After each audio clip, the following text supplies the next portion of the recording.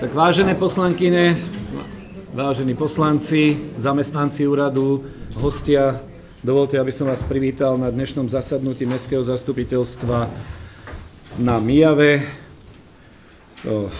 Máme zo pár ospravedlených, tak tých by som asi na, na úvod. Ospravedlňuje sa zo zdravotných dôvodov pani Dugová a pán Karika. Meškať budú, alebo neskorší príchod ohlásili uh, pán Marko asi 1,5 hodiny, že možno plus minus a pán Majtán 2, 2,5 hodiny bude e, meškať, takže, takže tiež by, doma. Takže ta, máme tu teraz 14 prítomných poslancov, takže sme uznášania schopní vo všetkých smeroch.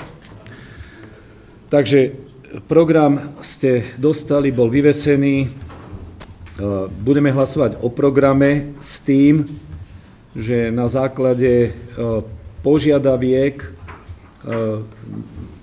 zo pár poslancov plus Rady školy Viestová ulica, základnej školy na Viestovej ulice bolo požiadané, aby sme dnes nehlasovali o bode číslo 17, bod číslo 17, Eh, aby sme ho presunuli na samostatný, samostatné, samostatný bod, prejednávali eh, na zastupiteľstve, ktoré eh, by bolo, ako sme oznámili v prostredníctvom mailov 29., na čo ste sa nám väčšina vyjadrili, že vám to vyhovuje, respektíve nevadí, ak by sa zvolal, zvolal k tomu ešte jedno zas, zasadnutie, s tým, že si vyžiadali ešte nejaké dovysvetlenia. Takže by sme tento bod dneska kvázi vypustili, aj keď čiastočne máme tu zástupcov či zo školy, či za radu školy, že by sa v rámci možno pripomienok občanov k tomu vyjadrili, aby sme vedeli, o čom budeme ďalej diskutovať s nimi na nejakých ešte stretnutiach. S tým, že my tiež takisto, pretože nás pozerajú aj iní občania, iní ľudia, ktorí možno budú chce počuť tie argumenty a všetko k tomu. Takže ide o to, že ten bod 17 dneska by sme e, presunuli na pondelok. Ďalšia požiadavka tu bola od predsedu e, komisie výstavby, že pri hlasovaní o pozemkových pozemkových pardon, sa, predseda finančnej komisie, že by pri e, prerokovávaní majetkových prevodov chcel byť prítomný, tak teraz prizná sa trošku, nám to robí problém, pretože máme tu nejaké programy, kde prídu hostia predniesť svoje správy, ale robíme na tom, je na vás nazvážený, že či tento posun toho bodu e, dáme tak, že po príchode by sa zaradil potom aktuálne do poradia. Neviem teraz povedať, či bude po 13, 12, 18. Áno, je to na vás, je to jeho požiadavka, tak ja ju len predostieram s tým, že je to takto. Takže ešte raz eh, dávam hlasovať o programe dnešnej schôdze s tým, že bod číslo 17 by sa eh, zrušil, alebo teda vylúčil z dnešného programu, presunul by sa na, bod, na samostatné rokovanie zastupiteľstva na budúci týždeň, s tým, že vlastne teraz podľa hlasovania s tým musíte aj počítať, ak si to schválite. A za druhé, presun toho návrh pána poslanca Majtána o posunutie majetkových prevodov po jeho príchode. Takže dávam hlasovať, kto je za takto upravený program. Ďakujem. Kto je proti? Zdržal sa niekto hlasovania? Takže ďakujem, jeden proti. Takže sme program schválili. Učenie zapisovateľov, vzhľadom na to, že Vierka Dugová sa ospravedlnila, tak za, za overovateľov zápisnice by som si dovolil dneska určiť pani poslankyňu Feriancovú a pána poslanca Filana. Súhlasíte? Dobre. Takže Mestské zastupiteľstvo prerokovalo, to sme nie, to sme na tom prvom, čiže tu na nehlasujeme, myslím. O tomto nehlasujeme, že nie. nie. Dobre, takže prejdeme k bodu číslo 3, pripomienky a otázky občanov. Pán Krč, Jaro, Jari, ale prejdete si, prejdi k mikrofónu, ale máš mikrofón? Tak chod k, pul- k pultíku a tam.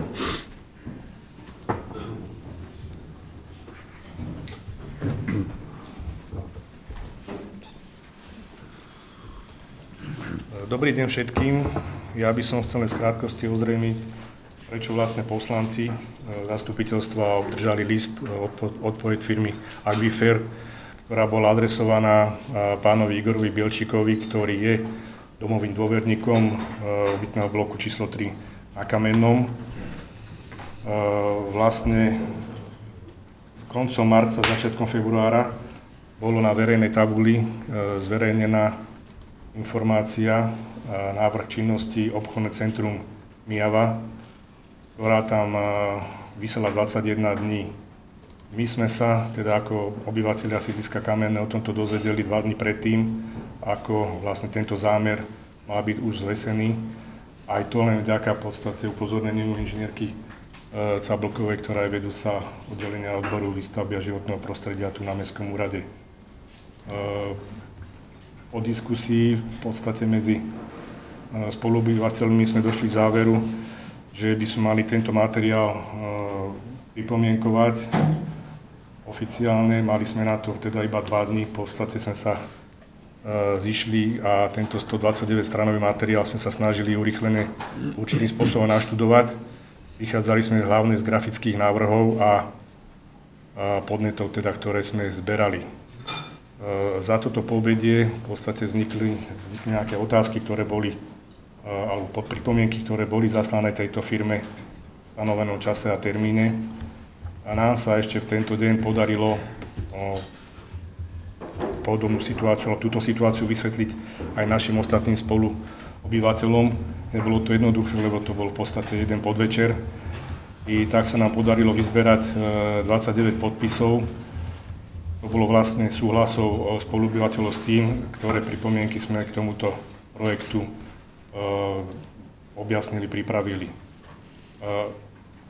E, Chcem upozorniť, že nebola to petícia proti postaveniu tohoto obchodného centra. Je to v podstate materiál, ktorý by mal podporiť, aby sa, na, aby sa obyvateľov na sídlisku Kamenné výrazným spôsobom nezhoršili podmienky, teda komfort bývania.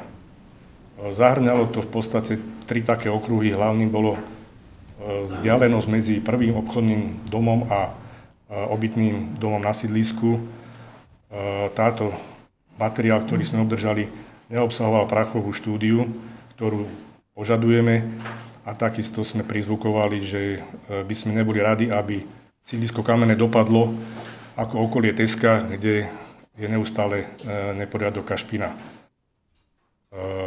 dnešné zastupiteľstvo okrem iného má v bode predaj pozemkov i bod, kde sa má odpredať časť mestských pozemkov spoločnosti Arkádia, ktorá e, odkupuje pozemky pre spoločnosť, e, ktorá by mala vybudovať toto obchodné centrum. E, v tomto prípade sa jedná zhruba o nejaký 6-metrový pás po celej držke pozemku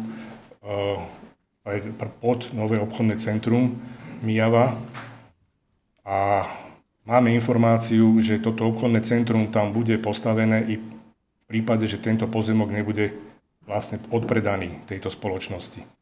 Z toho nám nejako plynule vyplýva, že v prípade, že mesto tento pozemok odpredá, čo si myslíme, že by sa asi malo uskutočniť, lebo sú tam aj výhodné podmienky, aj vznikne priestor na to, aby sa vlastne on určitú e, vzdialenosť dokázal tento obchodný dom posunúť ďalej od našich obytných domov, čím sa vytvorí širší pás zelene, kde by sa mohla v budúcnosti vysadiť vzrastla zeleň, ktorá prirodzeným spôsobom oddelí toto sídlisko od obchodnej zóny, bude sa eliminovať hlučnosť, takisto aj prašnosť.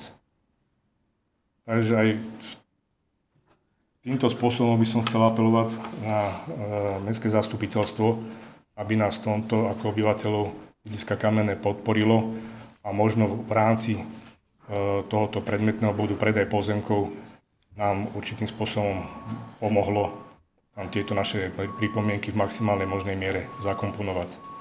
Ďakujem za váš čas a pozornosť.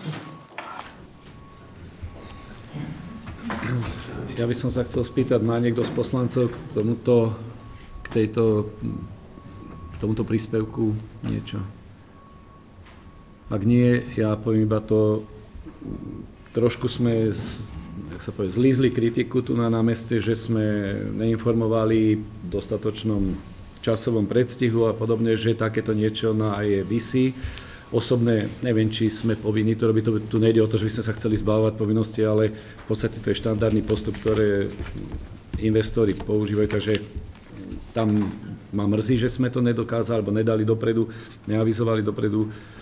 Za druhé, obavy, všetko chápem, je potrebné vytvoriť tlak na Kaufland, ktorý už má, je v takom štádiu, že si nemyslím, že by nejak radikálne menil, áno, umiestnenie toho alebo nejaké tie e, logistické a podobné veci, takže je práve možno, že ak by sa ten pozemok, ktorý bude predmetom toho predaja, že sa dá tlačiť, aby sa dali nejak e, rozumne možno posunúť alebo tieto veci. E, čo sa týka prášnosti a všetkých tých, toto sú vec odborných inštitúcií, ktoré to musia posúdiť, rozhodnúť, či je to tam treba, není treba. Oni o to požiadali, takže je to na ďalšom postupe tých okresného úradu a podobne tých inštitúcií. Dobre, chce niekto... Áno, pán Šimo.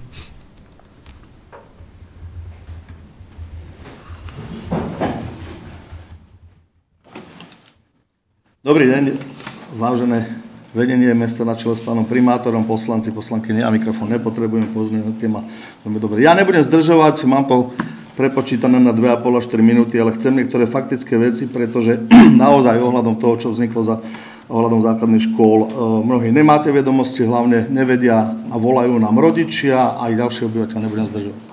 Prvú vec, čo chcem povedať jednoznačne, ja definitívne k 36. končím vo funkcii riaditeľa školy. Neberiem do úvahy to, že ešte budem poverený na dva mesiace a potom nie.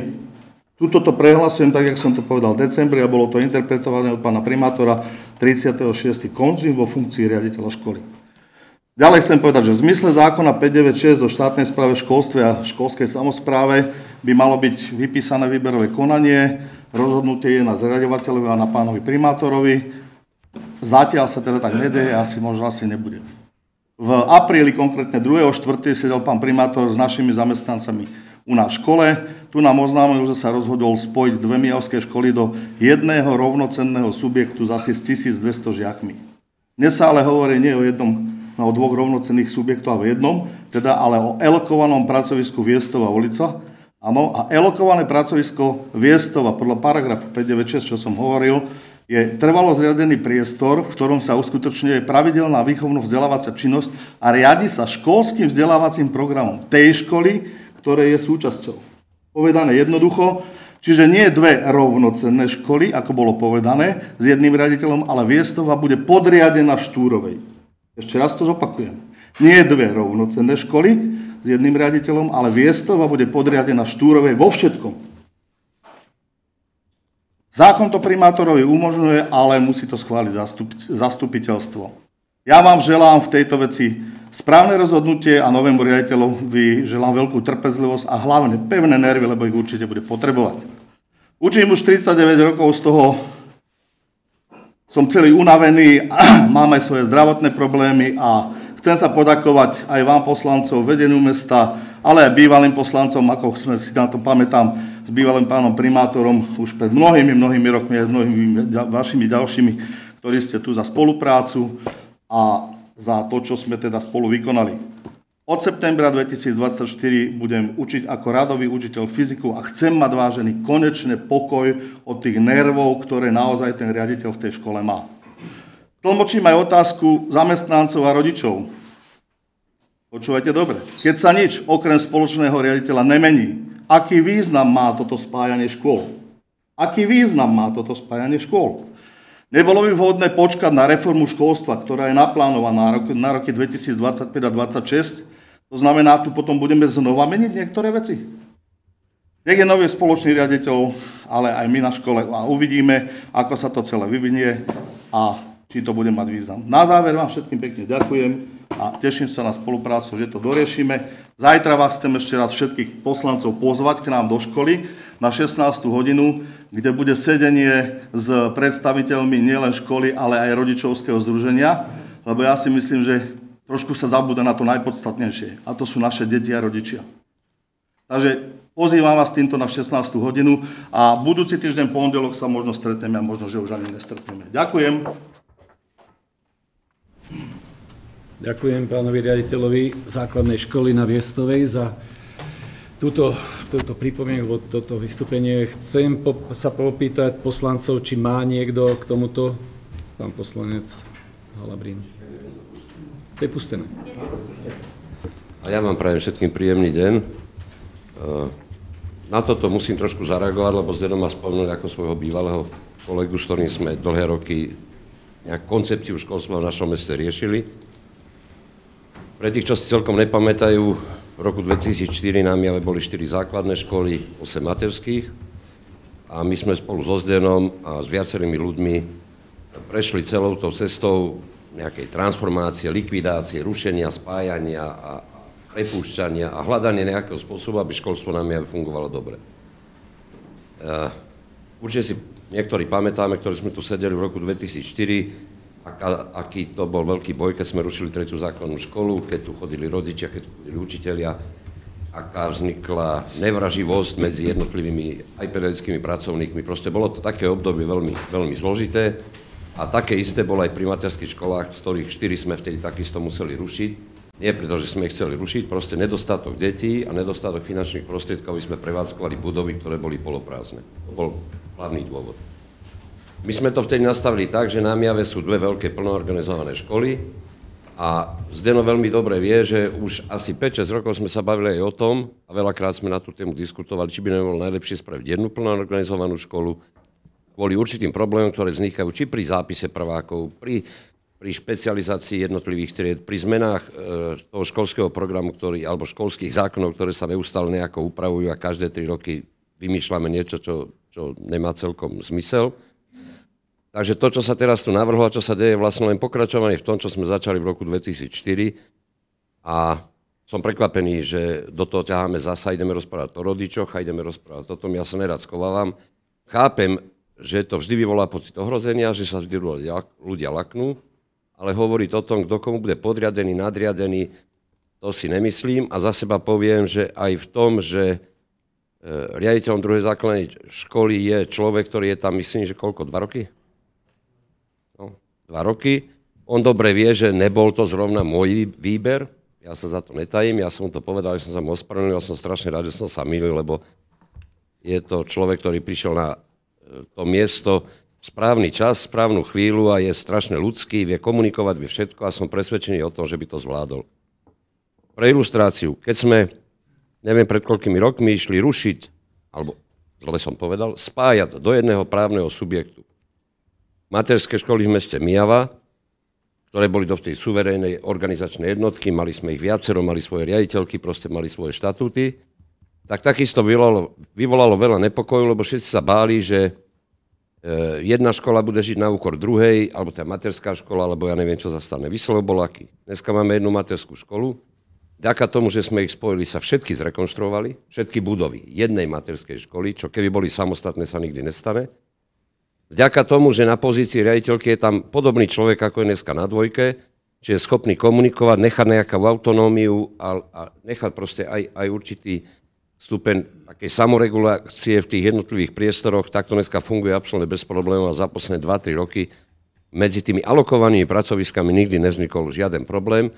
A je úplne jedno, či je to napísané, že materská škola Bradáčova, alebo Hoštáky, alebo SMP. Taký problém neexistuje, ale niekde to sídlo na nejaké adrese musí mať.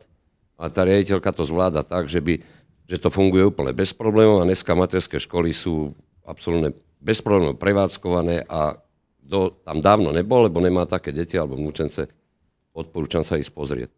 A to isté si myslím, že nič iné sa nestane s základnými školami, ktoré naozaj, to není o úspore, jak si ty povedal, jedného miesta riaditeľa alebo jedného platu. To vôbec není o tom, ale je to skôr o veciach, že znovu vieme vytvoriť priestor na nejakú lepšiu koordináciu, zastupovanie, špecializáciu a na to, aby to fungovalo tak, že to nebude medzi sebou vyvolávať zbytočné problémy pri zápisoch detí, e, pri športových triedách, ja neviem pri čom všetkom, ale že to, bude, že to bude fungovať. Je to len o ľudoch, ktoré tu budú robiť a dôležité, ako to príjmu ostatní zamestnanci a rodičia, je vždy o tých ľuďoch, ako sa im to prezentuje, ako ich to v tých jednotlivých zariadeniach prezentujú tí pedagogickí pracovníci alebo vedenie školy.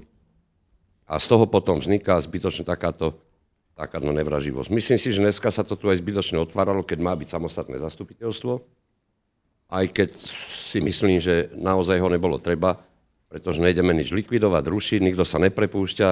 Tie doby, chvála Bohu, máme za sebou, ale len preto, že sme mali odvahu ich spraviť, je dneska školstvo také, aké je. Ďakujem. Ja na Margo, prečo som trošku chcel, aby sa toto otvorilo, je to v televízii, vidia to aj iní ľudia, ktorí sa možno na to pozerajú, lebo na to čakali, aby sme nemuseli chodiť z miesta na miesto a vysvetľovať, aj keď si myslím, že sme navysvetľovali dosť. K tomu vystúpeniu pána riaditeľa len pár pripomienok a ja musím mať.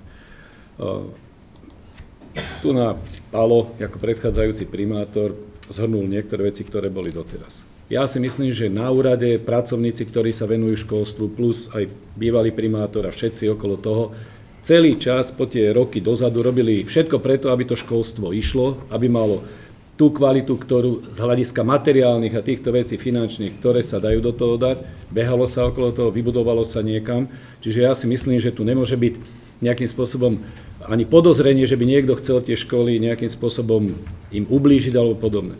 Ja si myslím, že ani teraz sme nesedeli nad týmto a to není, že ja som sa rozhodol, jak to tu niekto povedal, čiže interpretujme trošku inak tieto veci, lebo ja som sa ne, nie, že rozhodol, my tu sme nad tým sedeli, pracovali, dávali sme určité e, dôležité veci dohromady a jednoducho vyplynulo to do tohoto návrhu a do tohto v podstate procesu, ktorý sme naštartovali. Osobne si myslím, že sme postupne išli tak, ako sme aj mali pri vysvetľovaní a všetko a že to niektorí ľudia pochopili inak, to ma skutočne mrzí, ale vôbec to nie je tak, ako sa to prezentovalo aj teraz tu.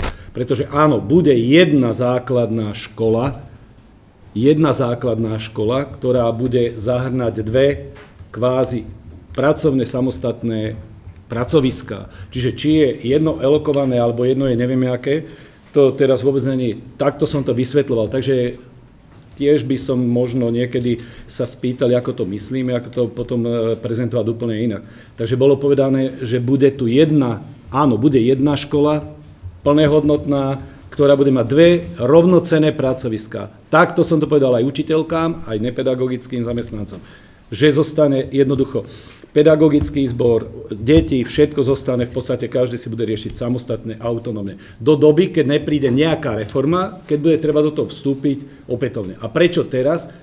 Alebo prečo? Lebo keď prídu problémy a bude sa musieť riešiť ďalšie veci, aby to bolo utrasené, aby to bolo zabehnuté, aby to malo už svoj rád. To je jedna vec. Druhá vec, štarterom tohoto procesu je práve to, že pán riaditeľ z prvej základnej škole končí, čiže ne, jednoducho je čas, kedy nebudeme alebo nemusíme voliť nového e, riaditeľa školy. To zlúčenie škôl vychádza teraz v podstate časovo automaticky. A tým, že končí na prvej základnej škole, tak sa samozrejme kvázi necháva aj ako sídlo, to čo povedali, tu na sídlo niekde musí mať, zostáva na Štúrovej. Čo ale neznamená to, že Viestova bude podriadená. Takže ak toto niekto zle pochopil, ospravedlňujem sa, že som to možno zle vysvetlil, ale preto som to chcel aj takto verejne povedať, že vôbec to není, že by bol niekto podriadený.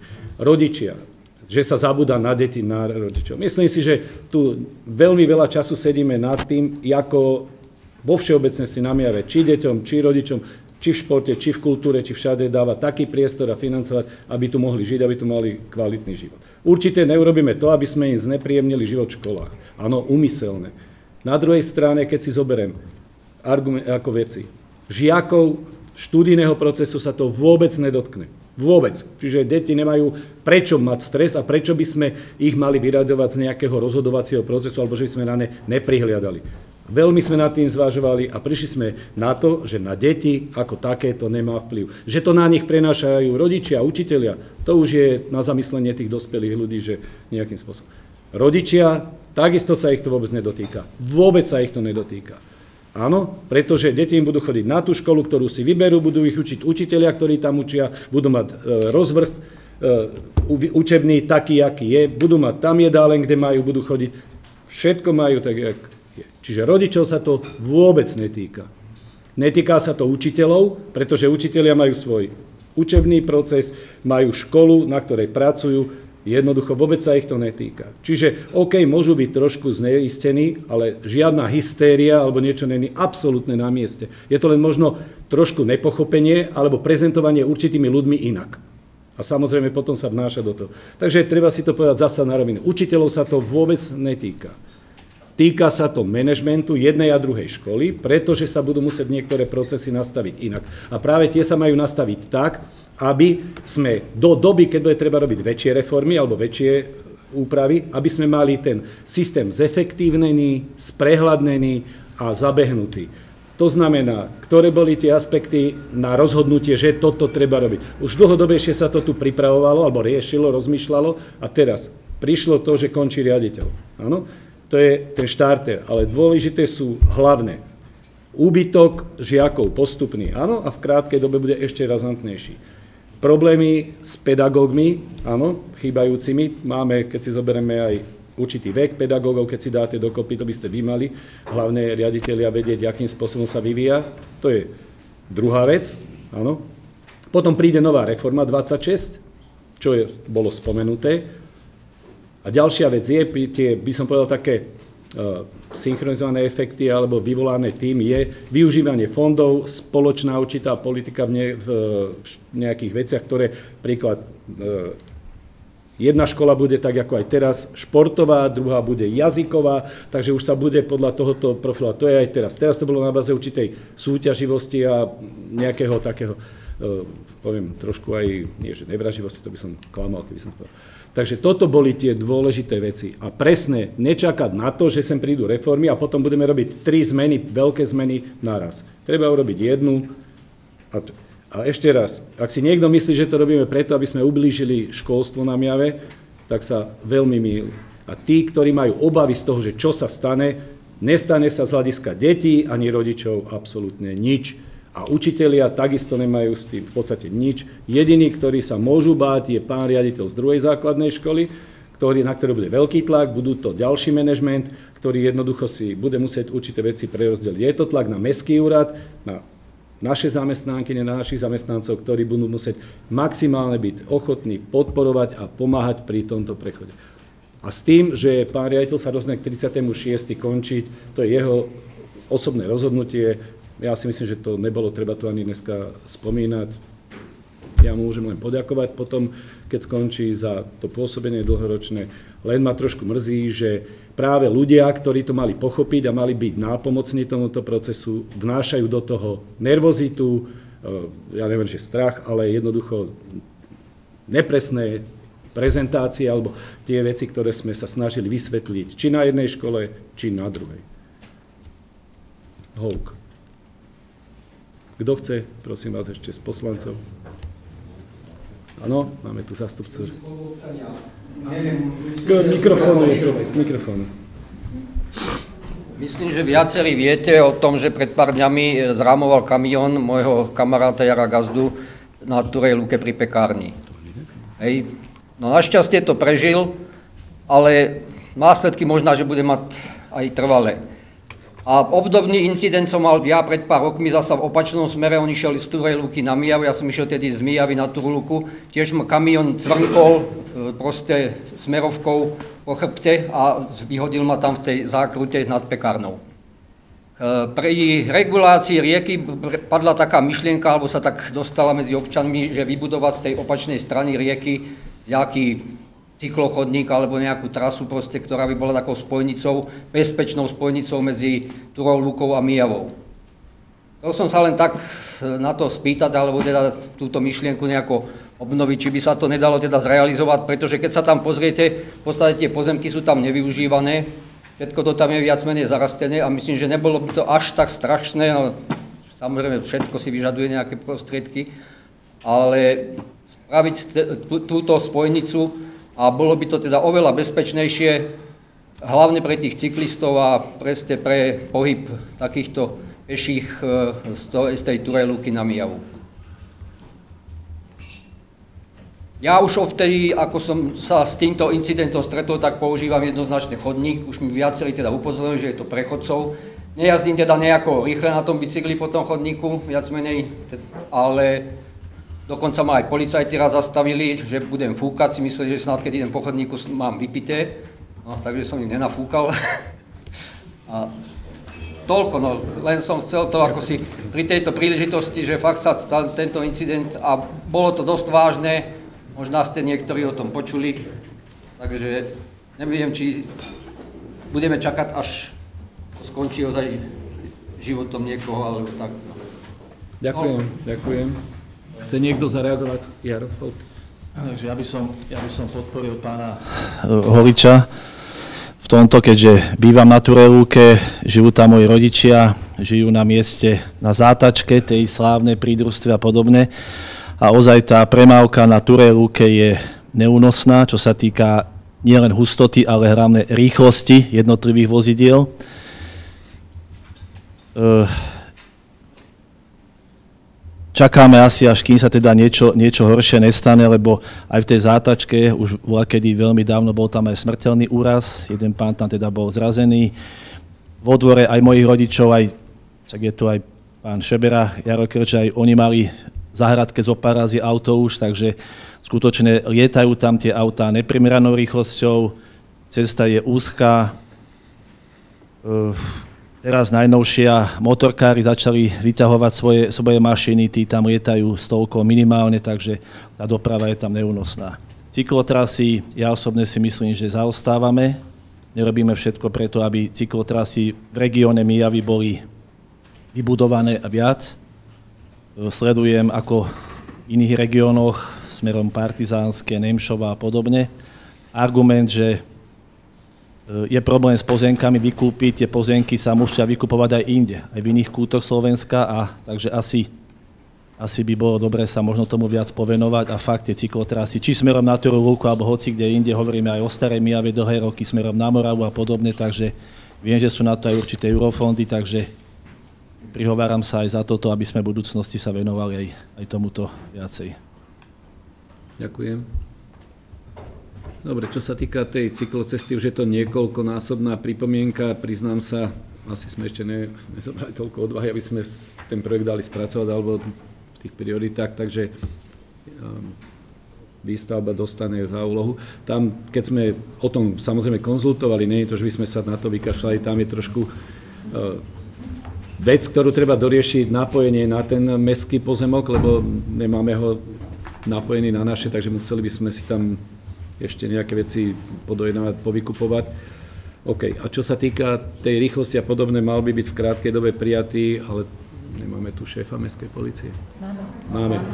Pán Jamriška, že mal by byť, mal by byť, mal by byť, mal by byť prijatý nový zákon o mestskej policii, kde by mali byť umožnené aj možnosti trošku regulovania rýchlosti a podobných vecí, čiže nejaká objektívna zodpovednosť. Takže určite v čase, kedy tak budeme musieť namiaľ vytipovať miesta, kde by sme chceli trošku formou takou represívnou zasiahnuť do toho, lebo dneska, poďme si na rovinu, jazdí sa hlava, nehlava. Takže to tiež budem rád, keď sa ten zákon príjme a sadneme si potom a budeme rozmýšľať, že ako. Nie je to využiť na výber pokut, ale na to, aby sme v tých miestach, kde skutočne je to rizikové, aby sme, alebo kritické, aby sme to... Pani Amriška. Ja, e, ešte Pálo, no, no, Ste zbytočne si nedávali úlohu, ktorá je nerealizovateľná, nesplniteľná. Chodných vedľa rieky na Luke nebude nikdy. E,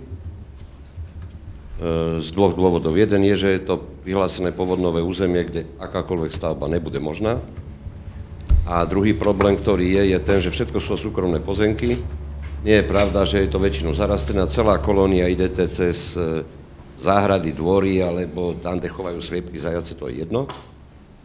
A až po ako mlyn, potom sa to prechádza zasa, proste všade sú súkromné pozemky. Keď sme išli robiť re, revitalizáciu rieky Mijava, tej dĺžke skoro 3 km, my sme so všetkými vlastníkmi hovorili. Jeden zo zámerov bol, aby sme tam vytvorili neoficiálne cyklochodník, poviem to asi tak, lebo veľa vecí sme museli robiť neoficiálne, lebo na to v živote nemôže dostať povolenie. A špekulovali sme, jak sa s tými ľuďmi dohodnúť, aby nám dali súhlas na to, že popri tej stavbe by vznikol nejaký, poviem, dopravný koridor povedla rieky. Bohužiaľ to bolo absolútne bez šance, mali sme problém tých ľudí vôbec presvedčiť, aby nám dovolili robiť tie úpravy, čo sa spravili. Takže do doby, dokiaľ sa nedotiahne s ministerstvom životného prostredia s povodím, e, vá, nie váhu, my sme Dunaj, e, nedotiahne to, že sa zmení to povodnové územie, že sa inak vytýčia hranice, že sa zapracuje to, že jednak sa vybudoval polder, zrevitalizovala sa rieka, že tie prietokové a odtokové pomery sa výrazne zmenili v prospech e, toho, že to povodnové územie by sa mohlo oveľa viacej zmenšiť, skrátiť a nerobili by sa také stavebné prekážky, aké v tej lokalite sú. Takže keď by sa malo niečo začať v tomto smere, tak tam je treba začať najprv riešiť toto celé s povodím a s povodnovými územiami, inak zbytočne bude výstavba sa trápiť, oni veľmi dobre vedia, Janka si to celé s nami a so mnou prežila, takže mne je to ľúto, lebo logicky je to jednoduché, realizovateľné aj za malé peniaze, len si treba uvedomiť, že prejdeš asi cez 100 súkromných pozemkov, neprejdeš, lebo na treťom už tá vyženú odtiaľ a e, navyše sa dostaneš do rozpore do rozporu so zákonom. Takže keď máme hľadať nejaké iné dopravné alebo bezpečné prepojenia, tak určite nie vedľa tej hlavnej cesty, lebo tu nevieme rozšíriť, nevieme ju nafúknúť.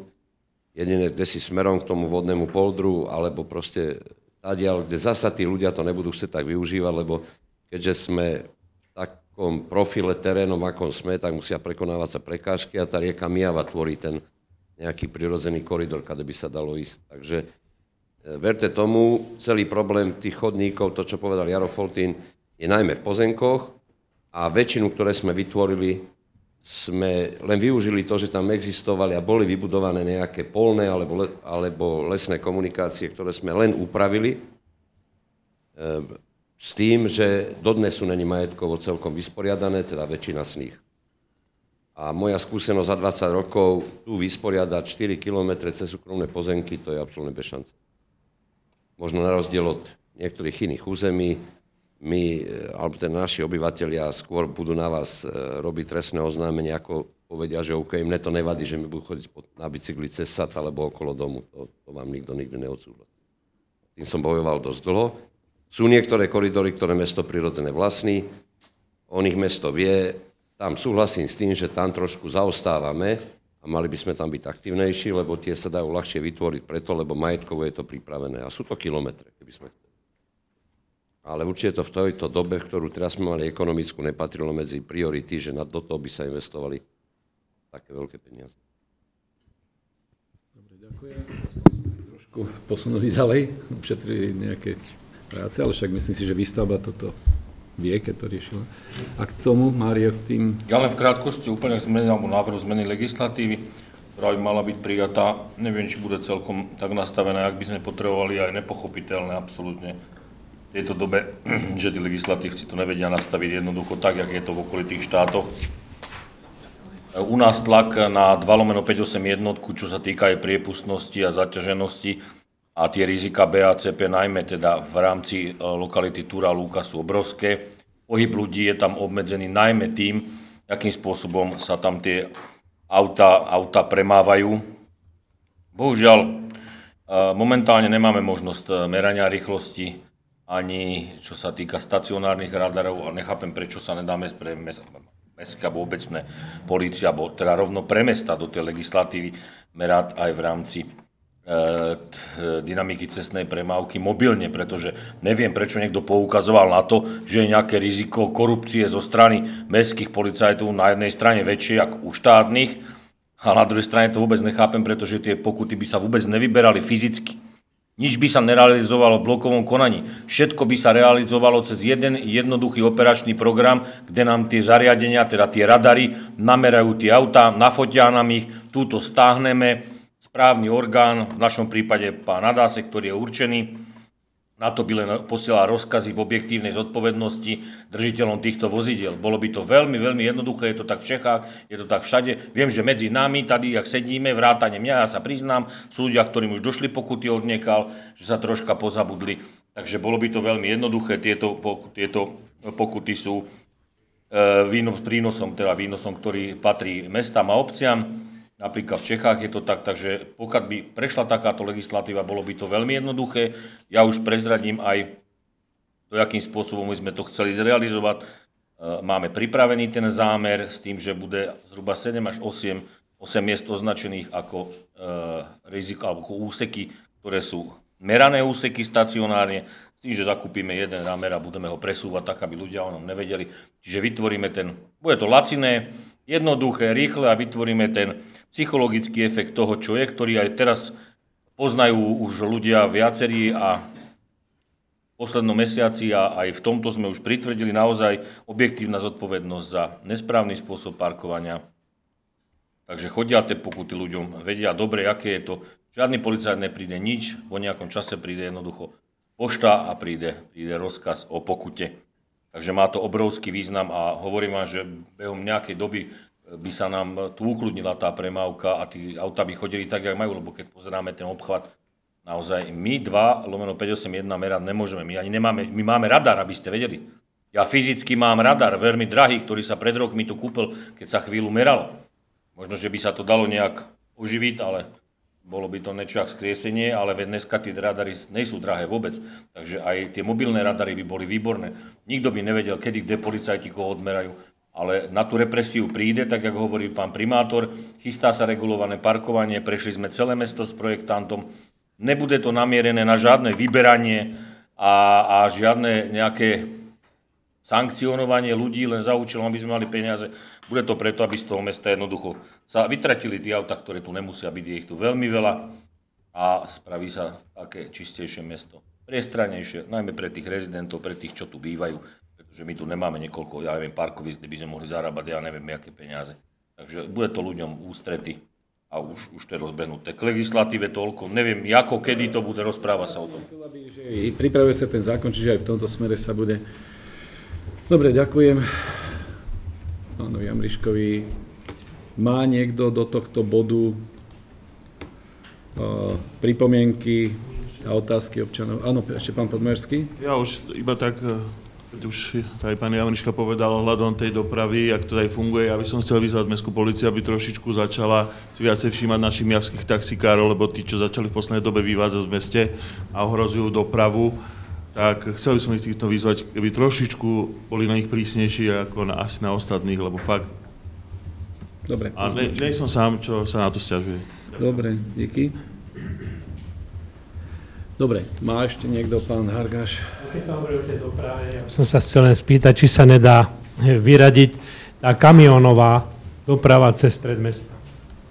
Tam chodia kamióny, ja, Proste, ja, to, to, také... prosím ťa, prosím, toto by sme si mohli nechať do rôzneho, dobre, lebo tu dobre. máme k pripomienkam občanov, bol to pripomienka, tak na to som chcel reagovať hlavne, čo sa týka toho cyklochodníka, som rád, že Pálo na to reagoval, že sa to riešilo a že to není také jednoduché. A čo sa týka aj tej rýchlosti, čo tu, tu na Jaro Foltín hovoril, že je to kritické na viacerých miestach, ale presne keď sa na 5 6 bude merať pravidelne a budú chodiť že aj tí zahranič, mimo miasky, čo tu pravidelne cez Miavu chodia, Senica, Trenčín a podobné, že prídu na to, že tu treba chodiť tak, ako chodia v Rakúsku alebo v Česku. Alebo... Dobre? Takže ja ešte iba pripomienky občanov. Má ešte niekto z občanov nejakú pripomienku?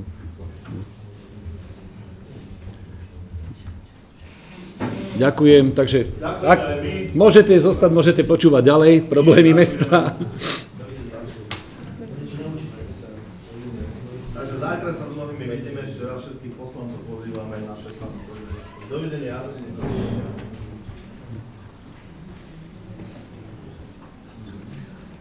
Dobre, prejdeme k štvrtému bodu, takže tam máme kontrola plnenia uznesení, pán kontrolor. Ja len v stručnosti. Na poslednom februárovom zastupiteľstve sme prijali 42 uznesení celkové, z toho, ktoré mali charakter Poprosím vás, chvíľu, kľud, počúvajte. Schvaľujúce bolo 25, vzali sme na vedomie 13 uznesení a ostatné boli tri, to sa rušilo v dvoch prípadoch, jedenkrát sme odvolávali. E, Čo sa týka tých schvalujúcich 25, e, sa týkalo majet, majetkových prevodov 17.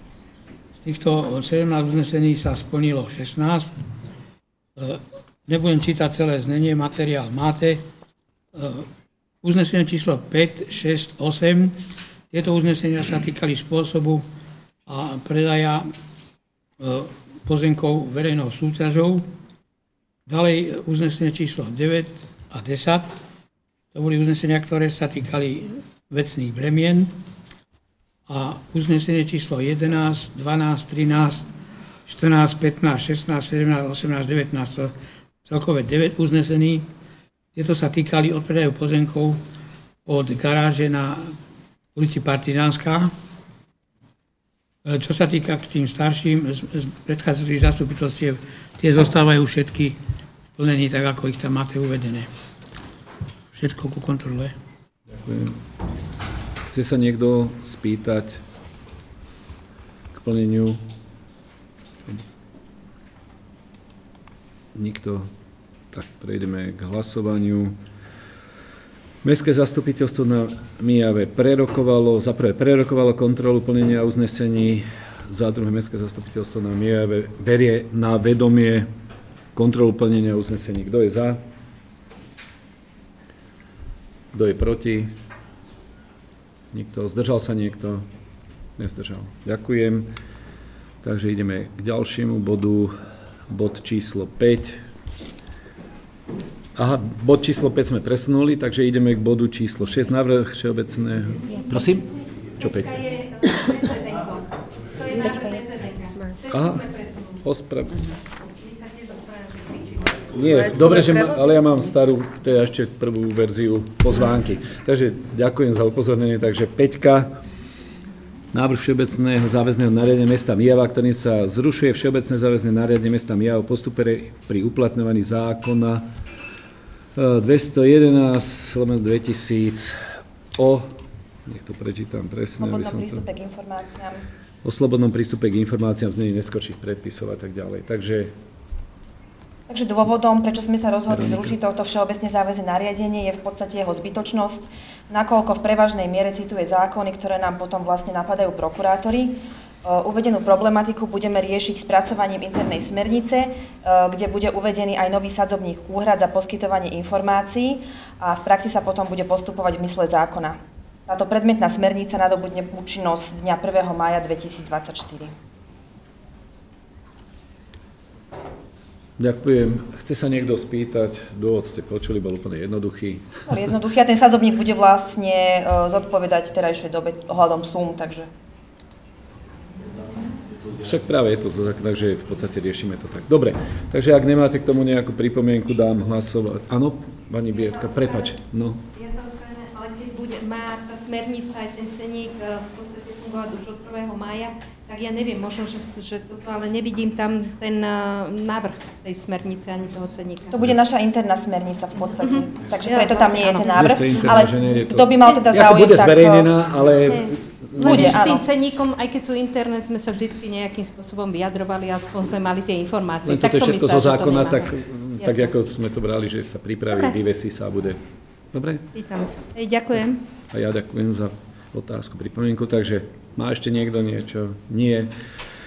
Takže Mestské zastupiteľstvo na Mijave za prvé prerokovalo návrh Všeobecného záväzného nariadenia mesta Mijava, ktorým sa e, zrušuje Všeobecné záväzné nariadenie mesta Mijava o postupe pri uplatňovaní zákona číslo 2000 211 2000 BRky zákonov o slobodnom prístupe k informáciám v znení neskorších zmien a predpisov a o zverejňovaní dokumentov na webovom sídle mesta. Za druhé schvaluje tá istá textácia, tak nebudem to čítať. Takže kto je za? Ďakujem. Kto je proti? Nikto. Zdržal sa niekto hlasovania? Nie, takže môžem konštatovať, že sme schválili zrušenie tohto VZDNK. Takže bod číslo 6 sa presúva, áno, teraz dúfam, že správne hovorím. A prejdeme na bod číslo 7. Návrh Všeobecné záväzného nariadenia o určení názvu ulic a číslovaní stavieb v, mest, e, v meste Nijava. Poprosím Janku Cablkovú, aby pre, predniesla Že ja by som k tomuto všeobecne záväznému nariadeniu chcela povedať, že je dneska na prvom čítaní, čiže schvalovať sa bude až na ďalšom zastupiteľstve. Dôvodom teda vypracovania tohto všeobecne záväzného nariadenia je to, že teda sme takéto všeobecné záväzné nariadenie ešte prijaté nemali. Zatiaľ sme postupovali v zmysle platného zákona o obecnom zriadení Avšak e, v roku 2018 nadobudla účinnosť novela zákona o obecnom zriadení, ktorá okrem iného zakotvila tie povinnosti pre obce a mesta ustanoviť všeobecné záväzné nariadenie, na, záväzne nariadení, záväzným nariadením názvy ulic a iných verejných priestranstiev, ako aj ich zmeny. Takže dávame vlastne za dozučinenie e, zákonu. E, samotné všeobecné záväzné nariadenie pozostáva z paragrafov môžeme ísť asi Marek ďalej na, na to paragrafové znenie, kde vlastne v tom prvom paragrafu o druhom je účel a rozsah pôsobnosti nariadenie a vymedzenie tých základných pojmov, ako čo je ulica, čo je verejné priestranstvo. Všetky tieto materiály mali poslanci k nahliadnutiu v dostatočnom časovom predstihu, takže to tu nebudem čítať. Vlastne v druhej časti postup pri označovaní ulic a Tým, tie názvy vlastne budú v prílohe číslo 1 sú stanovené všetky názvy ulic. Mm, ďalšie ulice, pokiaľ sa budú určovať, tak sa budú určovať dodatkami tohoto všeobecne záväzného nariadenia. Vlastne tie zásady toho označovania ulic vlastne je to orientačnou tabulou s názvom ulice, kde sa umiestňujú teda na pozemnú stavbu, ktorá sa nachádza najbližšie k miestu vyústenia ulice. Názvy ulic budeme určovať podľa nejakých charakterových a miestných znalostí, čiže tak ako to vidíme v prílohe číslo 1, sú stanovené ulice, ktoré už poznáme, ale napríklad v Turej Luke budú ulice Malejov, u Junasov, u Vankov a tak ďalej. V prípade, že by ste mali k tomuto nejaké pripomienky, poslanci hlavne týchto mestských častí, mm, by ste mohli pripomienkovať, že či bude potrebné alebo nebude potrebné väčší rozsah týchto ulic. Takisto máme povinnosť určovať na týchto uliciach orientačné a súpisné čísla tých budov. Zo zákona tam mám ešte takú povinnosť, že obyvateľ alebo vlastník stavby, ktorý si do 30 dní nepožiada o určenie súpisného čísla na uvedenú stavbu po kolaudácii, tak obecný úrad alebo mestský úrad musí zo zákona prideliť súpisné číslo aj bez jeho vedomia. S tým súvisia náklady, ako je zameranie, geodetické zameranie adresného bodu a takisto vlastne objednanie tých tabul, ktoré v súčasnosti momentálne mesto vyberá 3 eur za, za tabulu, ale skutočná, skutočná cena tej tabule je 22,50 Závisí to od množstva objednaných tých tabul, takže zo zákona je povinnosť jednu tabulu hradí mestský, mesto Mijava, a dru, alebo teda obec, a druhú tabulu si hradí vlastník sám. Na základe tohoto všeobecného záväzného nariadenia budú budeme môcť vyberať za, za tieto čísla poplatky, či už je to za tabulu, alebo je to aj na tieto geodetické práce, na tie zamerania, pretože adresný bod, zameranie napríklad jednotlivého adresného bodu stojí 50 eur, ale mm, keď dáme viac, viac stavieb zamerať na, naraz napríklad nejaký súbor garáží alebo súbor nejakých iných stavieb, tak tým, že budeme mať zameranie na viac stavieb, tak tie náklady sa znižujú. Momentálne predstavujú tieto geodetické práce hodnotu od 23 až do 50 eur. Z toho titulu sme do všeobecného záväzného nariadenia nedali úplne presné číslo, alebo teda cenu, buď už toho súpisného čísla, alebo aj toho geodetického zamerania, ale bude sa to vyrubovať a bude sa to účtovať obyvateľom, ktorí si nesplnia túto svoju povinnosť na základe skutočnej fakturácie týchto, týchto prác že to je tam také najdôležitejšie vlastne, že, že obyvateľia alebo teda vlastníci stavieb, ktorí si do 30 dní nedajú zapísať, nebudú požiadať o súpisné číslo, tak mesto alebo obec musí zo zákona určiť to súpisné číslo a s tým prichádzajú aj náklady na, na účet mesta a tieto náklady budú vymahateľné od toho konkrétneho stavebníka alebo respektíve vlastníka stavby. Že to je asi tak Dobre. Všetko ohľadom toho všeobecného nariadenia máte Ďakujem, nejaké? Janka. Počuli ste prvé čítanie na základe novelizácie, čiže máme povinnosť toto urobiť. Chcem vás poprosiť, tí, ktorí samozrejme máte záujem sa do toho hlbšie dostať, pre, preštudujte si to, prípadné návrhy. Samozrejme, nepred, nepredpokladáme to není účelom toho, že budeme premenovávať ulice nejak e, radikálne, dramaticky, skôr prideliť ulice tým častiam, ktoré teraz nie sú. Škoda, že tu není sú ani jeden zástupca Turej Lúky. Tam Ale je, asi je. Není tu ani jeden. A pozor, poslancov Ubelanských, prepač, a ďalší. Myslím Turej Lúky ako obce toho centra, pretože nemyslím si, že by sme pristúpili Ubelánsky, že sme jedna ulica, dve ulice, tri ulice menovali, áno, Ubelánskych, skôr na Turej Lúke, že je tam nejaké díly, nejaké hoštáky, či aj nejako pomenujeme tieto ulice, alebo pôjdeme Turá Lúka ako jedna ulica, to... Zatiaľ, sme, zatiaľ sme toto až tak v tomto všeobecne záväznom nariadení neriešili, nakoľko by muselo prísť potom aj k tomu, že obyvateľia by si museli vymieňať doklady, dokiaľ nás nejaká... Legis... No tak to treba povedať, aby sme vedeli, či sa s tým Pokiaľ nás nejako legislatívne alebo... do toho tlačiť nebudú, takisto sme vlastne v tej Turej Lúky, Lúke o, tie miestne časti, ako je u Belánskych, u Vánkov pomenovali, ale nejakým, e, zatiaľ nebudeme nejako tlačiť na tých obyvateľov, lebo zatiaľ ešte tam nebudeme ani tie, ja si neviem predstaviť tie orientačné čísla, akým spôsobom by sme tam dávali. Dobre, dobre, dobre ďakujem. Takže, ano, ale myslím si, že časom k tomu bude musieť prísť, že, no, že je... budeme musieť určiť aj na Turej Luke ulice, či už je to diely, hoštáky, alebo nejakým iným spôsobom to pomenujeme, ale momentálne by sme mali aspoň dať na správnu mieru to, čo v meste máme a potom by sme mali po, ďalej dobre, pokračovať. Dobre, Dierka?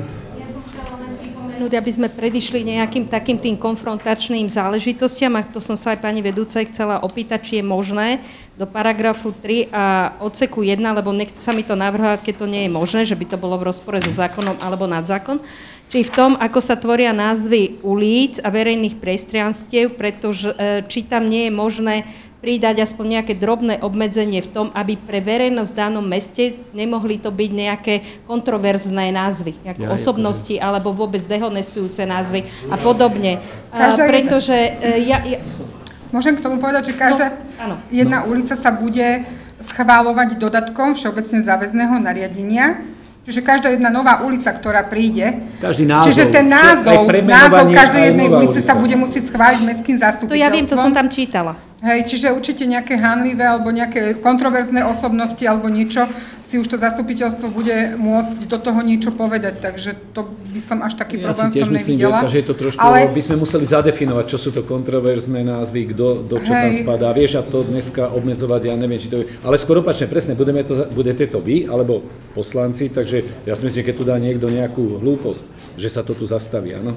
Ale to je výmene na záležitosť. Nemôžeme niečo pripravať na to, že my tu budeme väčšine, ja ale viem, ja som sa len pýtala, len či by tam aj... trošku uh-huh. také nejaké kvázi... Len to by si museli zadefinovať, čo sú tie kontroverzné. Vieš, lebo pre niekoho je to, to je to, áno, ale je tam len dané niečo, že predsa len môže byť nejaká osobnosť toho návrhu vyňatá. Tak som to skôr myslela. Ja viem, a druhá otázka, ktorú som chcela uh, vedieť, tam som zachytila teda tiež od pani vedúcej, že až po kolaudácii mm. musí byť do tých 30 dní a tak ďalej. Čiže retrospektívne netýka sa to e, v podstate všetkých, e, ktoré aj sú, lebo vieme, ako, koľko neskolaudovaných obývaných 10 ročia.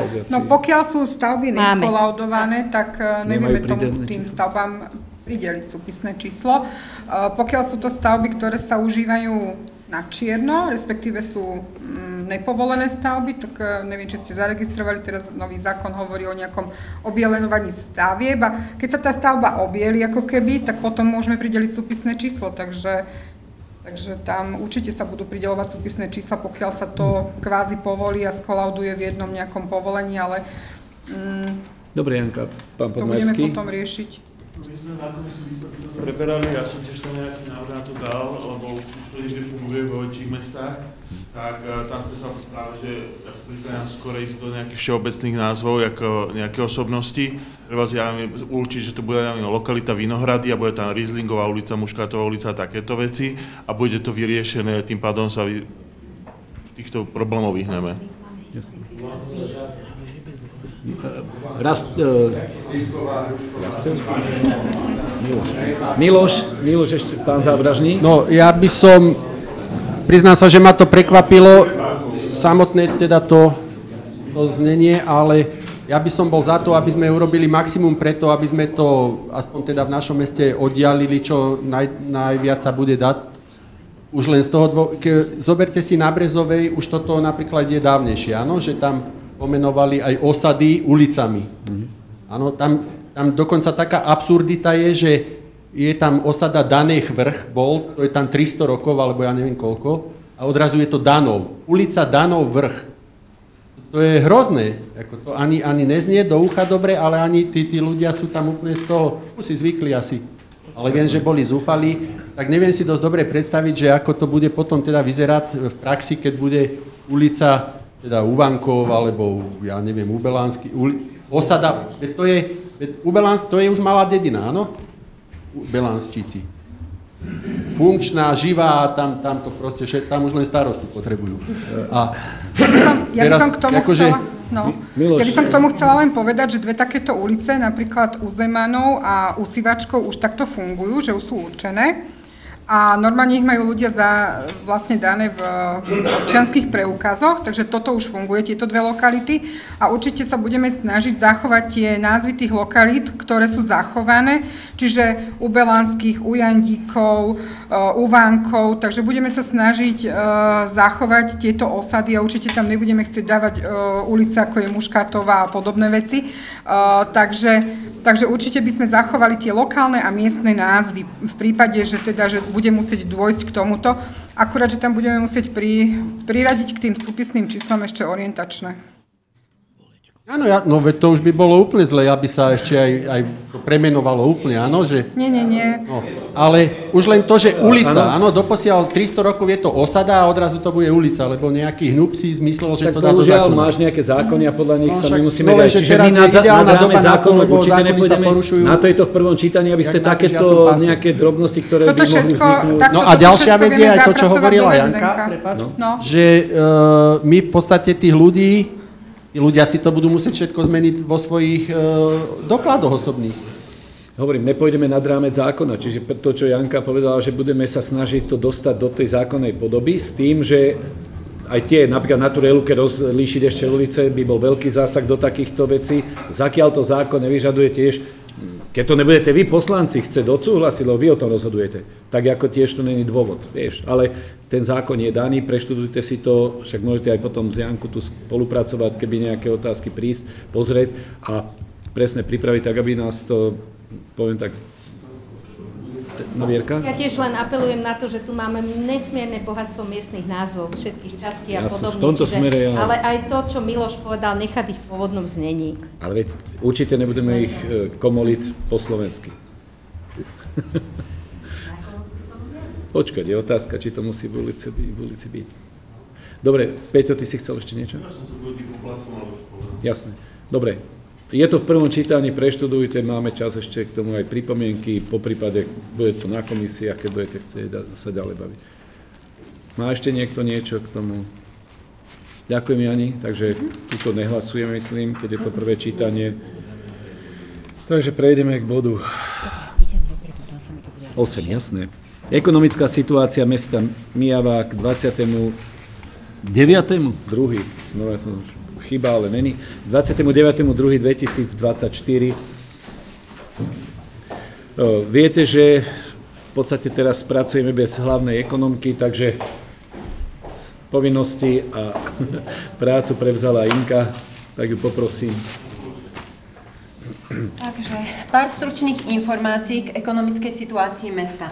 Na tomto prvom slajde vidíte stav úverov, pôžičiek k 29. februáru. Čo sa týka výšky úverov načerpaných alebo teda nesplatených, aktuálny stav je 5 miliónov 214 851,16 eur. Aktuálne má mesto načerpané 4 úvery. Bankový úver dlhodobý, ktorý bol použitý teda na refinancovanie. Tu sú pravidelne mesačné poukázované splátky vo výške 42 200 eur. Čo sa týka bankového úveru investičného, takisto sú pravidelné splátky mesačné vo výške 13 158 eur. Čo sa týka kontokorentu, tento je načerpaný k 29. februáru nebola splatená čiastka 237 tisíc eur, ale k 31. marcu je kontokorent vyrovnaný, uhradený. Čo sa týka prekleňovacieho úveru, tento bol použitý na projekty ego služby a manažment údajov žobky, čo sa týka týchto, toho, týchto projektov, boli podané na riadiaci orgán, schválené, čakáme na kontrolu a malo by prísť k refundácii finančných prostriedkov. Čo sa týka úverov voči štátnemu fondu rozvoja bývania na kamenné 105, 106, 107, aj tuto sú vlastne pravidelne mesačné poukazované splátky úverov. Čo sa týka zadlženosti, dlh mesta k 29. februáru je 25,63%, dlhová služba 1,28%. Obidva tieto ukazovatele sú v zákonom stanovenej hranici. Dlh na jedného obyvateľa mesta je 393,91 eur. Čo sa týka faktúr po lehote splatnosti 0,16%, takže aj v tomto prípade je tento ukazovateľ v zákonom stanovenej hranici. K ekonomickej situácie k 29.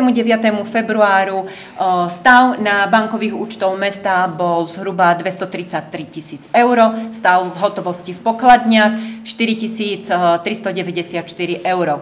Stav úverov som vám už spomínala.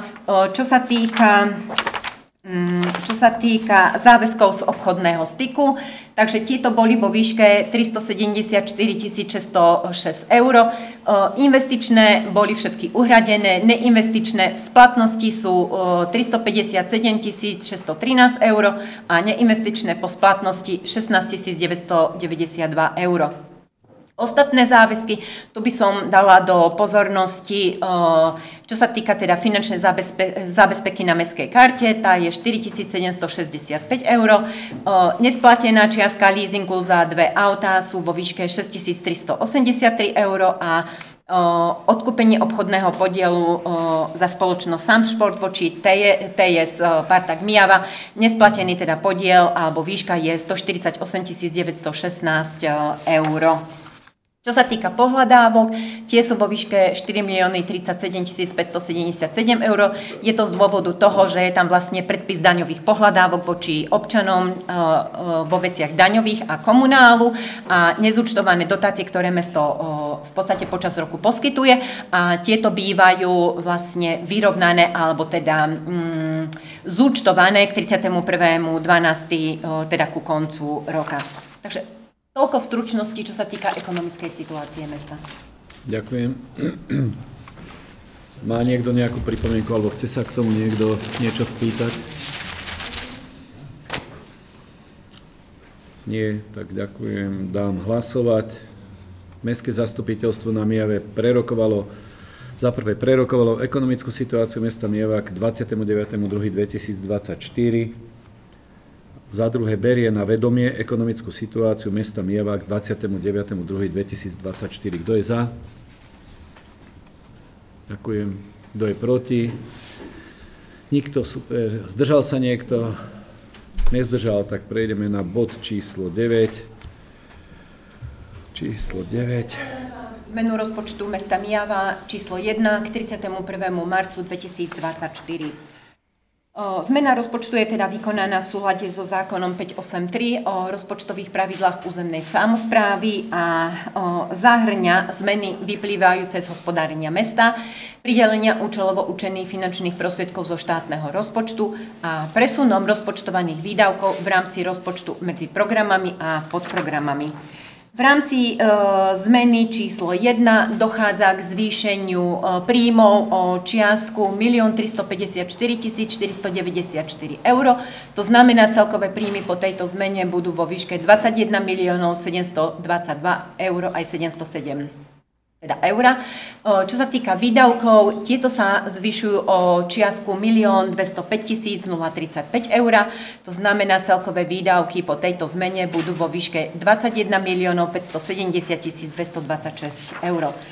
Pri podrobnejšom členení jednotlivých e, e, zmien rozpočtu v bežných príjmoch dochádza k zvýšeniu nedaňových príjmov o čiastku 37 607 eur, e, kde teda takými najdôležitejšími zmenami je 15 000 za výherné hracie prvky a 15 433 je vrátka za štvrtý štvrt rok roku 2023 za neobsadené miesta za neziskovú organizáciu sociálne služby mesta Mijavy. Čo sa týka grantov a transferov, tie sa zvyšujú o čiastku 529 764, kde 95 380 tvorí príspevok za ubytovanie pre fyzické a právnické osoby e, na odidencov z Ukrajiny. 53 100 je nový projekt, e, sú to miestne občianské a preventívne hliadky, kde sme získali finančné prostriedky na Trokanovu na 4 pracovné pozície, na miesta vrátnikov. 36 397 je refundácia výdavkov na mzdy a odvody za prestupné bývanie, teda na asistentky bývania. 17 048 sú voľby prezidenta, 20 407 sú chránené pracoviska. Tu sme získali finančné prostriedky na dve nové pracovné miesta, ktoré sú teda e, existujúce, už zriadené na Mestskom úrade a 306 062 sú normatívne a nenormatívne finančné prostriedky pre školstvo. Čo sa týka kapitálových príjmov, zvyšujú sa nedanové kapitálové príjmy o čiastku 152 924, 10 980 sú zmeny a doplnky týkajúce sa územného plánu. Je to príspevok troch e, záujemcov, e, ktorí teda vstúpili a požiadali o zmenu územného plánu. 62 600, e, teda 364 je refundácia výdavkov za projekt Revitalizácia sídliska pri štadióne, to sú výdavky z roku 2023 a 37 900 je ihrisko v areáli elkovaného pracoviska SMP a taká istá čiastka sú cyklostojany v meste. Obidva tieto projekty boli realizované, realizované cez Kopaničiarský región miestnu akčnú skupinu.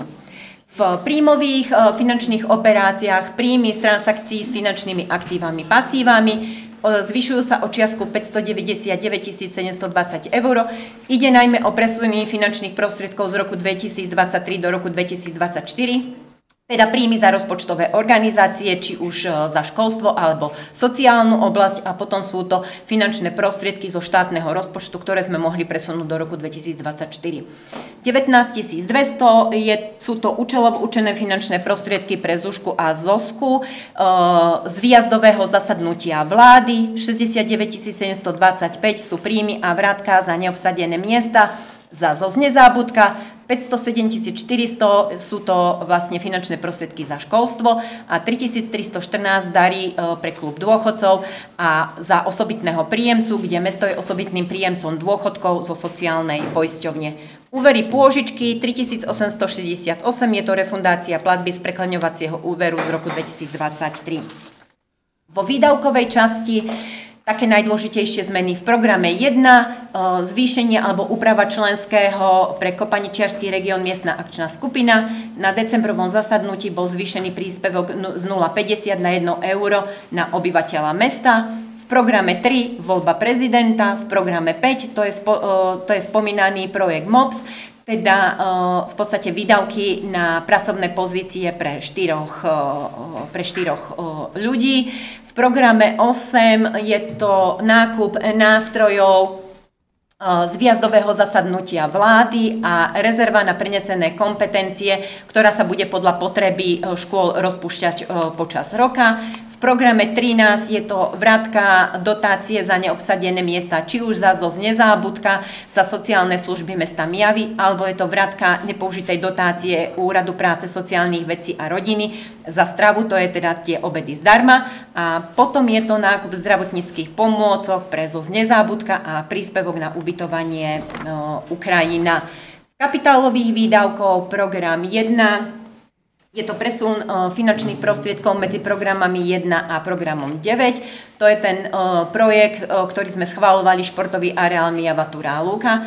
4560 v programe 8 je nákup hudobného nástroja pre Zušku, 12 700 nákup techniky projekt Kopaničiarský región miestna akčná skupina, 1099 je to úhrada faktúry na rozvody kamenné, je to úhrada faktúry z roku 2023 a v programe 13 je to nákup zdravotníckých pomôcok e, zo e, nezábudka. Takže v stručnosti najdôležitejšie zmeny v zmene rozpočtu číslo 1. Ďakujem. Pán Eliáš. Komisia pre financie a rozpočet Uvedené zmeny rozpočtu prerokovala a odporúča ich schváliť Mestskému zastupiteľstvu. Ďakujem. Chce sa ešte niekto spýtať? O tomto nehlasujeme, keď toto nemáme.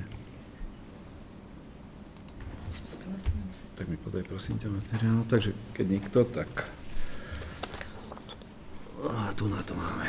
Nejak sa mi toto nasadilo. Dobre, takže Mestské zastupiteľstvo na Mijave za prvé prerokovalo zmenu rozpočtu mesta Mijava číslo 1 k 31.3.2024. Uh,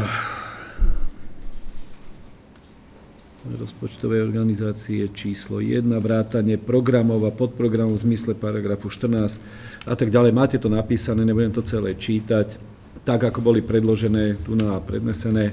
Za druhé, schvaluje ale berie na vedomie túto zmenu podľa tohoto textu, ktorý tam máte, kto je za.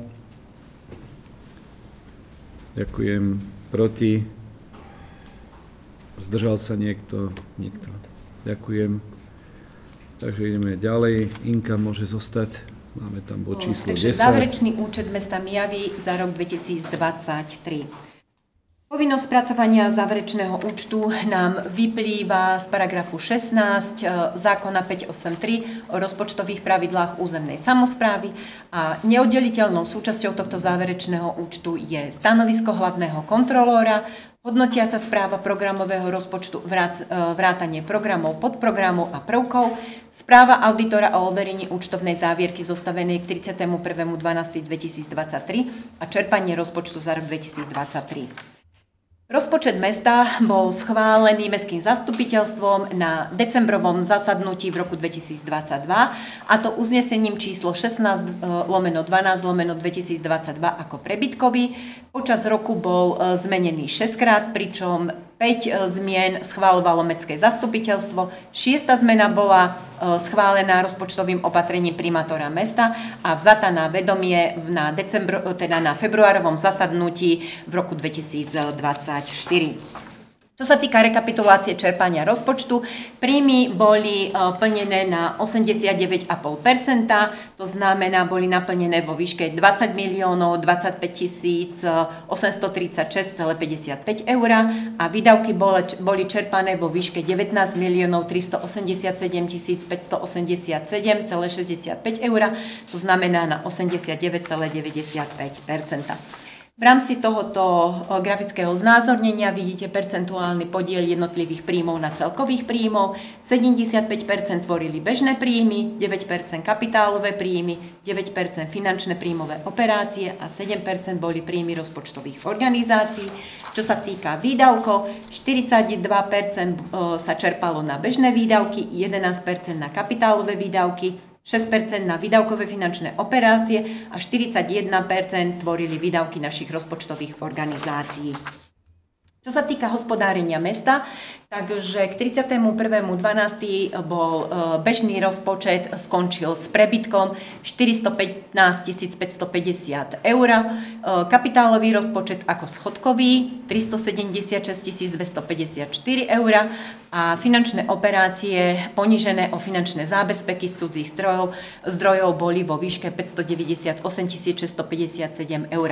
To znamená, celkové hospodárenie mesta bolo 637 953 eur a toto je vlastne ponižené o nevyčerpané finančné prostriedky z roku 2023. To znamená, celkové upravené hospodárenie mesta bolo vo výške 38 345,29 eur. Prebytok hospodárenia schvaluje Mestské zastupiteľstvo. No, tento prebytok ide na tvorbu rezervného fondu. Pre rok 2023 je toto vo výške 38 345,29 eur a tento rezervný fond sa zapája do rozpočtu mesta cez menu číslo 2, ktorú budeme prerokovať aj to do príjmov i výdavkov. Aktuálny stav rezervného fondu po tomto začlenení tohoto prebytku rozpočtového hospodárenia bude 20 tisíc eur grafické vyjadrenie vývoja hospodárenia mesta. Mm, a teraz by som dala do pozornosti pár teda takých ukazovateľov vybraných. Tu vidíte teda ukazovateľ bankové úvery.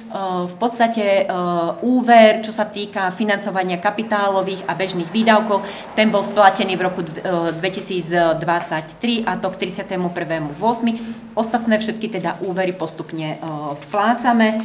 Čo sa týka ukazovateľa zadlženosti, takže k 31.12. bol dlh mesta 32,11%, dlhová služba 9,77%, to znamená, obidve sumy sú v zákonom e, stanovenej e, hodnote alebo limite. Grafické vyjadrenie vývoja dlhu na jedného obyvateľa. A potom stav záväzkov. E, čo sa týka dodávateľov, takže celkové záväzky boli 662 tisíc, z toho v lehote splatnosti zhruba 509 tisíc a po lehote splatnosti 153 tisíc. Z upísaných cenných papierov, to je teda tá splátka obchodného podielu, to bolo zhruba 149 tisíc, zamestnancov to sú mzdy a odvody za december, takisto so mzdami súvisiace odvody do poisťovní, daňového úradu, voči štátnemu rozpočtu, voči bankám, Strata spoločnosti správa majetku mesta bola k 31.12. splatená v plnej výške.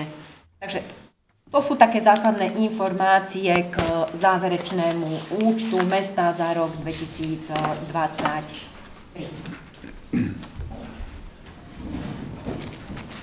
Ďakujem, Minka. Pán kontrolór.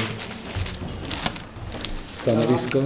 Krátkosti len stanovisko k záverečnému účtu predloženému. V smysle zákona o obecnom zriadení e, predkladám toto stanovisko e, ktoré je zamerané najmä na posúdenie súladu obsahu spracovaného návrhu záverečného účtu s príslušným právnym predpisom a na posúdenie súladu hospodárenia mesta s príslušnými právnymi normami.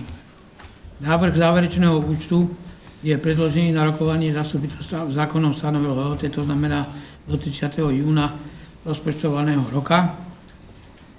Čo sa týka súladu so všeobecno závaznými právnymi predpismi, návrh záverečného účtu je spracovaný súlade so zákonom o rozpočtových pravidlách 583 e, bola dodržaná lehota na jeho zverejnenie v zákonom stanovenej lehote 15 dní pred jeho schvalovaním. E, takisto e, bola dodržaná povinnosť auditu, účtovná závierka bola overená auditorom v zmysle zákona o účtovníctve.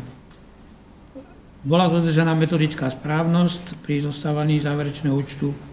Predložený návrh záverečného záverečného účtu obsahuje všetky e, náležitosti, to znamená údaje o plnení rozpočtu, bilanciu aktív, pasív, prehľad o stave a vývoji dlhu, údaje o hospodárení príspevkových organizácií, údaje o nákladoch a výnosoch podnikateľskej činnosti a hodnotenie plnenia programov rozpočtu, rozpočtu mesta.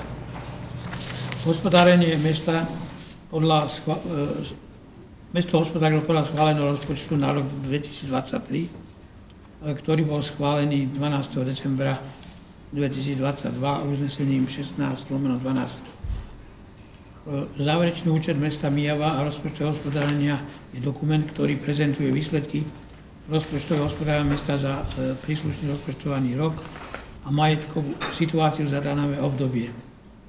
Ako bolo spomenuté, bežný rozpočet e, na rok 2023 bol zostavený ako prebytkový, kapitálový bol zostavený ako schodkový.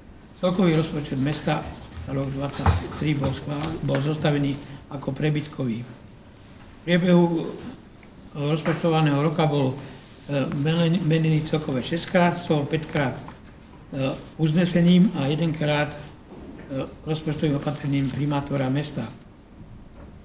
Predkladané údaje o plnení rozpočtu mesta Mijava, ktoré sú súčasťou závierky, objektívne vyjadrujú vykonané zmeny a skutočné čerpanie rozpočtu. Čo sa týka plnenia rozpočtu príjmov, vlastné príjmy bežného rozpočtu predstavovali danové príjmy, nedanové príjmy, príjmy kapitálového rozpočtu, a, ktoré boli najmä príjmy z predaja majetku.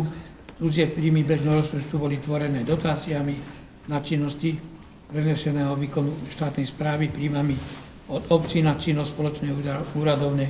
Kapitálové príjmy boli tvorené dotáciami, ktoré samozpráva získava cez projekty Európskej únie.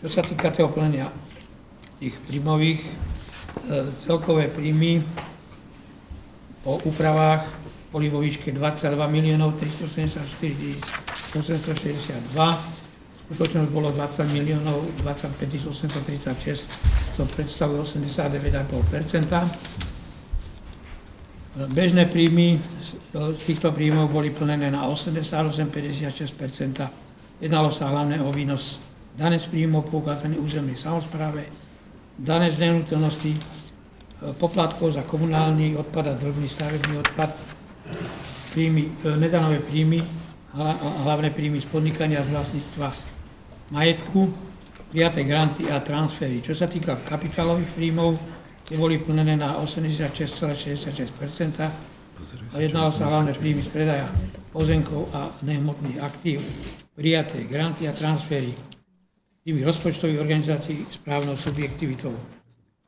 Čo sa týka výdavkov za rozpočtovaný rok, e, tieto boli, skutoč- boli rozpočtované vo výške 21 miliónov 554 246, skutočnosť bola 19 miliónov 327 413, čo je 89,67 Čo sa týka bežných výdavkov, tieto tvorili hlavné. Výdavky na mzdy, platy, služobné príjmy, ostatné osobné vyrovnania, poistné do poistovní, tovary, služby, bežné transfery.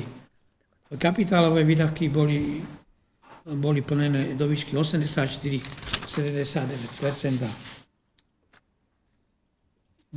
Čo sa týka prehľadu stave a vývoju dlhu, tak ste počuli, e, ku koncu e, roka mesto evidoval záväzky vo výške 8 miliónov 513 tisíc 392, z toho v lehote splatnosti 7 miliónov 893 422 a v lehote splatnosti 619 tisíc 970.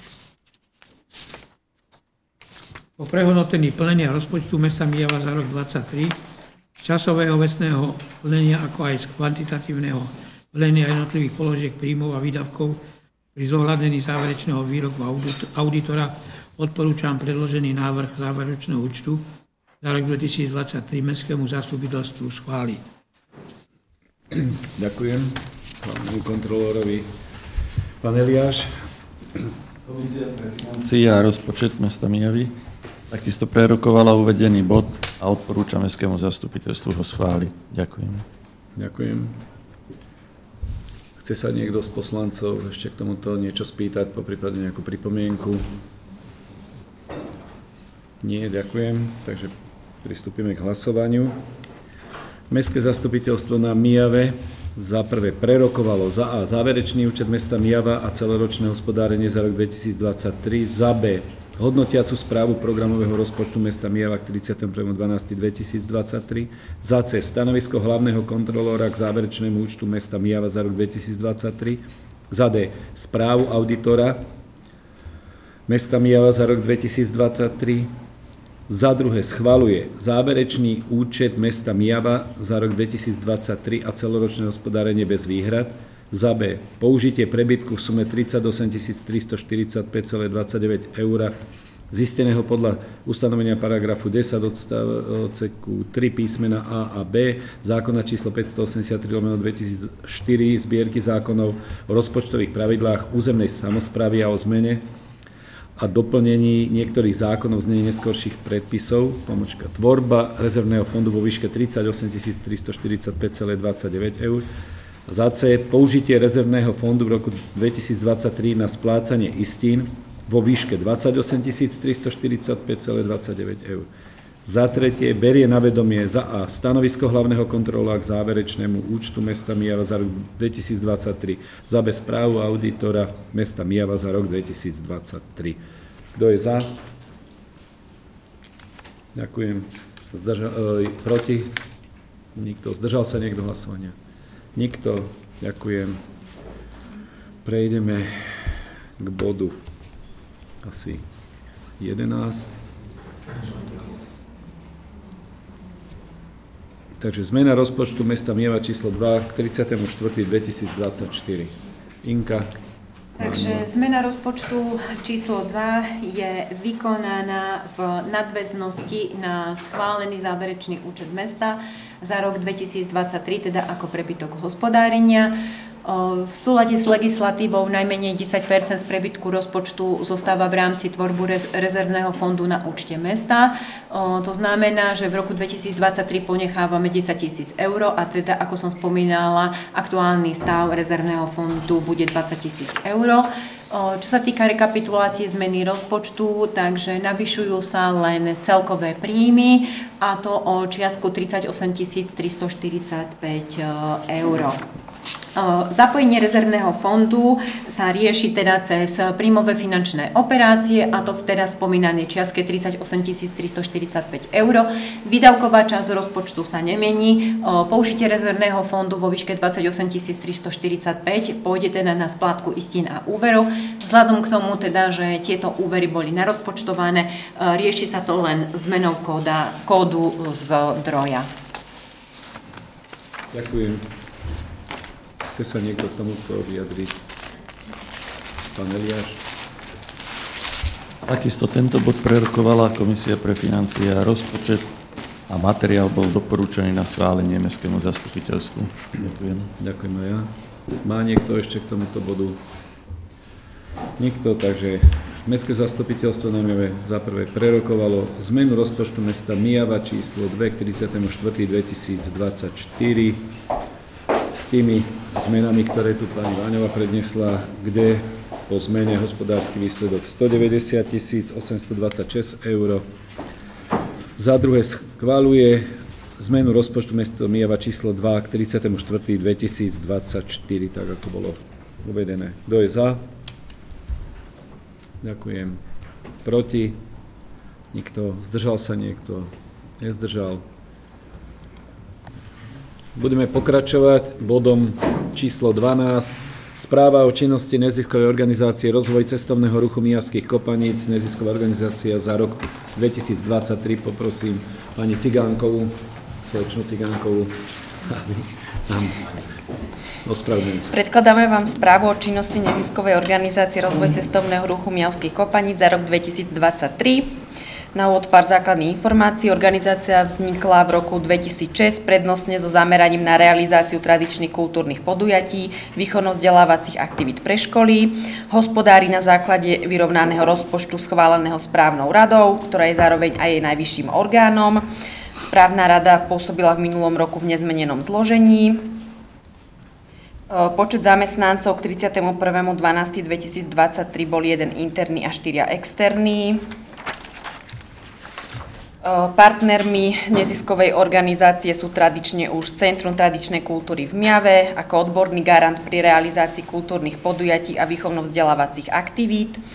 Folklórne súbory a skupiny pôsobiace v meste pomáhajú pri programovej štruktúre, Kopaničerský región MAS pri realizácii projektových zámerov a s technickým zabezpečením pomáha správa majetku mesta Miava.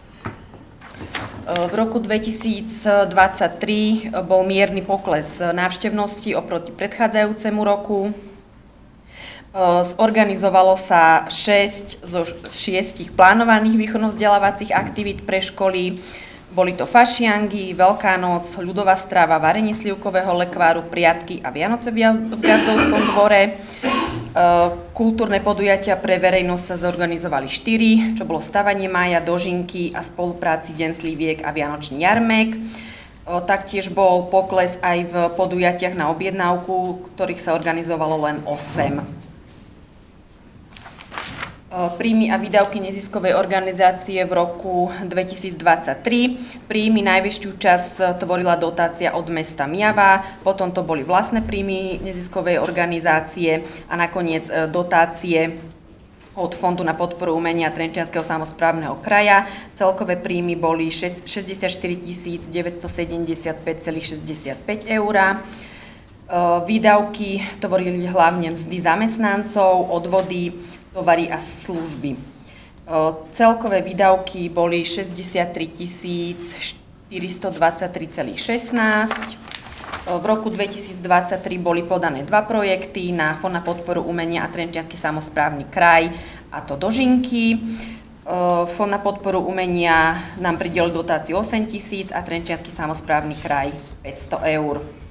No a čo sa týka niekoho ďalšieho rozvoja budovania gazdovského dvora, tak to už tradične.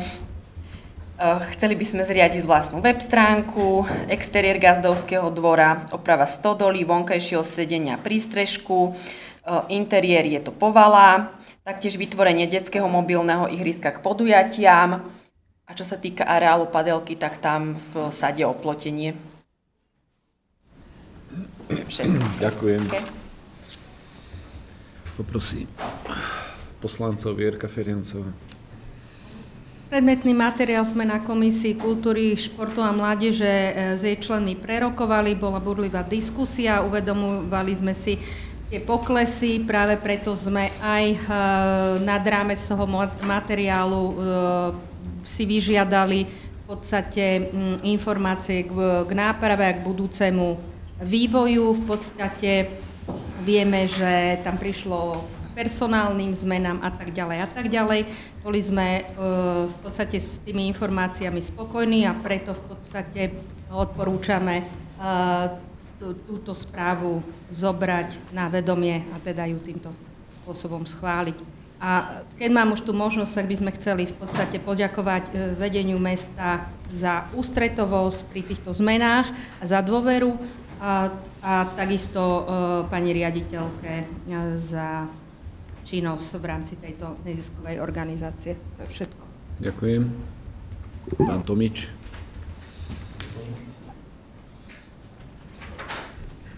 Eh, ja si myslím, že gazdovský dvor a veci okolo toho je to, čo, na čo môžeme byť pyšní, aj na tie podujatia, ktoré sú tam. Eh, my sme, slečná riaditeľka hovorila o chceme zriadiť vlastnú web stránku.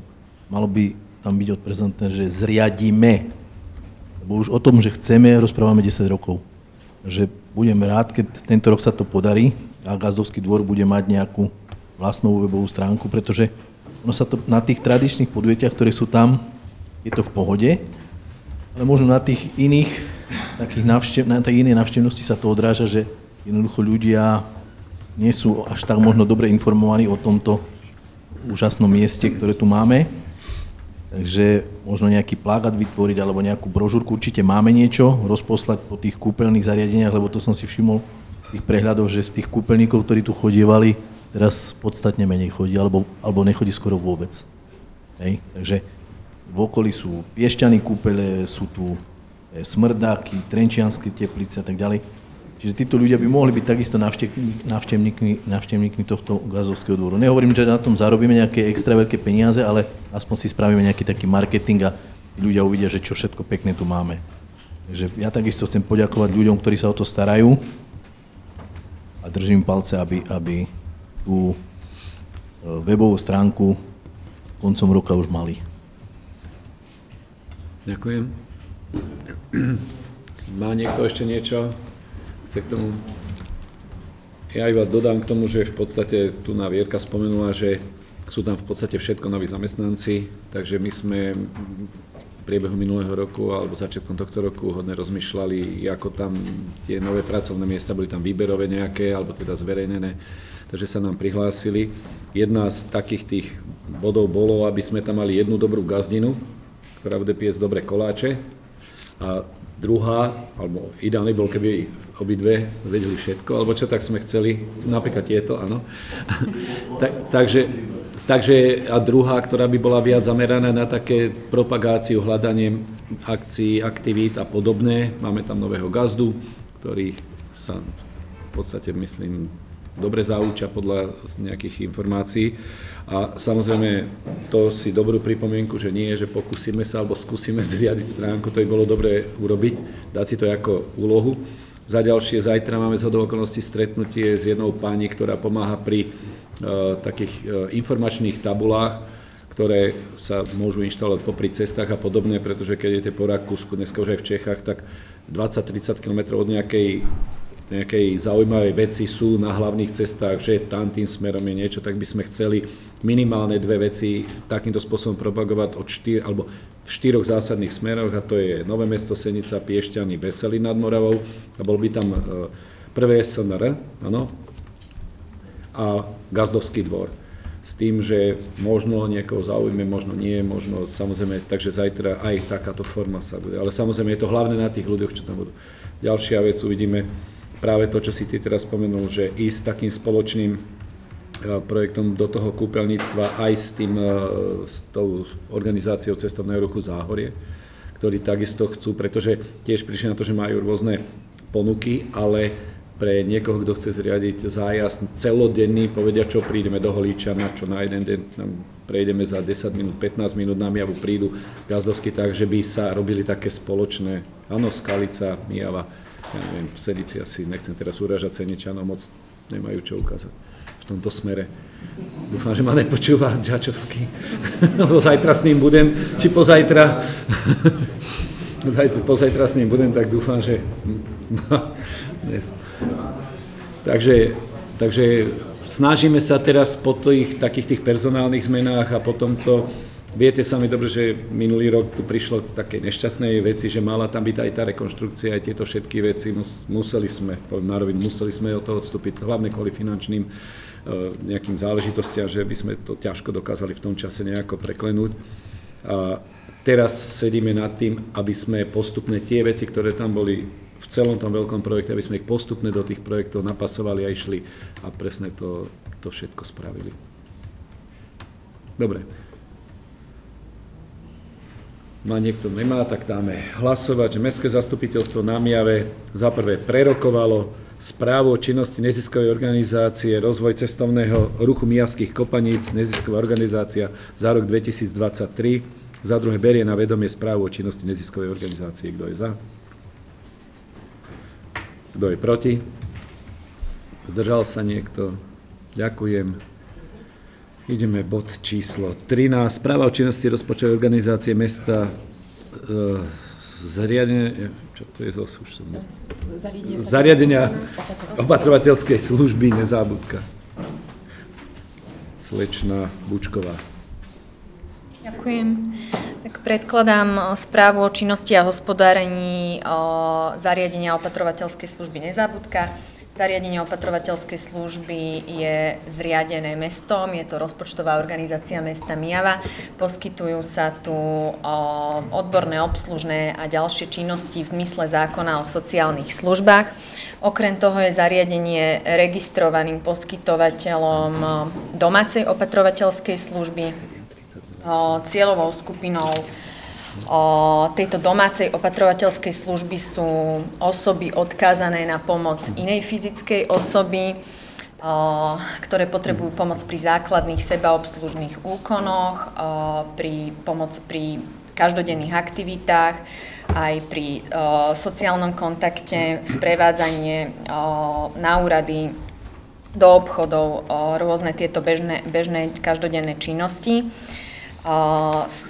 Pričom teda stupeň odkazanosti týchto osôb je najmenej 2 a cieľovou skupinou samotného zariadenia sú potom osoby, ktoré sú takisto odkazané na pomoc inej fyzickej osoby, ale nie je možné im poskytovať túto domácu opatrovateľskú službu.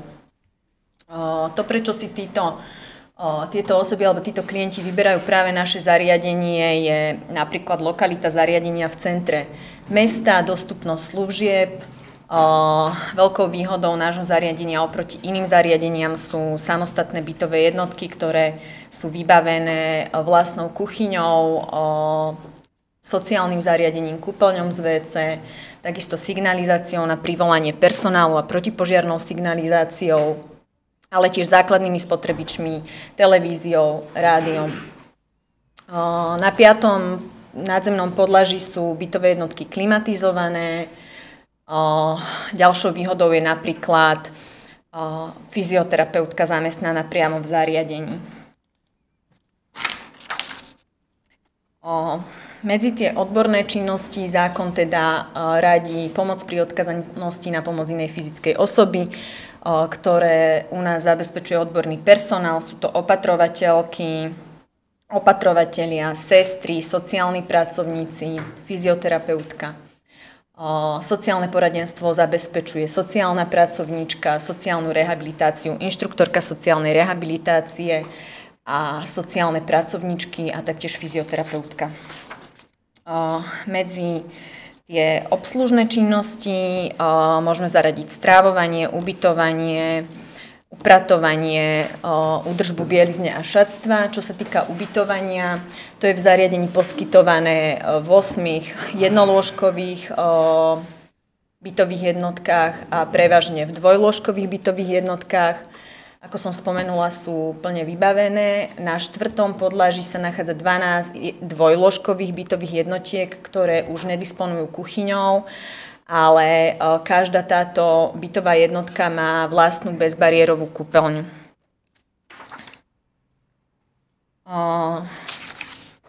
Strávovanie v zariadení je zabezpečované externe, čo sa týka obedov a večerí, pretože naše zariadenie nemá vlastnú kuchyňu, preto sú obedy večere dovážané, raňajky a studená kuchyňa je pripravovaná priamo v zariadení. Upratovanie zabezpečujú upratovačky, pránie a údržbu bielizne a šatstva pracovníci v práčovni. Výhodou teda zariadenia je to, že má vlastnú práčovňu. Medzi ďalšie činnosti zákon o sociálnych službách zaraďuje aj záujmovú činnosť na podporu rozvoja schopností príjimateľov.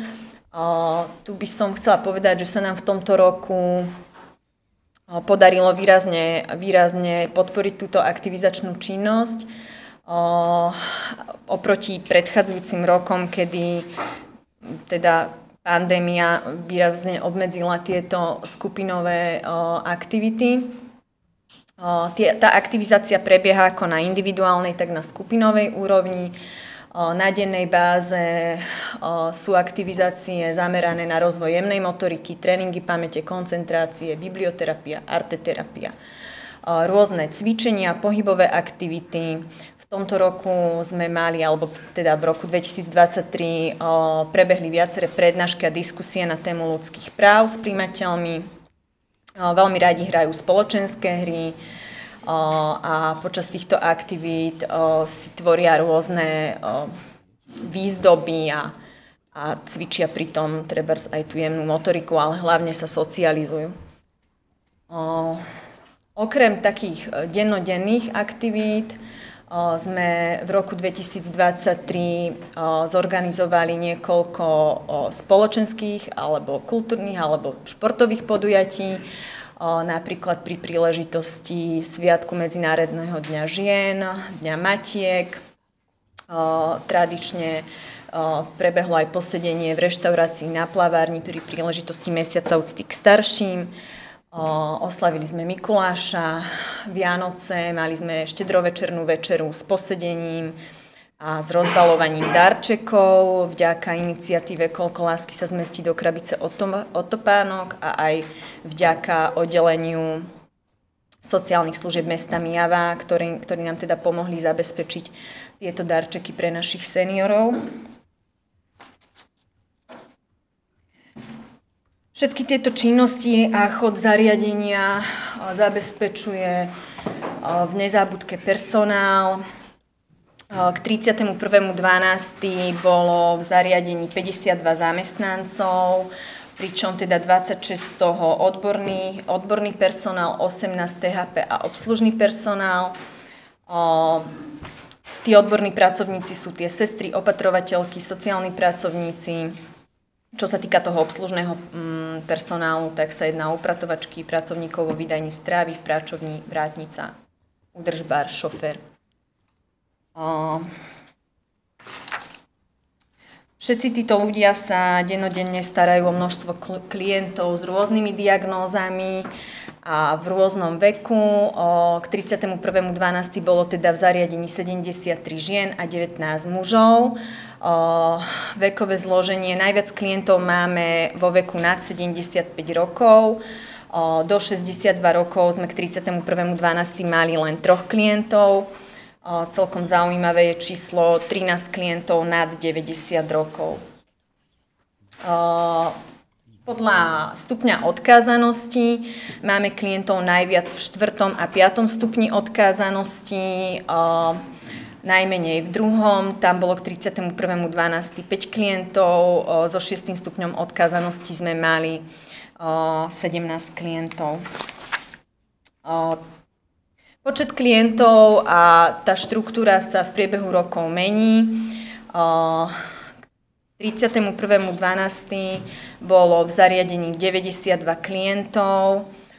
V tomto roku sme prijali 35 nových klientov. Ja by som možno upriamila pozornosť na toto číslo. Je to približne, sú to približne traja noví klienti každý mesiac, čo sa môže nezaujatému zdať málo, ale v podstate uh, ono, to prijatie klienta nezačína a nekončí podpisom zmluvy, je to celkom zdlhavý proces, uh, preto si myslím, že je to celkom slušný výkon hlavne sociálneho úseku nášho zariadenia.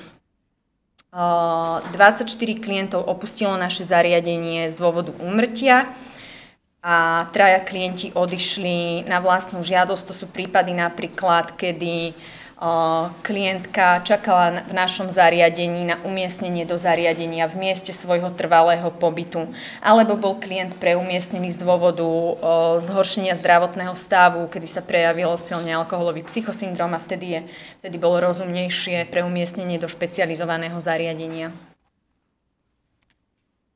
O, čo sa týka domácej opatrovateľskej služby, poskytuje sa teda priamo v domácnostiach klientov v zmysle platného VZDN o sociálnych službách sa poskytuje v čase od 7. do 15. hodiny, minimálne na 2 hodiny denne a maximálne na 7,5 hodiny denne, pričom teda cena za túto službu je euro 50 na hodinu. V roku 2023 bola táto služba poskytovaná celkom 26 príjimateľom. Novou zatvorených zmluv z toho bolo 5. Čo sa týka financovania služieb v zariadení, financuje sa prevažne z troch zdrojov. Sú to príjmy z úhrad klientov, finančný príspevok ministerstva, a dotácia mesta Mijava. Čo sa týka tej domácej opatrovateľskej služby, tá je financovaná prevažne teda z rozpočtu mesta. Tam sa jedná hlavne o mzdy tých terénnych opatrovateľiek. Čo sa týka financovania samotného zariadenia, tak finančný príspevok z ministerstva je poskytovaný na základe zmluvy, ktorá sa podpisuje raz ročne a v závislosti teda od kapacity obsadenosti sa kvartálne potom zúčtováva tento finančný príspevok z ministerstva. V roku 2023 prišlo k navýšeniu toho príspevku podľa tých stupňov odkázanosti, ale až v druhom pol roku 2023, čiže od 1.7. bol navýšený tento príspevok o necelých 7 v najnižšom stupni je to 138 eur na príjimateľa na mesiac, v najvyššom v 6. stupni je to 725 eur na príjimateľa na mesiac. Úhrada, ktorú si hradia samostní klienti, je zložená z viacerých položiek. Jedna z nich je pomoc pri odkazanosti na fyzické osoby na pomoc inej fyzickej osoby, tam je sadzba euro 50 na deň. Potom ubytovanie. V roku 2023 od januára sme pristúpili k výraznému zvýšeniu úhrad. Tam sa vlastne sadzba za ubytovanie zvýšila o euro 50 na deň. Táto sadzba je rozdielna pre občanov mesta Mijavy a občanov s trvalým pobytom mimo mesta Mijava. Vlastne takisto na základe platného VZDN o poskytovaní sociálnych služieb, pričom mesto Mijava prispieva svojim občanom na ubytovanie v našom zariadení 2 eurá denne. Taktiež je sadzba za ubytovanie rozdielna v jednolôžkovej a v dvojlôžkovej izbe. Je tam rozdiel 4 eurá na deň. Ďalej úhrada pozostáva z položky za upratovanie, pranie, žehlenie, údržbu šatstva a bielizne tá je 2,50 na deň, taktiež sme ju v tomto roku zvyšovali a zjednotili, pretože mobilní príjimatelia a imobilní príjimatelia mali predtým rozdielnú sádzbu, ale tým, že sa stierajú rozdiely v potrebe tejto služby u tých príjimateľov, tak sme pristúpili k zjednoteniu. U mobilných sa to zvýšilo o 1 euro, u imobilných príjimateľov o 70 centov, dnes je to 2,50 na deň. Čo sa týka strávovania, tam sa zvyšovala úhrada v roku 2023 od januára o euro za obed a o 50 centov za večeru. No a vlastne vo výsledku tá mesačná úhrada za 30 dní pre príjimateľa v jednolôžkovej izbe je asi je 736 eur pri celodennej strave, v dvojložkovej izbe 616 eur pri, celoden, pri odoberaní celodennej stravy. No a o, občania s trvalým pobytom v meste Mijava majú túto úhradu teda zhruba o 60-62 eur mesačne nižšiu vzhľadom na ten príspevok, ktorý im poskytuje mesto Mijava. Ekonomicky opravnené náklady na jedného príjimateľa v roku 2023 je to čiastka 1308 eur na mesiac. Môžeme tam vidieť, vidieť nárast oproti minulému roku zhruba o 14% tento náraz nákladov spôsobila hlavne valorizácia miest, pretože mzdy sa zvyšovali od januára o 7 a od septembra o ďalších 10% Naproti tomu ten finančný príspevok, ako sme ho mohli vidieť v tých slajdoch predtým, sa zvýšil až od pol roka 2023 a o necelých 7% A práve ten finančný príspevok je určený na mzdy zamestnancov, respektíve nesmie sa využiť na nič iné, ale nepostačuje ani na mzdy zamestnancov. Takže celkové, celkové príjmy v roku 2023 o, boli vo výške 1 421 772 eur. Celko, z toho naše vlastné príjmy, to znamená, to sú tie príjmy z úhrad klientov, sú 626 478 eur a príspevok zo štátneho rozpočtu bol vo výške 617 702 eur, ale krátený o vrátky za tie neobsadené miesta. Tá vrátka bola za rok 2023 231 273 eur. Celkové výdavky za rok 2023 vo výške 1 406 721 eur. Pričom teda z týchto výdavkov zhruba 100, 108 tisíc tvorili výdavky na tú opatrovateľskú službu v teréne a zvyšok na samotné zariadenie. Asi 65% alebo viac ako 65% výdavkov sú výdavky na mzdy zamestnancov. No a napriek tomu, že ten rok 2023 bol náročný aj čo sa týka financií, aj čo sa týka personálneho zabezpečenia, lebo odišli nám dve pracovničky do dôchodku, ekonomka menila pracovisko aj bydlisko, stiahovala sa do Bratislavy, niektorí zamestnanci ukončili pracovný pomer dohodou tak sa myslím si, že v tom roku 2023 podarili aj nejaké dobré veci. Za pozitívny krok ja vnímam posilnenie pracovného týmu na sociálnom úseku, kedy bolo vytvorené miesto inštruktora sociálnej rehabilitácie, čím sa teda výrazne posilnila tá aktivizačná činnosť v zariadení a postupne sa tak dostávame z tej postcovidovej letargie.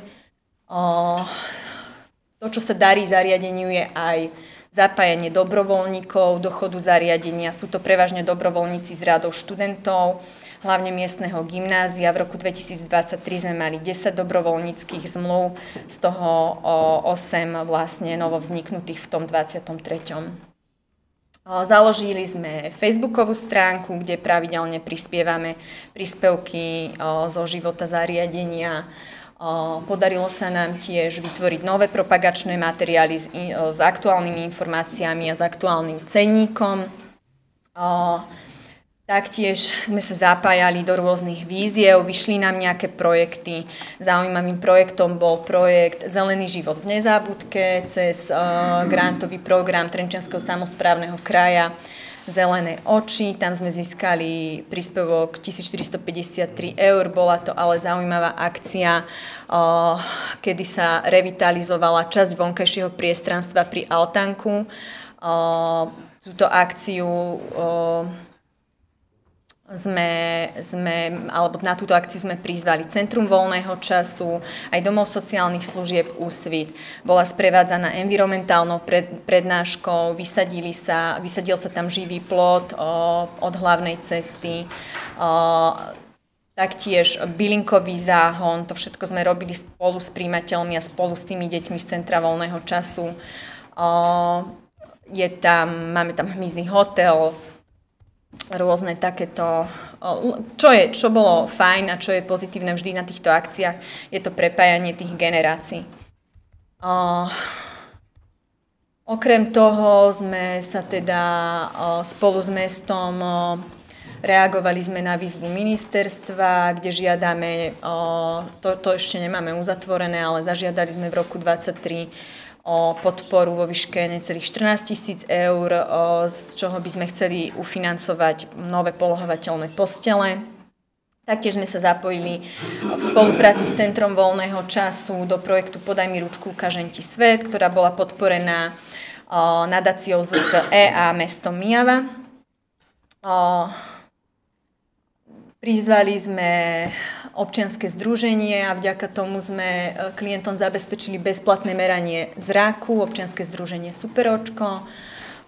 Vďaka sponzorom sa nám podarilo zabezpečiť nové zdravotnícke pomocky, napríklad taký multifunkčný sprchovací vozík, ale aj sprchovacie lehatko, čomu sa veľmi tešíme, lebo možno nie každý to vie, ale v takýchto zariadeniach sa väčšinou celkom imobilní klienti umývajú len na lôžku. A napríklad vďaka tomuto sprchovaciemu lehátku môžeme aj týchto klientov, ktorí sú ležiaci a nedokážu sa už ani posadiť, osprchovať aj normálne.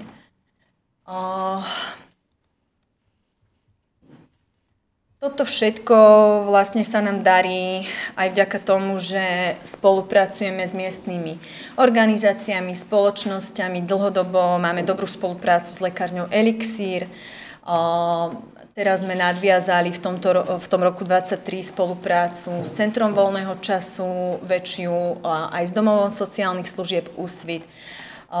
Dlhodobo spolupracujeme so základnými materskými školami pri organizácii tých kultúrnych podujatí hlavne. No a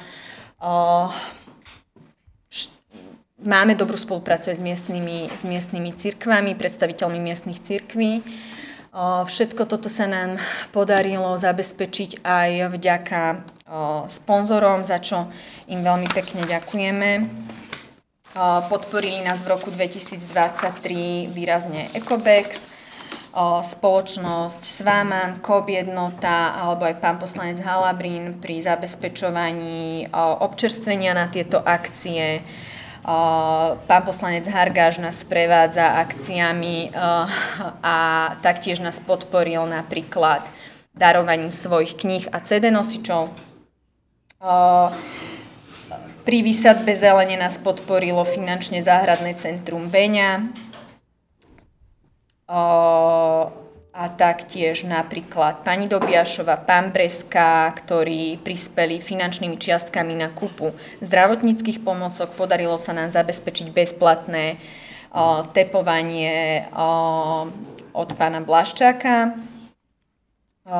Taktiež rodina Tomičová a Evangelická církev nás podporili pri zabezpečovaní vianočných darčekov. A veľmi pekne ďakujeme aj Janičke Durcovej, ktorá nám bezplatne vytlačila propagačné materiály. A samozrejme najväčšia vďaka a uznanie patrí všetkým tým zamestnancom, ktorí sa podielajú dennodenne na chode zariadenia. To je odo mňa všetko. Ďakujem. Takže vážené poslanky, poslanci, je, myslím si, že predložený celkom obšírny a podrobný materiál, alebo respektíve správa o činnosti, ktoré výcúc, alebo ktorej taký výťažok sme teraz mohli aj počuť.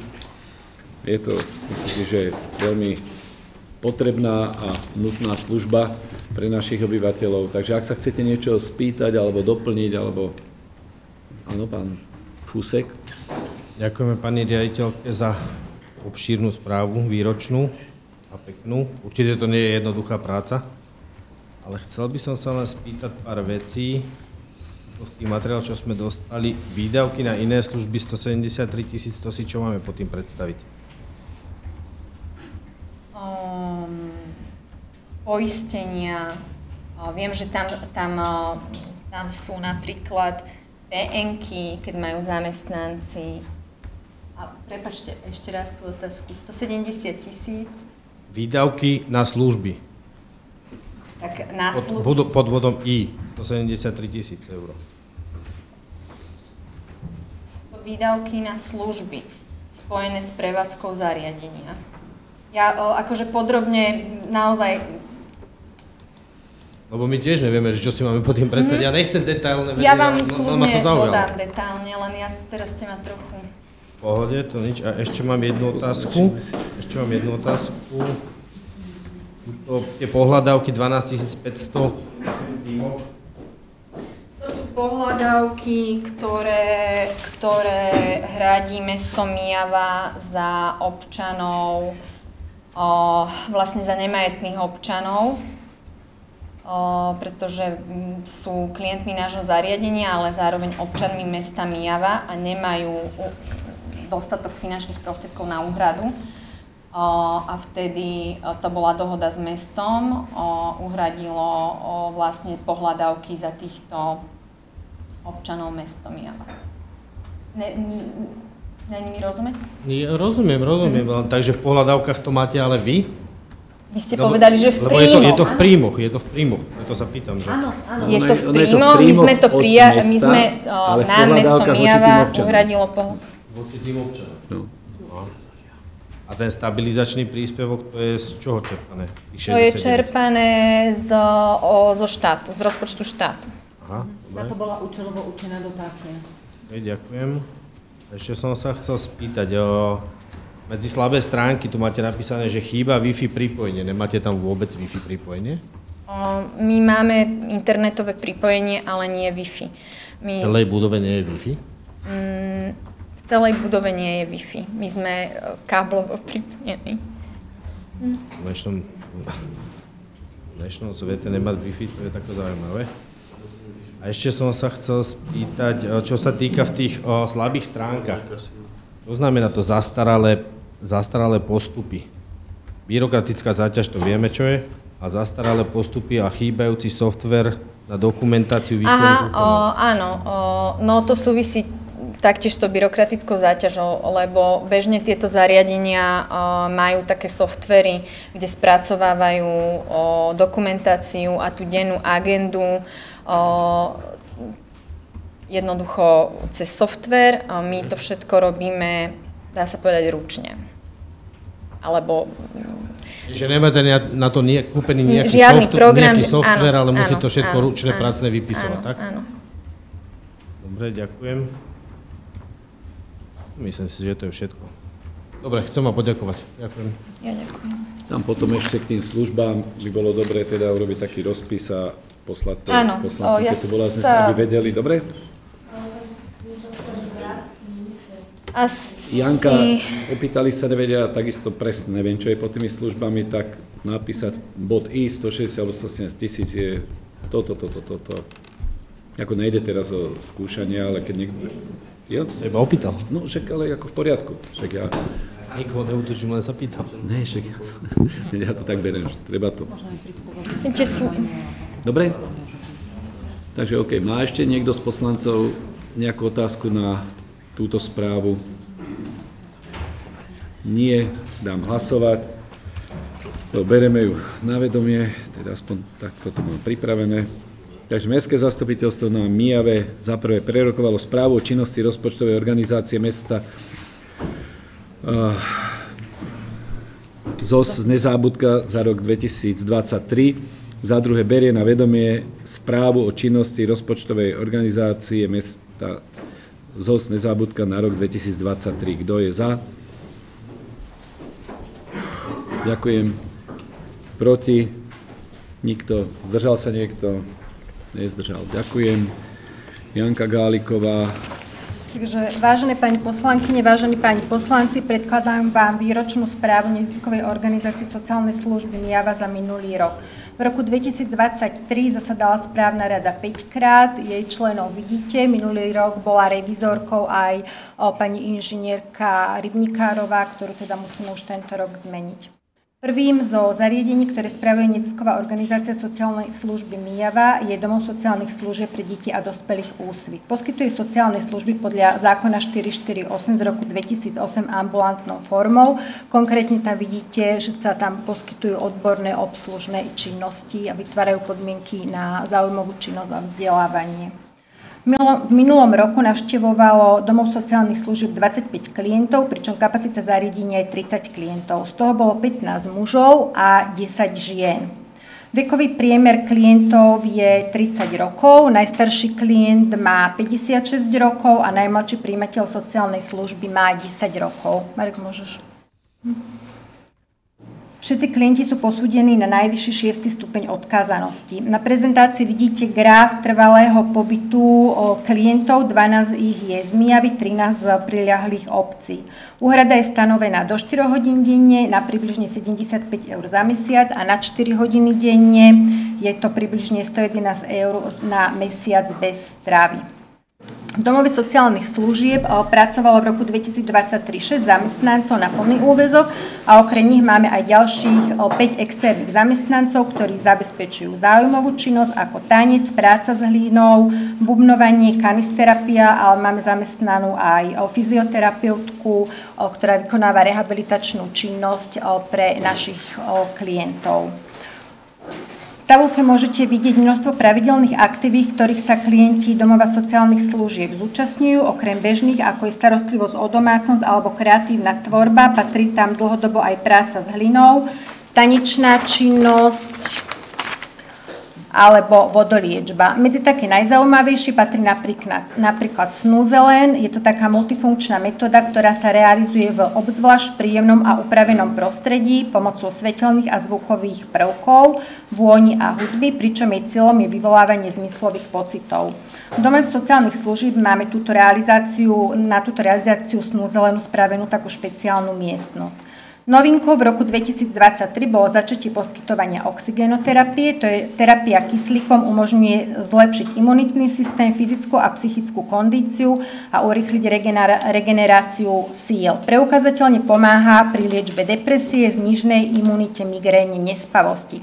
Poskytuje sa zatiaľ deviatim príjimateľom. Na ďalšom slajde vidíte množstvo absolvovaných udalostí v roku 2023. Spomeniem len niektoré, napríklad návšteva kúzelníka, oslava Dňa Zeme, hypoterapia na Bukovci či varenie fazulovice s rodičmi vo Novom Altánku. A tiež, keď Barborka spomínala, tak 21.11. nás navštívili aj klienti zo Znezábudka. Najväčšou udalosťou spomedzi uvedených aktivít však bola oslava 20. výročia založenia domova sociálnych služieb Úsvit. Naši klienti sa na slávnostný večer tešili a pripravovali celý rok pod vedením Lubomíry Halabrínovej. Samotný program sa konal 28.10. vo vypredanej kinosále kultúrneho domu Samka Dudíka.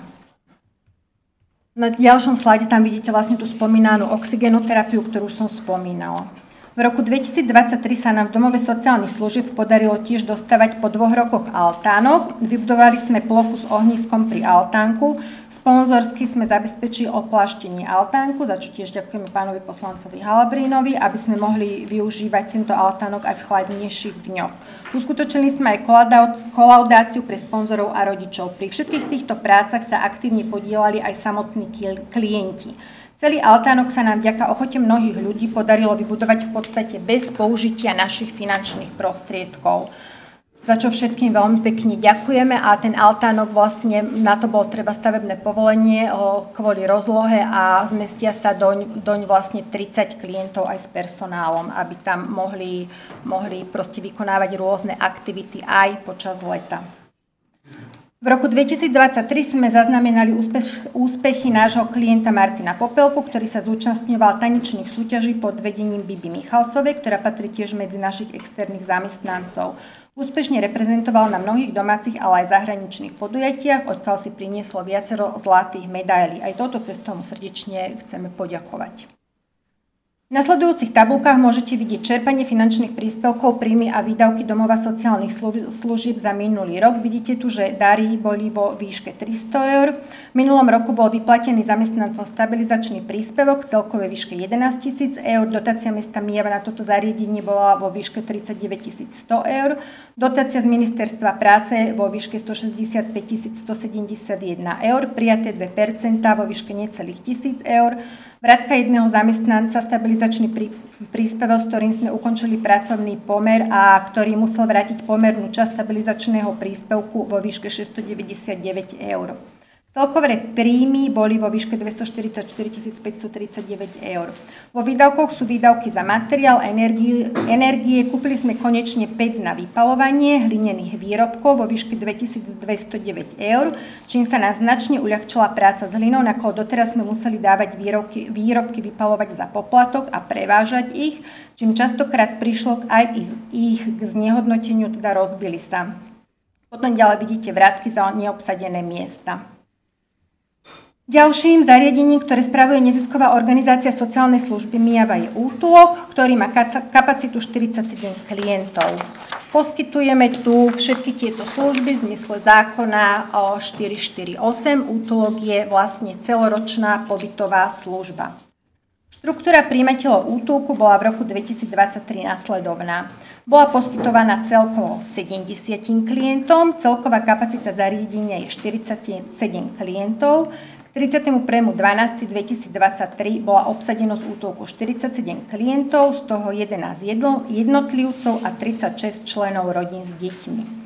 Muži tvorili 54 klientov a ženy 45% Najviac klientov sme mali vo veku 26 až 39 rokov. Klientmi útulku sú aj úplne maličké deti, ale aj seniory, takže veková štruktúra je tu naozaj rôznorodá. Výšku úhrady v útulku môžete vidieť v tabulke. Jednotlivec platí 50 eur na mesiac, rodina s dvoma deťmi 110 eur a rodina poberajúca dávku hmotnej núdzi 80 eur. O všetkých klientov útulku aj noclahárni sa v roku 2023 starali traja sociálni pracovníci, 5 vrátnikov a jedna upratovačka. Jednu sociálnu pracovníčku máme okrem toho na materskej dovolenke. Nasledujúcich tabulkách môžete vidieť príjmy a výdavky útulku za minulý rok. Aj tu bol vyplatený stabilizačný príspevok vo výške 5600 eur, dotácia mesta Mijava bola vo výške 17 000 eur a dotácia ministerstva práce vo výške 158 697 eur. Celkové príjmy boli vo výške 199 313 eur. Vo výdavkoch tvorí najväčšiu položku nájom. Vratky ministerstvu sme nemali žiadne, nakoľko bola kapacita zariadenia počas celého roka využitá na 100% Celkové výdavky boli vo výške 201 641 eur. Tretím zariadením neziskovej organizácie sociálnej služby Miava je kde našim klientom poskytujeme Ubytovanie iba teda od, od, od večera do rána, sociálne poradenstvo, nevyhnutné ošatenie a obu a utvárané podmienky na prípravu stravy. Úhrada je 1 euro a v prípade potreby im dávame aj denne mydlo, šampón, WC papier a podľa potreby im dávame zdarma ošatenie a obu. Sociálna služba v noclahárni bola počas roka 2023 poskytovaná celkom 49 klientom. Celková kapacita zariadenia bola v roku 2023 17 klientov a od 1.1.2024 je rozšírená na 21 klientov. Muži tvorili väčšinu klientov noclahárne 65%, ženy 35%. V nasledujúcich tabulkách môžete vidieť príjmy a výdavky noclahárne za minulý rok, stabilizačný príspevok vo výške 400 eur, dotácia mesta Mijava vo výške 2850 eur a dotácia z Ministerstva práce, sociálnych vecí a rodiny vo výške 57 401 eur. Vo výdavkoch najväčšiu položku okrem plato tvorí nájom vo výške 15 250 eur a taktiež tu sme nevracali ministerstvu žiadne finančné prostriedky, pretože noclaháreň bola, bola celoročne využívaná. Klienti útulku aj noclahárne sa počas roka 2023 zúčastňovali rôznych aktivít, napríklad exkurzie v hasičskej zbrojnici v Brezovej pod Bradlom, zúčastnili sa trojdňového tábora na Dubníku, zúčastnili sa aj prednášky o podávaní prvej pomoci a prednášky o ginekológii, bol tam prednášať pán doktor Šťastný. V mesiaci decembri boli na exkurzii Mestskej policie v Mijave, privítali Mikuláša a spoločne varili vianočnú kapustnicu. V rámci sociálnej práce sa pracovníkom útulku a noclahárne podarilo štyrom jednotlivcom pomôcť nájsť si prácu a zamestnanie a z útulku sa odsťahovať. Tri rodiny sa viac osamostatnili presťahovaním do mestských nájomných bytov. V nasledujúcom slajde vidíte obsadenosť jednotlivých zariadení. V roku 2023 bola obsadenosť zariadenia domova sociálnych služieb úsvit 83% a zariadenia útulku a noclahárne boli plne obsadené. Sociálna služba v útulku sa poskytovala celkovo 70 klientom a v noclahárni 49 klientom. V ďalšej časti prezentácie uvedený vývoj nárastu priemerných hrubých miest zamestnancov v našej, v našej neziskovej organizácii.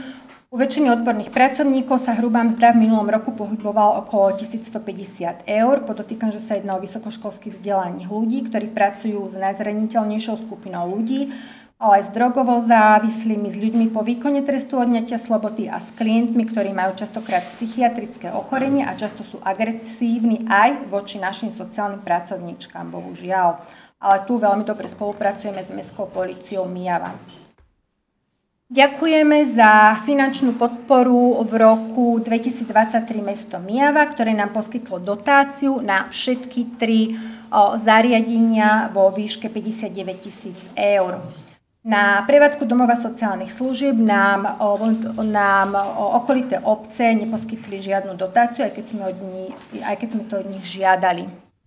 Veľmi pekne ďakujeme rodine Dolšovej, rodine Hradskej, mali sme tam ešte príjmy z darov za dobrovoľné vstupné, KOB jednota nám dala 300 eur a Lidl Mijava 100 eur. Z dvoch daní sme mali teda príjem 952 eur.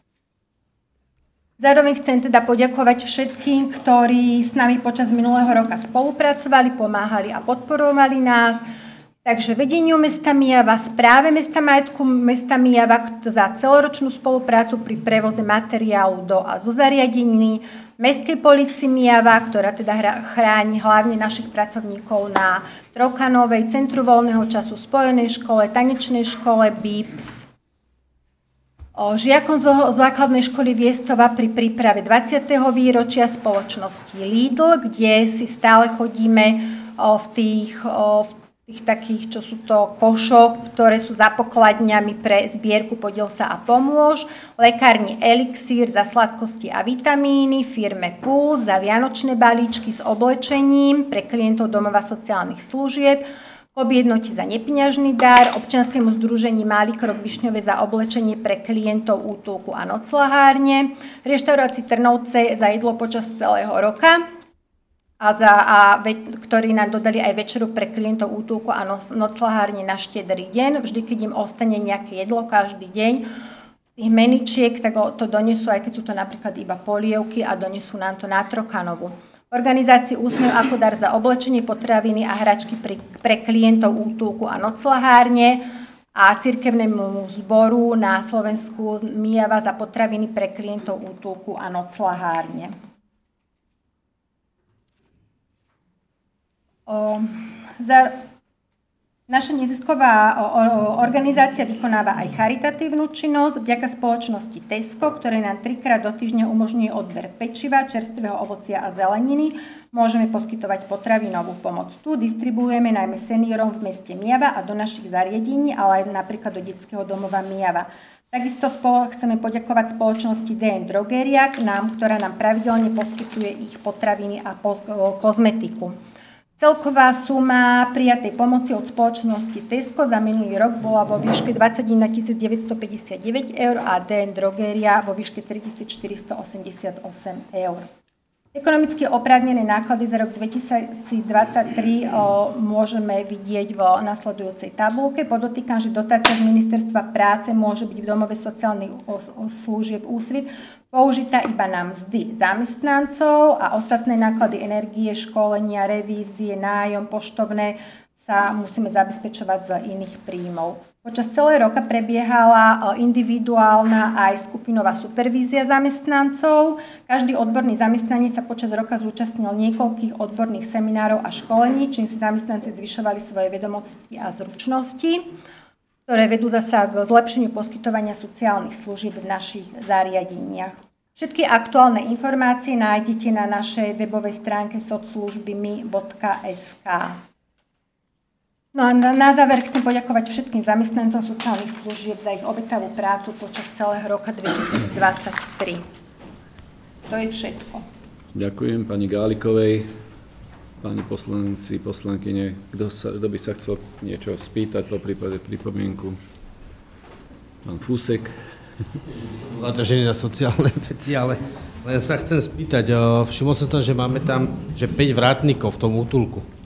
To už je teraz, vlastne teraz, my tam o, už teraz máme iba troch vratníkov, ktorých musíme mať vo noclahárni, aby sme plnili personálne štandardy v zmysle zákona 448 a tí, tí ďalší dvaja vrátnici sú doplnení z tých rom, mobilných rómskych hliadok.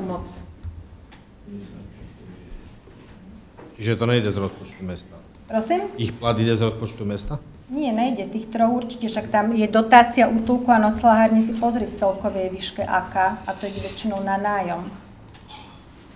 Dobre, a ešte som sa chcel spýtať, Dá sa to vyriešiť, sme sa bavili kedysi v minulosti, že by sa tam dala kamera, že by, to, aspoň, že by sa to obmedzilo čiastočne napríklad tí ľudia, hej, že by sa tam dal nejaký kamerový systém a tam je kamerový by tam systém byť prijatý, pred, ale... pred tým zariadením, ale aj tak teraz tam napríklad došlo, to riešila aj mestská policia k incidentu medzi sociálnymi pracovníčkami a vysoko agresívnym klientom.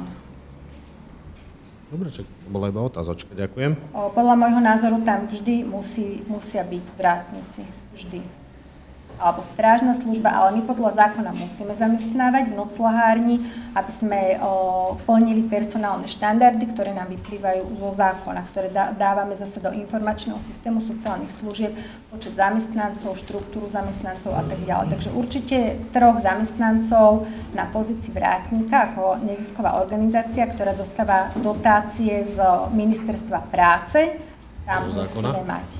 To je zo zákona. Traja sú zo zákona.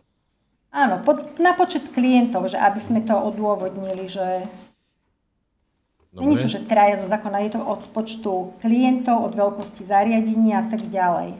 Ale takto nám to vychádza na, na, na, tejto, na našu kapacitu. OK, ďakujem. A tuto medzi ohrozenia píše, že prítomnosť škodcov, šváby, ploštice a potkany. Áno, áno, stále sa s tým potýkame. Neustále tam chodí pán Blaščák, aj dobrovoľne, aj zadarmo, aj, cez, aj teda aj nám to samozrejme no, akože platíme úhradu, ale to je tam neustály boj. Vyhadzujú sa, napríklad v noclahárni sa vyhadzujú pravidelne proste skrinky, veci tým, tým ľuďom, keď tam niečo podonášajú z kontajnerov. Bohužiaľ to sú ľudia, ktorí ktorí chodia po kontajneroch, ale tak na to slúži vlastne noclaháreň, ale proste stále sa tam s týmto potýkame. Niekedy je to menej a niekedy je to vo väčšej forme. Podľa toho, v akom časovom úseku sa nachádzame ročnom. Je to tam Píšeš, stále. ešte, ešte tu píšeš aj, že sa tam nachádzajú drogovo závislí ľudia. Áno, nachádzajú. A že by tam bolo možné dobre robiť aj nejaké školenia. Tie prebiehajú? Alebo teda... Áno, áno, akože vrá, máme, o, mávame tam aj mestská policia, vlastne čo máme tých aktivistov, tak vlastne aj tí tam chodia. Teraz sme šťastní, že sa nám tam od 1.1. podarilo zamestnať o, príslušníka mestskej policie Mijava, ktorý odišiel do dôchodku a on teda sa aj celý život venoval týmto preventívnym aktivitám a on je tam úplne, úplne super, akože fakt sme radi, že ho tam máme a je tam teda obľúbený.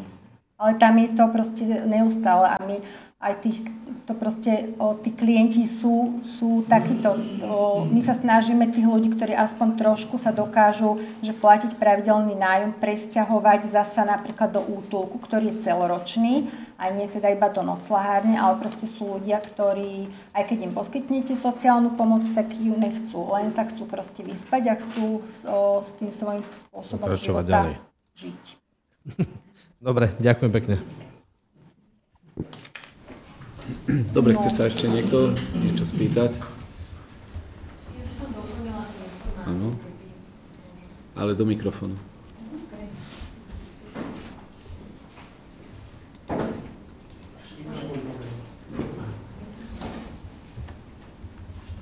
Teda ak nikto nechce k tej výročnej správe o sociálnych by som doplnila tú informáciu o tom výdavku. Len som si to, prizná sa, potrebovala overiť u ekonomky. Vlastne tých 175 tisíc sú výdavky na služby spojené s tým strávovaním. Tým, že my máme externého dodávateľa stravy, je to tu o, vo výdavkoch na služby. Stačilo. Dobre. Pán poslanec. Dobre. A... Ne, ne, akože ja tiež sa pýtam veľa a tak to má byť. Dobre, ďakujem. Ja vás chápem. Ne. Dobre. Vrátime sa, vrátime sa teraz k správe o činnosti neziskovej organizácie sociálnej služby Mijava. Dobre, takže je to, toto je spätné trošku, takže ak nemáte nikto nič, tak dáme hlasovať. Mestské zastupiteľstvo na Mijave za prvé prerokovalo správu o činnosti neziskovej organizácie sociálnej služby Mijava nezisková organizácia za rok 2023. Za druhé berie na vedomie správu o činnosti neziskovej organizácie sociálnej služby Mijava nezisková organizácia za rok 2023. Kto je za? Ďakujem. Proti? Nikto. Zdržal sa niekto? Nikto. Ďakujem. Prejdeme k bodu 15 pôvodne. Janka, môžeš pokračovať. Vážené pani poslankyne, vážení páni poslanci, predkladáme vám výročnú správu ďalšieho zariadenia sociálnych služieb, a to komunitného centra, ktoré sídli na ulici Trochanovej v Mijave. V minulom roku 2023 skončil štvororočný projekt budovanie odborných kapacít o, na komunitnej úrovni. Jednalo sa o štvororočný projekt, v rámci ktorého nám boli preplácané mzdové náklady na štyroch zamestnancov a boli refundované aj náklady spojené s činnosťou komunitného centra a jeho aktivitami. Na tento ukončený projekt kontinuálnej nadviazal v auguste 2023 ďalší projekt spolu pre komunity, ktorý bol mestu Mijava schválený a zmluva je podpísaná do januára 2029. V rámci tohto projektu by mali byť taktiež refundované mzdové náklady, ale už iba na troch pracovníkov a taktiež aj náklady spojené s činnosťou komunitného centra. Cieľom komunitného centra je skvalitniť život ohrozených ľudí, ktorých je v rámci komunity na ulici Trokanovej niekoľko desiatok a následne ich lepšie začlenenie do spoločnosti. Tento cieľ sa snažíme realizovať prostredníctvom odborných činností a aktivít. Klientmi komunitného centra sú všetky vrstvy osôb sociálne vylúčených, ako sú členovia rómskej komunity, dlhodobo nezamestnaní, deti a mládež s výchovnými problémami, osoby závislé od psychotropných látok, neplnoletí rodičia, bezdomovci, ale komunitné centrum navštevujú aj ľudia, ktorí potrebujú spísať napríklad návrh na výživné, exekúciu alebo vyhlásiť osobný bankrot. Toto všetko robia tam tie naše pracovníčky. Hlavné problémy týchto ľudí sú nezamestnanosť a s ňou spojené finančné problémy, bývanie, závislosti a záškoláctvo. Pri 2,5% nezamestnanosti, ktorá tu v meste je, je naozaj veľmi ťažké sa týmto ľuďom zamestnať, aj keď oni sami chcú. Aj keď rozpošlú 5 životopisov, tak keď prídu, povedia im, že ich berú aj po telefóne a keď prídu osobne do firmy, tak, tak ich už neberú. Tu vidíte štruktúru zamestnancov. Do augusta 2023 pracovali v komunitnom centre 4 zamestnanci, ale v rámci nového projektu nám budú preplácané mzdy iba na troch zamestnancov, takže v súčasnosti tam pracujú traja zamestnanci a teda, ako som spomínala, jeden z nich je náš bývalý mestský policajt, za čo som veľmi rada. Činnosť komunitného centra sa riadi tiež podľa zákona 448 2008 Tuto vlastne vidíte všetky tie také veľké čísla, čo všetko oni realizujú a tieto čísla máme preto tak presné, lebo v rámci projektu musia naši zamestnanci úplne každú jednu aktivitu presne zaznamenať do množstva tabuliek a teda preto vidíme, že poskytli za minulý rok 679 intervencií, 277 intervencií v rámci pomoci pri uplatňovaní práv a právom chránených záujmov a 73 odborných úkonov v rámci špecializovaného poradenstva priebehu roka sa tu realizovali skupinové aktivity, 479 krát sa klienti zúčastnili rôznych pravidelných preventívnych aktivít, ako napríklad nácvik pracovných zručností, nácvik počítačových zručností, finančná gramotnosť, boli realizované hygienické workshopy, predškolský klub, dentálna hygiena, prevencia pred agresívnym správaním a šikonou prednášky a aj nástrahy internetu. Niektoré prednášky nám robilo IPčko, čo sú vlastne, ktorá je veľmi, čo sú veľmi uznávanou organizáciou na realizáciu takýchto proti o protidrogových aktivít. 651 krát sme pomáhali deťom s prípravou na vyučovanie, o 221 krát sa zúčastnili jednotlivci nepravidelných aktivít, ako rôznych výletov do vzdialenejších, napríklad miest, realizoval sa letný tábor, deň detí a tak, a tak ďalej.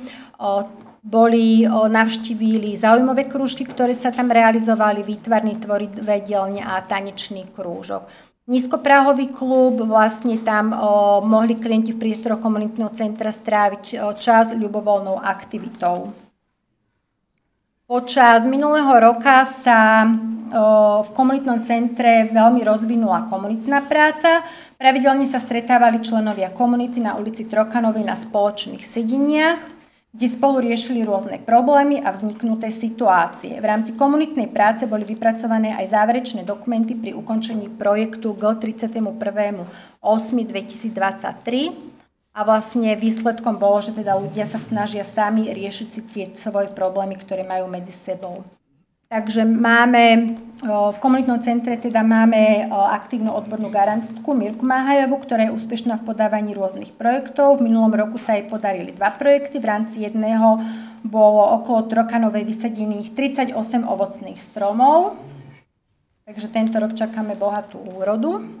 A v rámci druhého projektu sme získali finančné prostriedky vo výške 3000 eur na realizáciu trojdňového pobytového takého tábora v rekreačnom zariadení Javorinka na Starej Turej, ktorého sa zúčastnili deti aj dospelí nielen z komunitného centra, ale aj z útulku a noclahárne. Tu vidíte čerpanie finančných prostriedkov, že pri tom množstve práce, ktoré na zamestnanci komunitného centra teda spravia, sú vlastne náklady mesta naozaj minimálne, lebo naozaj všetko je nám refundované. Väčšina, tam sú není refundované tiež iba dovolenky, PNky, očerky. Tuto vidíte vlastne fotogalériu, čo všetko tam vlastne, o, vlastne o, tí klienti o, vykonávajú. Tam je Mario Dugas, CVčka, o počítače sa u, u, učili, boli u hasičov a tak. No a na záver mojich prezentácií z činnosti, to je tá výsadba tých ovocných stromov. To je ten letný tábor Javorinka na Starej Turej. Podklady vypracovala pani Mahajová pre tú, tento, túto správu. No a na záver mojej prezentácie z činnosti štyroch zariadení sociálnych služieb, domova sociálnych služieb, útulku, noclahárne a komunitného centra, ku ktorým od 1.3. od 1. pribudli aj mestské jasle Miela, som si dovolila dať sem túto fotku, na ktorej sa nachádzajú všetci ľudia, ktorí tvoria sociálnu prácu na Miave. Chýbajú tam asi traja ľudia, ktorí boli chorí. Takže my sme sa rozhodli stretávať sa takto spoločne minimálne trikrát do roka, aby sme sa navzájom podporili, pochopili, pozbudili v našej práci, ale aj vzájomne lepšie spoznali. A keď sme každý rozprávali o sebe, tak ja som napríklad bola akože potešená, že niektorí zamestnanci, ktorí pracujú v sociálnej sfére 5 a viacej rokov, povedali, že majú stále túto prácu radi a každý deň sa tešia do práce. Ja osobne som veľmi vďačná za všetkých týchto ľudí. Naša práca je kolektívnou prácou a vďaka týmto ľuďom, ktorých vidíte, sú sociálne služby v našom meste na takej úrovni vysokej, akej sú. Takže ešte raz im všetkým veľmi pekne ďakujem, že sa tak snažia celoročne, dlhoročne vykonávať svoju prácu dobre.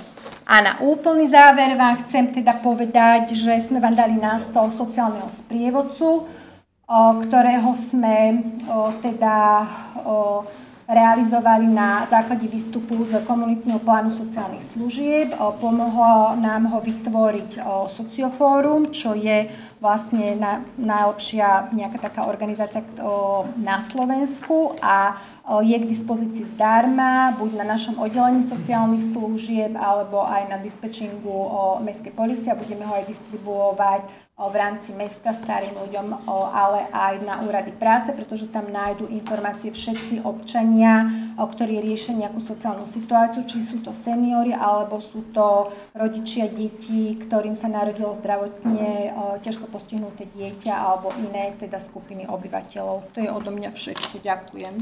Ďakujem Janke Gálikovej nielen za tieto prezentácie, ale aj za prácu a koordináciu všetkých činností, ako aj zamestnancom sociálneho oddelenia, ktorí samozrejme musia túto prácu koordinovať a pripravovať ďalej.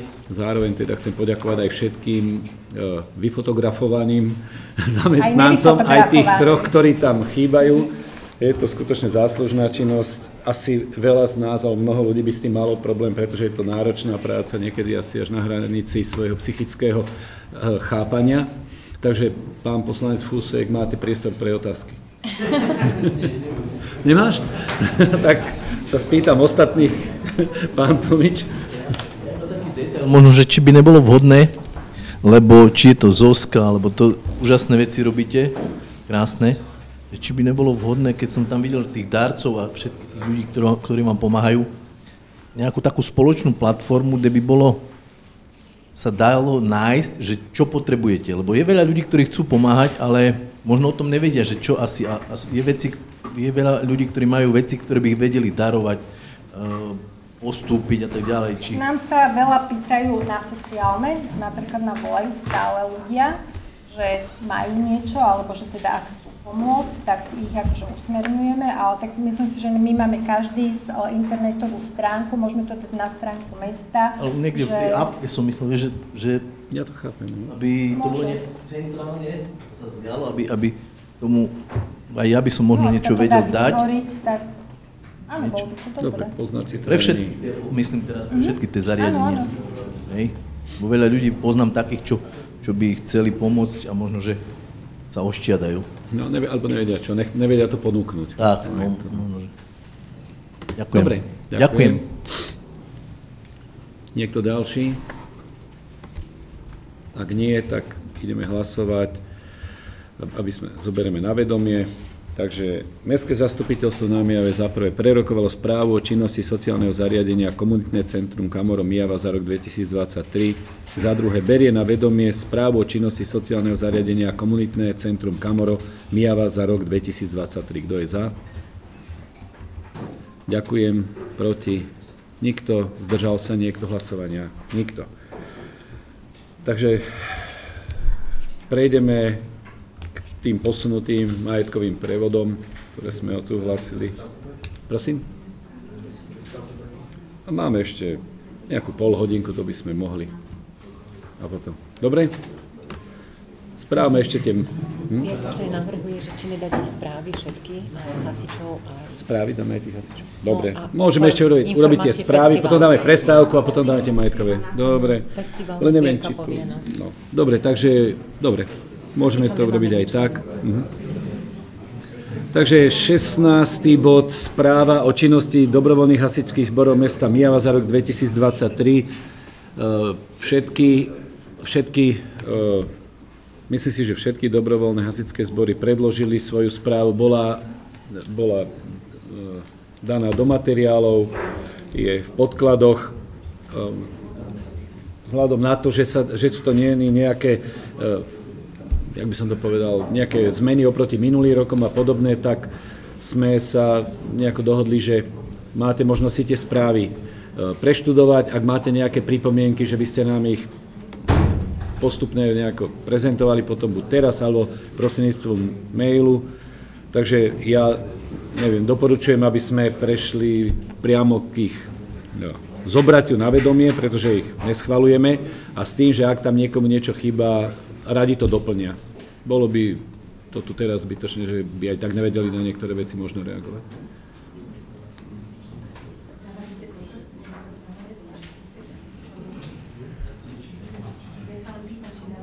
Ďakujem, Vierka, že si trošku ich usmernila, aby dávali pozor.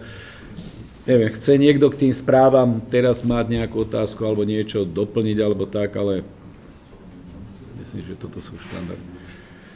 Ak nie, tak dám hneď hlasovať, že Mestské zastupiteľstvo nám je prerokovalo, to znamená, že ste si ich naštudovali podľa vyvesených správy o činnosti dobrovoľných hasičských zborov za rok 2023 DHZ Mijava, Kružok malých hasičov, DHZ Bankovia, DHZ Turaluka, DHZ Ubelanských a za druhé berie na vedomie tieto správy. Kto je za? Ďakujem. Proti? Nikto. Zdržal sa niekto hlasovania? Nezdržal. Takže správy boli zobrané na vedomie mestským zastupiteľstvom. Bod číslo 17 sme riešili v programe, schváľovaní programu. Môžeme prejsť na bod číslo 18. Informácia o príprave 64. Medzinárodného folklórneho festivalu Mijava 2024. Poprosím Vierku Feriancovú.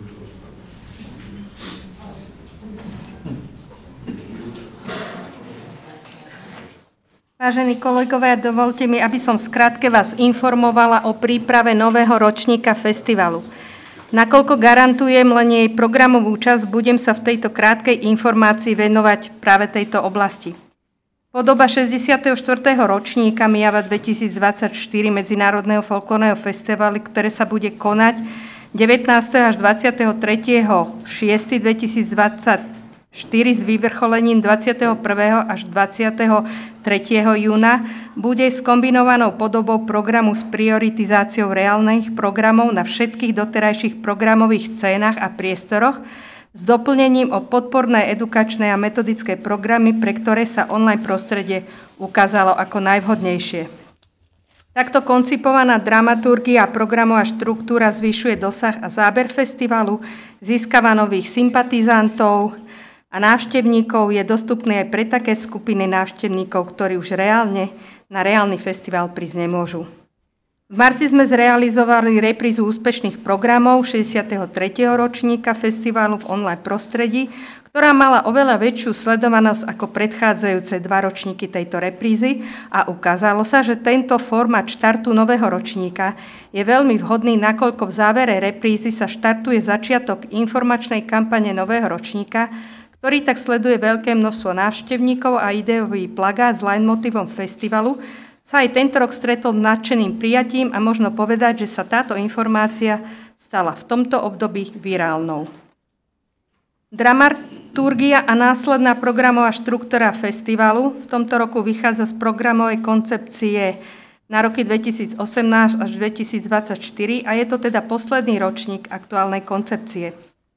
Naše centrum E, pripravilo v priebehu rokov 23-24 novú koncepciu, ktorá je v súčasnosti už schválená a nasledujúci ročník už budeme pripravať v jej intenciách. Obsahuje všetky novinky, aktuality z programovej oblasti, vízie ďalšieho rozvoja festivalu a tiež pozitívne zmeny vývoja v oblasti folklóru a folklorizmu. Koncepcia reflektuje postupy a vývoj dramaturgie a programovej štruktúry z predchádzajúcich rokov a pozitívne zmeny z obdobia pandémie.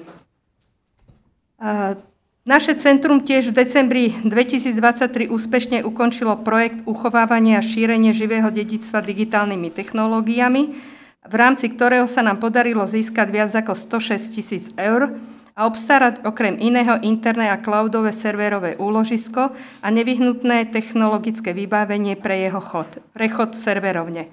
Spomínam to preto, že sa nám podarilo takto zabezpečiť dostatočnú kapacitu pre dáta na dosť dlhé obdobie práve pre online čas festivalu a jeho online archív, s ktorými môžeme ďalej pracovať pri zvyšovaní prestíže festivalu. Programová štruktúra 64.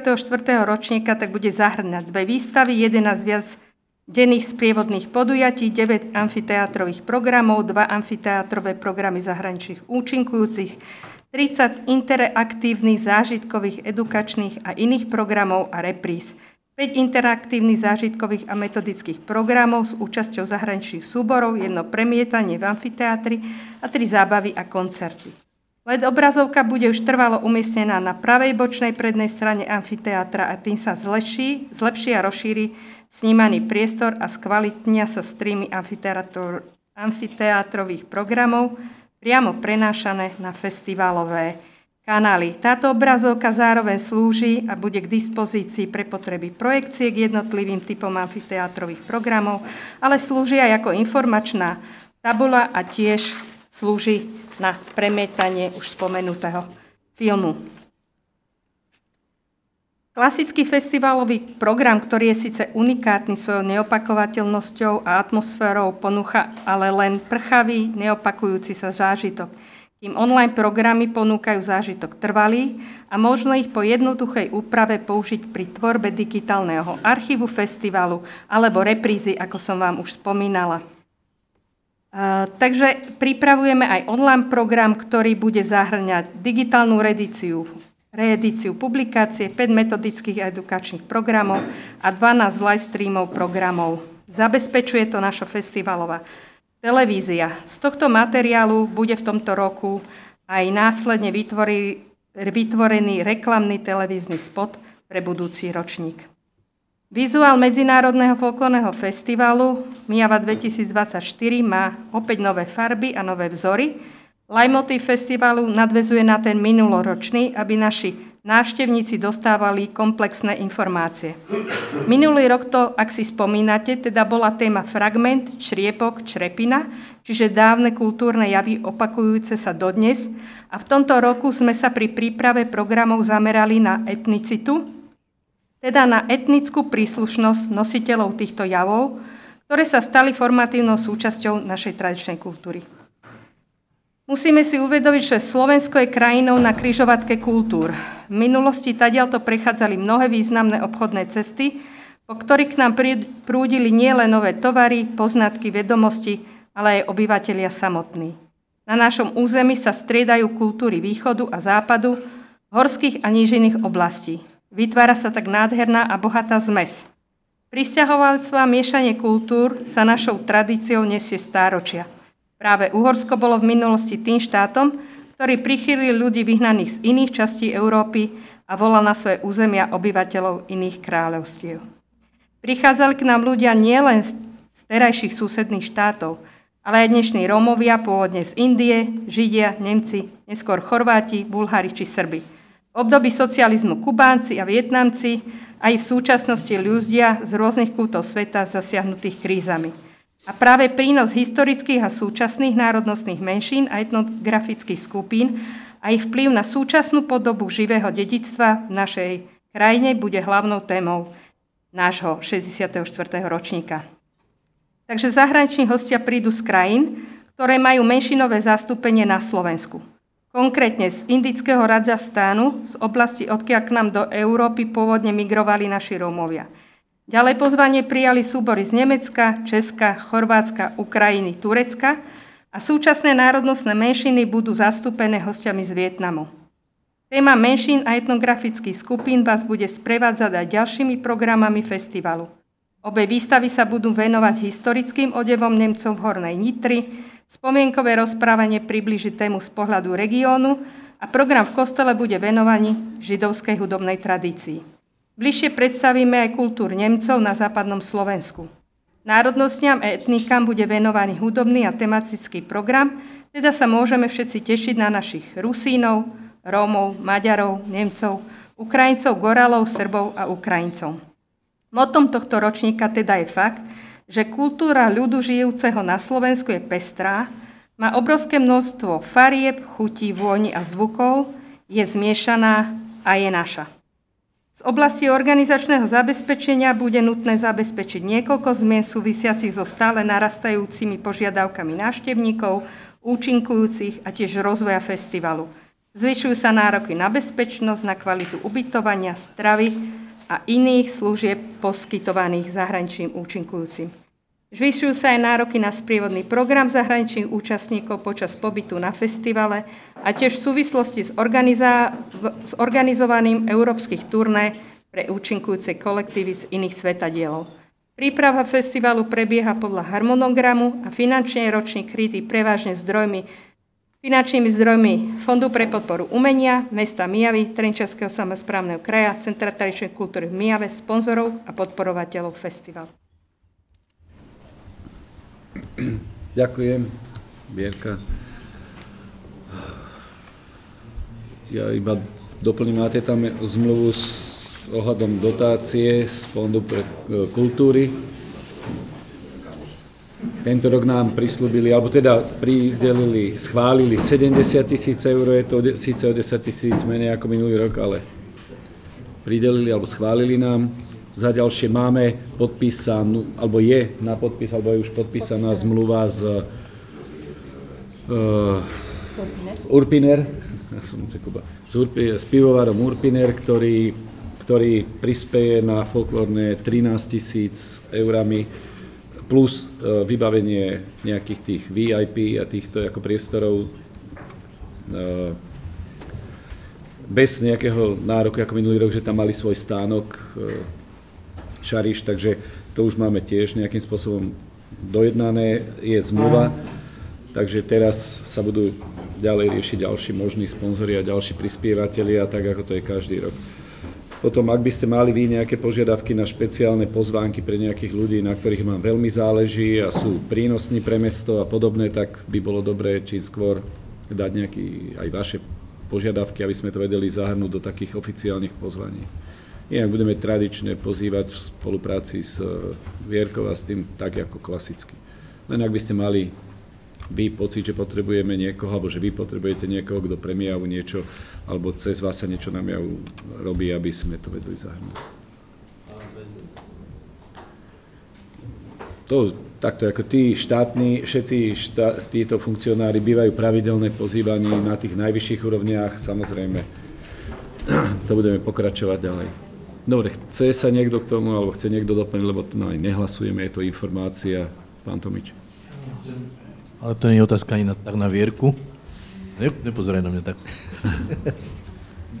Ale môžem teba sa opýtať, teraz ma napadlo, že kto bude maj, e, vlastníkom toho digitálneho obs- obsahu? Mesto? Mesto nie. Na základe nejakého právneho titulu? Na základe zmluvy. Je prvá vec a teraz... Mesto to platí, tak mesto to je vlastníkom. No malo nejaký ano. titul na to. Uh, ceny listkov? Zostávajú, alebo zatiaľ, takto zasadali sme na tom prípravnom výbore, myslím si, že dvakrát, trikrát, uh-huh. kde sme ceny lístkov v podstate neriešili, lebo chceme to nechať na úrovni minulého roku. Že a nájomné pre tých stánkárov, to všetko zostáva? My sme zdvíhali minulý rok, Takže nechceme do toho vstupovať zasa teraz. Dobre. Ďakujem. Bavili sme sa, že posunieme tie majetkové prevody na neskoršie, tak využijeme to, že ich posunieme na neskoršie. A vzhľadom na to, že tu máme zástupcu Spartak Mijava a S, tak by som ho poprosil, aby predložil svoju prezentáciu s pripomienkami a budeme potom pokračovať. Takže máme bod 19.5 správa o hospodárení spoločnosti za rok 2023 a zmeny orgánov spoločnosti. Vážený pán, pán primátor, vážené dámy, vážení páni, dovolte mi, aby som vám zo svojej pozície predsedu predstavenstva akciovej spoločnosti Spartak Mijava a S predložil správu o hospodárení o spoločnosti za rok 2023. Požiadal som primátora o možnosť vystúpiť na dnešnom zastupiteľstve, ktoré v podstate v rámci predkladania týchto správ je plus minus o dva mesiace skôr, ako bývalo zvykom, ale sú k tomu vážne dôvody, tak e, som rád, že mi to bolo umožnené. Akciová spoločnosť Spartak Mijava, e, iste všetci dobre viete, konec koncov myslím si, že v materiáloch ste dostali e, výročnú správu za rok 2023 v úplnej podobe. E, fungovala aj v roku 2023 úplne štandardne, tak ako po predchádzajúce roky. Sústredím sa len na tých pár e, čísiel rozhodujúcich, ktoré sú vyťahnuté z e, účtovnej závierky. Celkovo majetok spoločnosti je vo výške 1 500 takmer 90 tisíc eur, pokleslo 30 tisíc oproti minulému roku, čo je ako každoročne pokles z hľadiska odpisov nehnuteľného majetku. Záväzky vo výše 800, 805 tisíc, samozrejme strašné číslo, ktoré vždy každý sa zarazí, ako môžeme mať také veľké záväzky, vždy hovorím to isté. Drvivá väčšina z toho je časové rozlíšenie dotácií vo výške 1 milión eur zo SFZ na infraštruktúru. Zbytok vidíte rozpísané v tých najdôležitejších, čo sú asi najväčšia položka výplaty alebo hm, obchodné veci, ale keďže to je uzavierka k 31.12. a dobeh pohľadávok je až do 20. 25. januára nasledujúceho roku, tak je to štandardné, každý rok sa opakujúci systém a čísla. Pohľadávky vo výške asi 70 tisíc, to znamená, keď sa pozrieme z normálneho pohľadu, e, pohľadávky záväzky tie z obchodného styku, ako by som to tak nazval, e, tak ako každý rok aj v roku 2023 sme hospodárili s úplne vyrovnaným rozpočtom a vždy toľko, koľko peňazí sme mali a dopredu si naplánovaní, toľko sme míňali. U koncu roka mala akciová spoločnosť k dispozícii v pokladne na účtoch 17 472 eur. Celkovo za rok 2023 teda spoločnosť skončila hospodárenie s výnosami v celkovej výške 813 043 eur, náklady vo výške 835 635 eur a celkový hospodársky výsledok strata mínus 22 591 eur.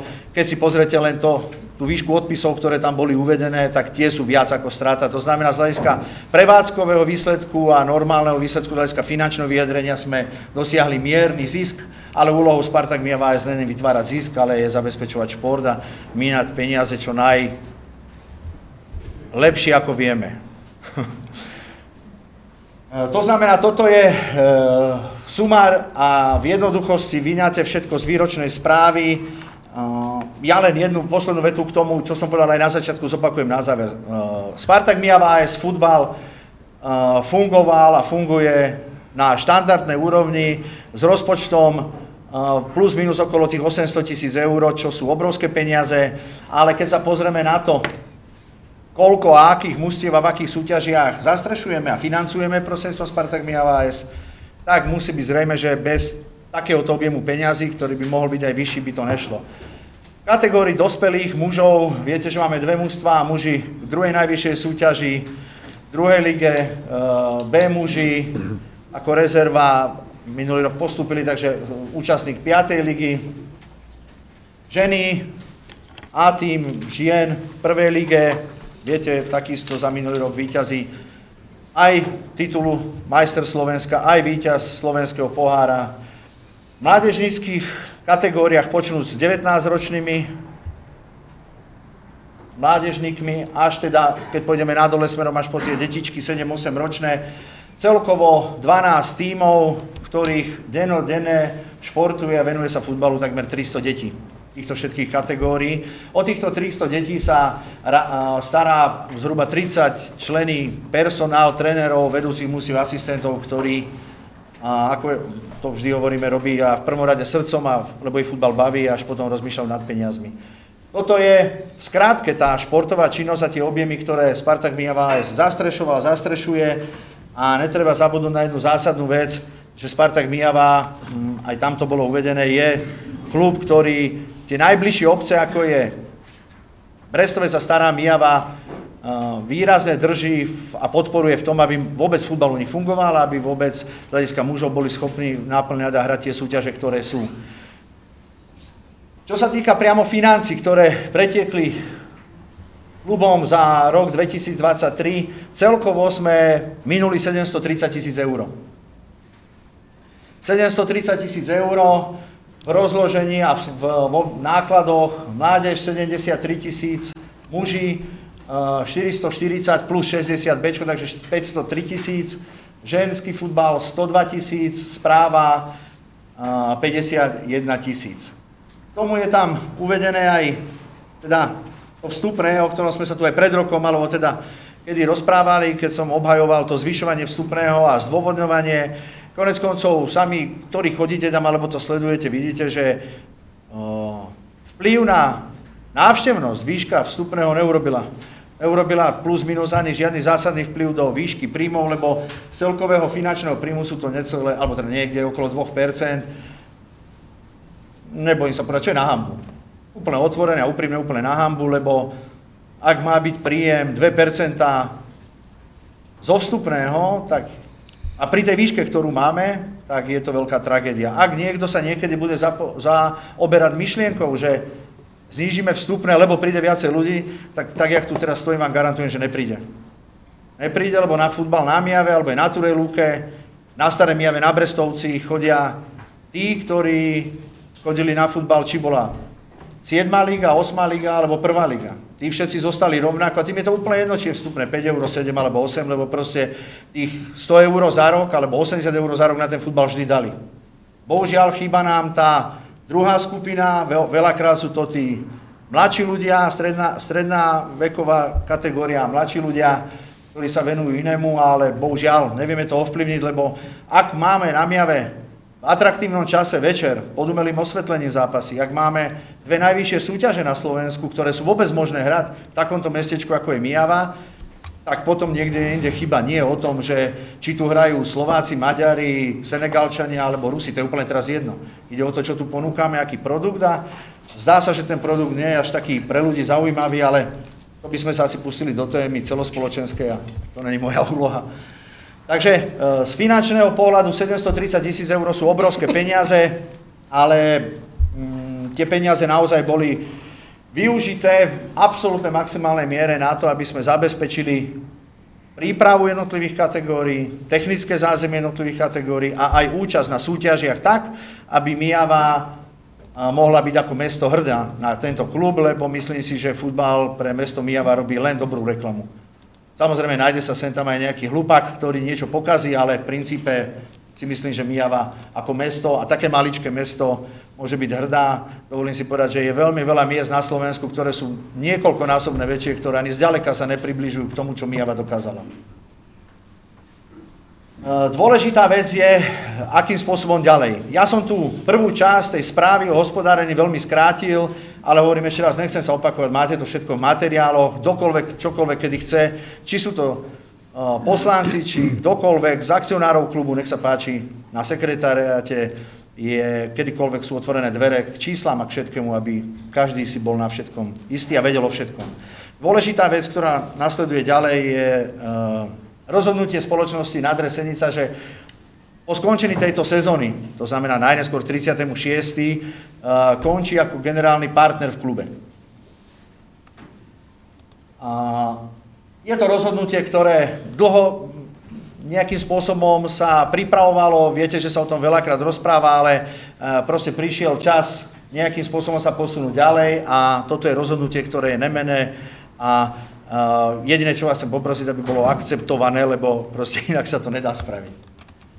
Samozrejme, neznamená to nič dramatické a tragické pre klub Spartak Mijava, tie rôzne šumy, fámy, ktoré už dva mesiace, tri mesiace bežia po Mijave, ako ho, o čom inom, ano? To, to je jedno, či to je o školách alebo o športe, uh, nie sú pravdivé, fakty sú dané. Uh, čo sa týka pohľadávok záväzok, k 36. klub bude tak ako vždy čistý, vysporiadaný. Aj dneska máme k dnešnému k 33. všetko vysporiadané. Nedlžíme nikde nikomu ani euro. Fungujeme štandardne. To znamená, všetko bude vysporiadané, ako má byť.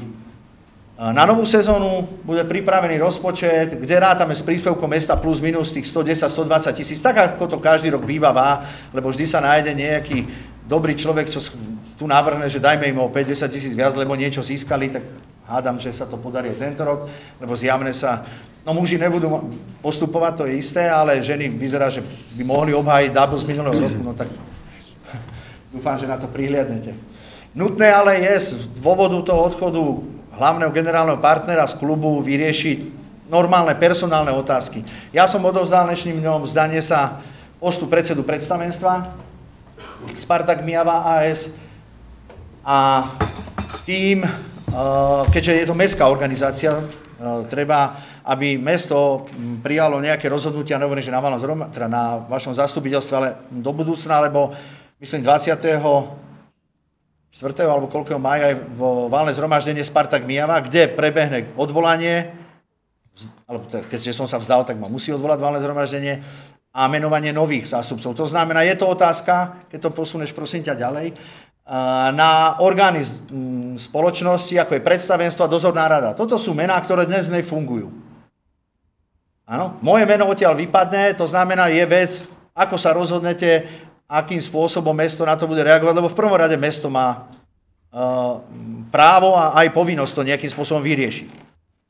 Dozorná rada je zložená takýmto spôsobom.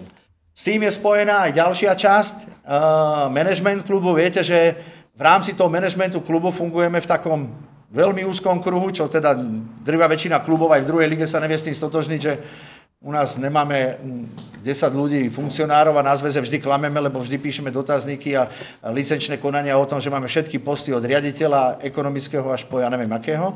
Reálne funguje klub a reálne fungoval pod môjim manažovaním manažerkou ženského futbalu, mládeže a toho celého takého zázemia sekretárskeho bola hlavná Iveta Nevedalová a ekonómka klubu z hľadiska komplet celého účtovníctva, lebo je to akciová spoločnosť s majetkom a so všetkým, není to len nejaké združenie s pár eurami, bola moja manželka. Samozrejme je aj na rozhodnutí, akým spôsobom sa vysporiada nový manažer alebo nový človek, ktorý bude za to zodpovedať, voči týmto personám. Za mňa môžem povedať len jedno, že obidve tieto dámy splňajú alebo pracujú tak, že človek nemá problém. Áno, kedykoľvek, čo potrebujete, dostanete či, či od Ivety Nevedálovej, či od Marcely Halabrinovej. Takže, ale je na vás. Podstatná, ale úplne rozhodujúca vec, ktorá je, je tá, že čo ďalej, akým spôsobom ďalej, lebo na to sa pýtajú tréneri, hráči, ľudia, proste verejnosť, áno. To znamená, treba si stanoviť v prvom rade ciele z hľadiska starostlivosti o športové areály. Viete, že máme športové areál celý Miavu komplet, ktorá je, dovolím si povedať, vo fantastickom stave. Minulý rok či predminulý rok vymenená umelá tráva komplet nová, hlavný, hlavný štadión trávnatý so všetkým zázemím bez najmenších problémov. Sú to bežné prevádzkové náklady, ktoré do toho dávajú, alebo náhodné. Potom je to areál Túra Luka, ktorý takisto prešiel modernizáciou, rekonštrukciou Takže toto je vec, ktorá musí a mala by fungovať samozrejme naďalej, tak aby Spartak Mijava mal kde všetky tieto mústva umiestňovať. Potom je to rozpočet klubu, od ktorého sa odvíjajú ďalšie veci a to sú účasti jednotlivých mústiev alebo družstiev v súťažiach. Či prvá liga, druhá liga, osma liga. Proste všetko závisí od peňazí, ktoré naskladáme. No a v neposlednom rade ten ohľad na to, že Spartak Mijava je nositeľom futbalu v celom regióne. Kedy si Spartak Mijava takmer končil, podarilo sa nám ho nejako zachrániť, zastabilizovať a funguje bez problémov a vďaka tomu funguje futbal v Mijavskom regióne. Možno niekto si povie, však sa môžu aj, ja neviem, na Polianke alebo na Brestovci, nechcem nikoho urážať, poslanci takisto tým zaoberať a vyriešiť to. No, tie malé obce alebo ten maličký región, v ktorom žijeme, 30 tisícový si ťažko zabezpečí všetko každý sám, to nepôjde. Takže to je len apel na to všetko, čo je. Z hľadiska rozpočtu pre minimálneho rozpočtu, ktorý v tejto chvíli je pripravený na ďalšiu sezónu, predstavuje čiastku niekde okolo 313, 320 tisíc eur. Plus minus. Sú tam vypísaní zámerne všetci sponzori, ktorí dávali, dávajú a budú pokračovať ďalej. 320 tisíc v tom základe je veľmi krásny rozpočet, ktorý garantuje tie bežné veci všetky v plnom rozsahu. Samozrejme je otázka tej kvalitatívnej nádstavovej časti, a to sú dve veci pri ženskom a mužskom futbale, kde v ženskom futbale tu nerátame samozrejme s príjmami zo SFZ, Lebo viete, že pokiaľ by ženy teda uhrali to, čo vyzerá, že uhrajú, čo im držíme palce, a to je titul, tak budú hrať znova kvalifikáciu Ligy majstrov ženskej, kde to je spojené aj celkom so slušnými bonusmi, na naše pomery slušnými, čož by ten rozpočet teoreticky výrazne zdvihlo. Ale to sú peniaze len pre ženský futbal, áno, tam nemôže nikto povedať, že to dáme žiakom alebo mužom. Ale 315 tisíc eur je rozpočet, ktorý je slušný a na ktorom sa dá stavať ďalej. Samozrejme, otázka je, ako ďalej. Ja si myslím, že na Mijave je dostatok múdrych, šikovných a bohatých ľudí a firiem, ktorí môžu tomu pomôcť a prispieť tak, aby sa zachovali aj kvalitatívne, aj všetky ostatné parametre futbalu na Mijave. Je to len otázka možno práce s, s nimi. My sme to, alebo ja som to nerealizoval, nerobil tak, lebo som to nevedel ale možno príde niekto nový, modernejší, mladší, agresívnejší a bude schopný oveľa viac dotiahnuť na Mijave medzi bohatými ľuďmi, ktorí tu žijú.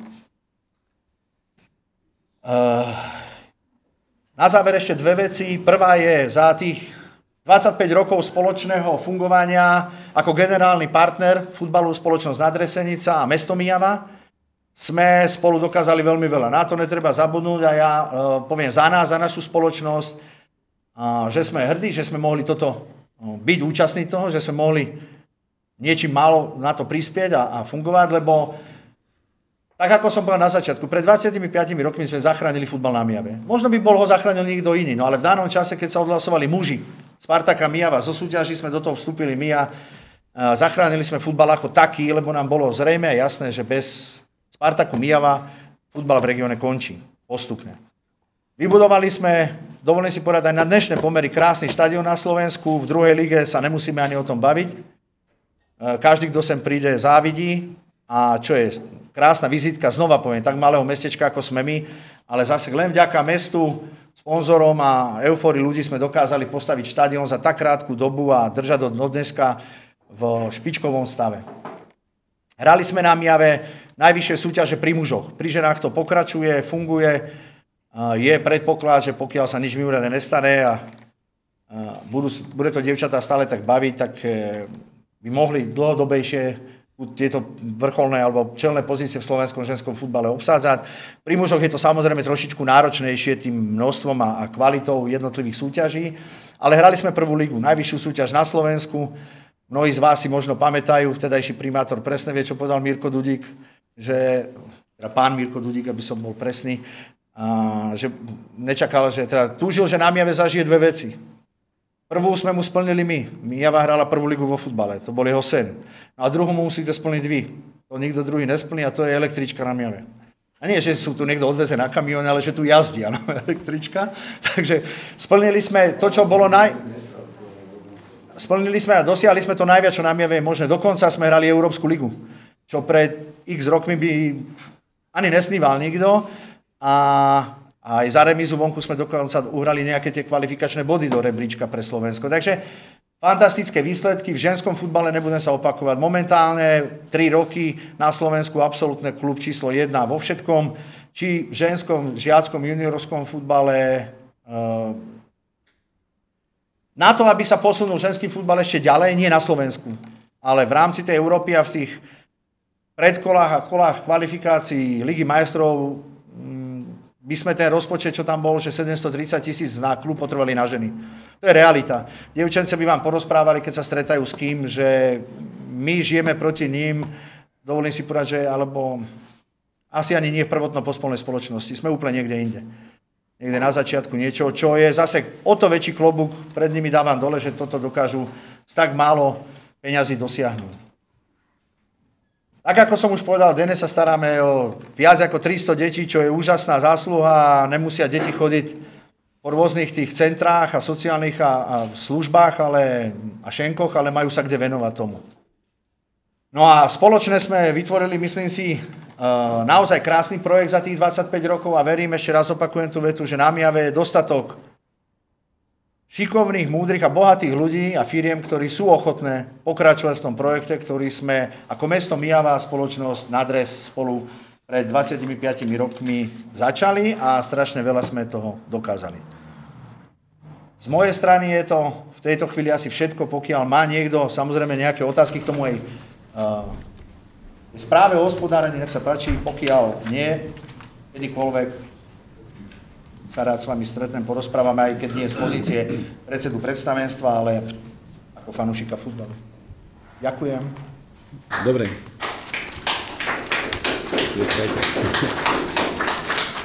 Chcem poďakovať predsedovi predstavenstva Spartak Miava AS za túto prezentáciu, aj za v podstate vysvetlenie a predloženie veci, ktoré boli, sú a budú nás čakať. Mám informáciu, že nás pozerajú aj nejakí priaznivci, tak si dovolím im zakývať, aby boli spokojní. Takže teraz najskôr dám priestor vám, poslancom, aby ste po prípade sa spýtali alebo niečo keďže k tomu nemáte nič, určite z, tohoto, z tejto prezentácie e, môžeš, pán Fusek. Ja by som chcel poďakovať aj vám, pán Halabrin, jednému, aj druhému, aj tretiemu, za to, čo ste dokázali pre Mijavu, čo sa týka futbalu, a nie len futbalu, že ste podporovali takto o, futbal, aj štadión ste budovali aj všetko. O, je to na zamyslenie, keďže sa musíme tým zaoberať my, a myslím si, že ďalšie zastupiteľstvo už nebude dovtedy, tak si myslím, že by sme sa mali o tom pobaviť, kto bude predseda predstavenstva. Neviem, či už teraz, lebo to určujeme podľa mňa my. Áno. Doporučujeme. My dáme návrh v podstate a schváluje. Ale na základe našeho doporučenia. Či? No ale vláda hromada je 95% mesto. Takže v podstate, keď nabrhneme niekoho, tak asi sa ho aj schválime. Že mali by sme sa s tým zaoberať a hlavne aj tým výpadkom tých peňazí, že čo ďalej, aké varianty budú. Ja, ja k tomu, keď môžem povedať, ja, netreba to brať ako nejakú tragédiu, lebo tragédia sa nedeje. Tu nekončí futbal ani nekončí nič. Tu všetko pokračuje ďalej.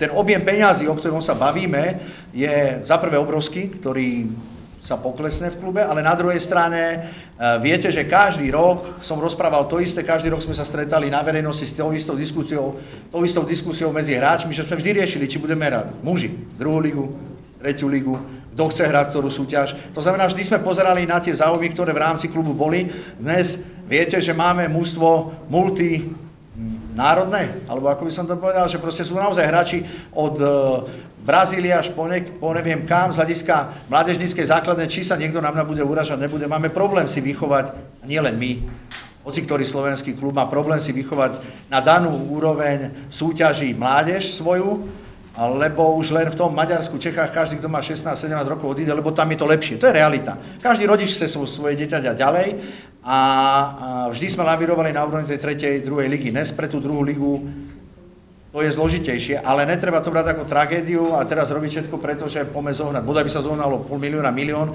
a fungovalo to. Bude od novej sezóny aj zo zväzu viacej peňazí na druhé ligy, asi 33 tisíc na rok na druhú ligu. Teraz bolo nič. No. Bude, ale hovorím, ne, nechcem, aby sme to, alebo aby to moje vystúpenie znelo, ako keby tu teraz e, prišla potopa aj konec. Není konec. Všetko funguje normálne ďalej. Áno, ja nehovorím, že je potopa, ale treba sa zaoberať tým, že ideme hrať nižšiu ligu, alebo proste nejak, nejak si to treba dať, lebo tí ľudia to sledujú a tiež sa, pýtajú sa, hej, tie otázky. Takže to iba som chcel, aby sme im nejaké, na toto odpovedali, že či už vieme, ako, akým postup, ako ideme postupovať. Pán Tomič? To pa koniec možno nie, ale keď sa zamyslíme iba nad tými číslami, tak rozpočet bol 703 tisíc, 730. Teraz bude 313, čiže 400 tisíc Zhruba... No len ženský futbal, keď dáme k tomu, lebo ten v tých 730 bol. Bol príjem z UEFI 65 tisíc, myslím, mal 55, 65. To znamená, že nejaký 380, 370 voči 730. Tak to bude, povedzme si na rovinu, extrémny prepad.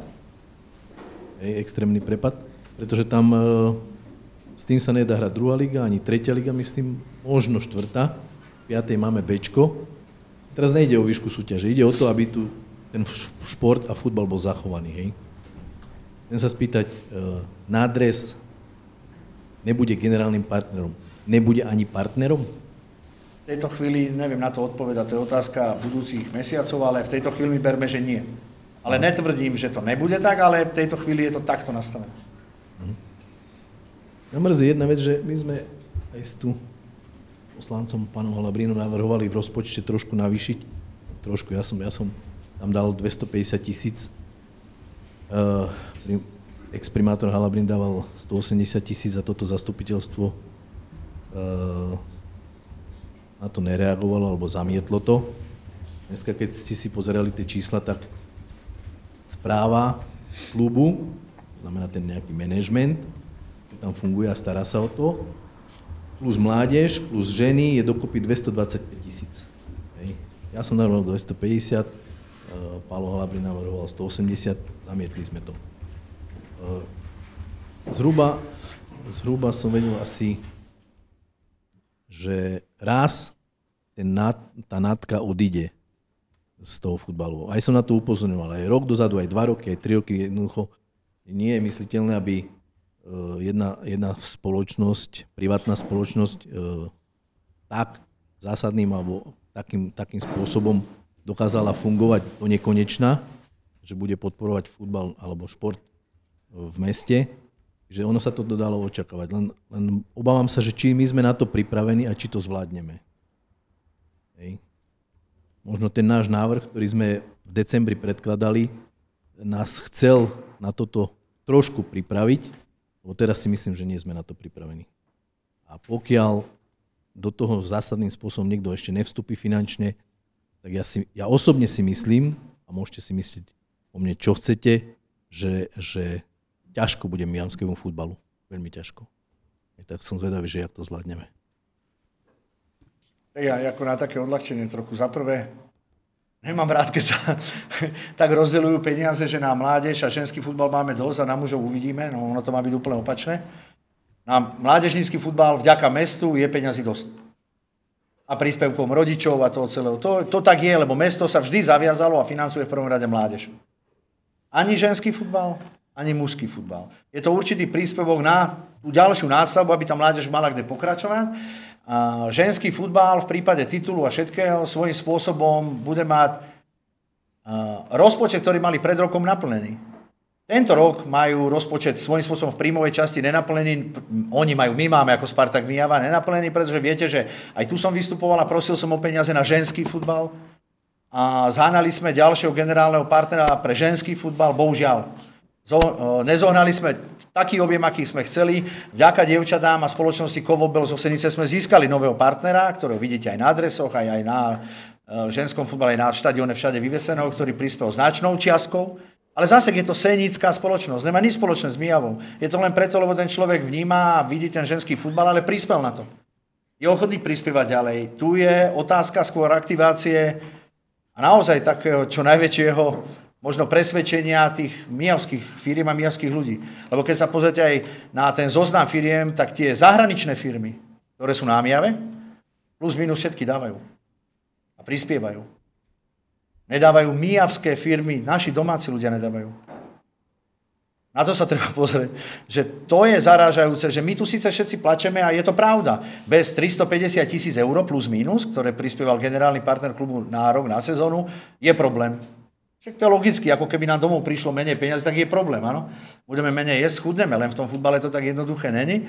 Ale ja sa neobávam to, ja som presvedčený o tom, že uh, futbal uh, aj mužský skľudný svedomí môže tri, tretiu ligu bez problémov hrať. Pri novom partnerovi nejakom, ktorý dá možno aj druhú, ale tretiu určite.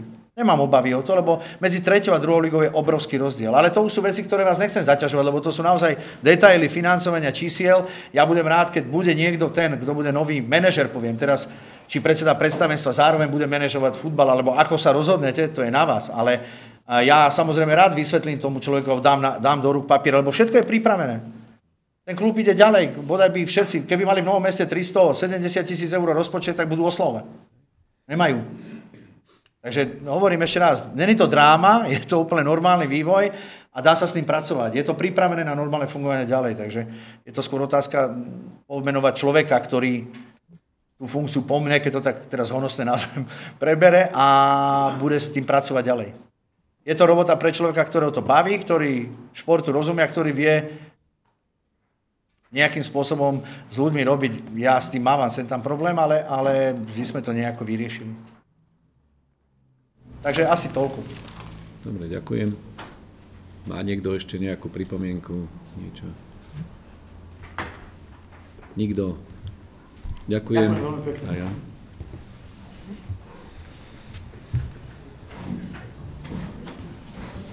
Neviem, ja sa spýtam, Pali, ty keď si bol, uh, my máme povinnosť uh, hlasovať v zastupiteľstve na nomináciu členov, alebo lebo kvôli tomu, že aby sme, tech, aby sme to technicky, lebo už dovtedy zastupiteľstvo nebude, vieš, že... Ty si zástupca mesta... akcionára, ktorý predloží návrh. Tak ale že či nemám povinnosť ja to My mať... sme to tak robili. Ja, lebo sa to tak robilo, no preto, lebo už... Nemalo mesto 95%, my sme tak robili. Lebo dovtedy zastupiteľstvo nebude, takže... Sme na to pripravení, ale... Nie, tak... Ale nie je to zákonná povinnosť. Dobre, no to aby sme, lebo neviem. Ahoj. Dovidenia, maj sa.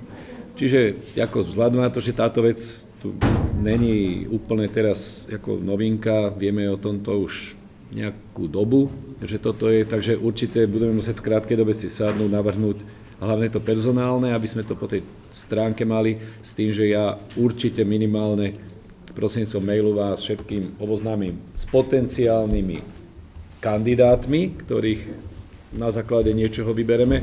Ak má niekto ambíciu, lebo takto, bolo by dobré, aby tam e, bol predseda predstavenstva, ktorý je buď poslancom, alebo je spojený s mestom, pretože mesto je tam hlavný akcionár. Áno, takže to by bola možno nie nutná podmienka, ale bolo by to dobré, aby sme zvolili alebo menovali niekoho z, tak, z okruhu, ktorý je blízky mestu. Áno, aby sme vedeli cez neho prenášať nejakým spôsobom veci, ktoré tu si budeme možno do budúcna odsúhlasovať, alebo mesto bude nejaké prevádzkové veci riešiť. Takže ak máte niekto ambíciu alebo niečo, môžete kľudne si sa nejakým spôsobom prihlásiť. Budem len rád, lebo nám zľahčíte možnosť tú vec toho hľadania. Lepšie vybrať z troch, ako hľadať tých troch alebo jedného vôbec, aby sme to riešili. Čiže to je jedna vec. Určite minimálne, ak, sa, ak dáme dohromady, tak minimálne poslancom to rozpošleme, aby sa k tomu vyjadrili s tým, že aj tak v končnom dôsledku to vyber, budeme musieť tu na, na nejakej ušej rade si dohodnúť. Čo sa týka toho. Čo sa týka financovania, tam je to ťažko.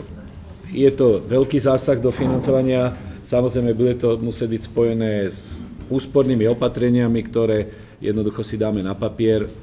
Klamal by som, keď som povedal, že sa už na tom nepracuje, pretože nemôžeme sa postaviť 1.7.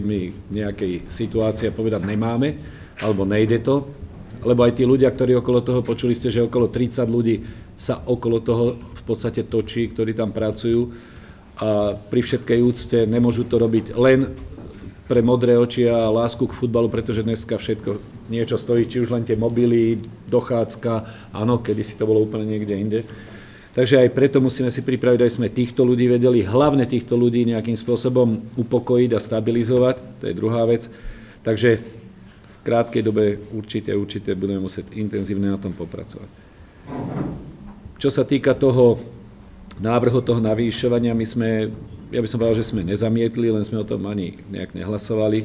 Druhá vec je, bol predložený rozpočet, ktorý bol nejakým spôsobom vyrovnaný a keď sme chceli v nejakej položke pridať, bolo potrebné povedať aj z ktorej zobrať. Takže ono ťažko sa dá e, niečo slúbiť bez toho, že by to nebolo kryté. Takže ja poznáte, že tiež športu fandím, celý život som v tom vyrastal. Je to pre mňa teraz veľmi zložitá situácia, pretože viem, že mnohí ľudia tu žili ten krásny sen, čo Peter tu naprezentoval a jedného dňa sa zobudia nie do tragédie, ale trošku horšieho sna alebo do menej krásneho sna.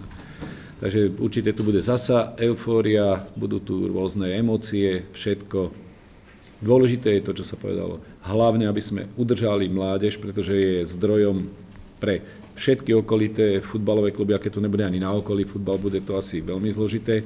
A za druhé, mužov umiestniť alebo udržať v takej súťaži, ktorá bude adekvátna mestu Mijava a budeme v nej hrať nehovorím, že prím, ale budeme sa v nej pohybovať tak, aby sme radi na ten futbal chodili a všetci ostatní. Takže k tomu ja viac nemám čo dodať, uvidíme, budete o tom informovaní všetci. Ale hovorím, ak máte návrh na niekoho, alebo niekto, by to, niekto má ambíciu s kľudným svedomím, kľudne, budem len rád, keď budeme mať nejaké nominácie alebo aj osobné nejaké možno ambície sa tohoto takého dosť ťažkého kroku zúčastniť. Pali, chcel si niečo? Nebojte sa, nemám ani chutané ambíciu. Prvá vec, čo povedať, ale aby som niektoré veci uviedol na, na správnu mieru, pretože že my, čo tu sedíme, tomu rozumieme už, čo sa tu povedalo, ale pozerá to aj veľa ľudí a, a o tej nervozite v tom futbalovom kolektíve ľudí, či sú to rodičia, či tréneri, či všetci, to už asi dva týždne je a tento víkend to hodne kulminovalo, lebo všetci to začali brať tak, že proste sa na nich vybodla a konec. Aby bolo jasné, generálny partner nekončí preto, že by sa tak rozhodol z nejakého trucu alebo z čoho, ale, ale do, do tejto spoločnosti vstupuje nový investor, ktorý neumožní už takým spôsobom, aby sa tam narábalo s, s prostriedkami ako teraz, že keď sme sa s Petrom dohodli, tak sa poslalo. To už možné nebude.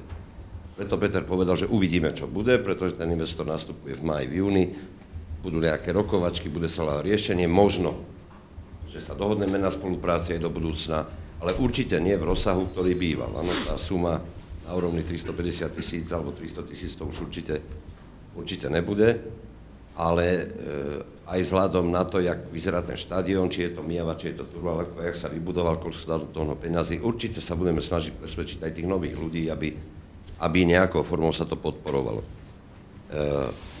finančná otázka. E, nedá sa rozdeliť celkom ženy, deti, muži, mládež, proste to tak nejde.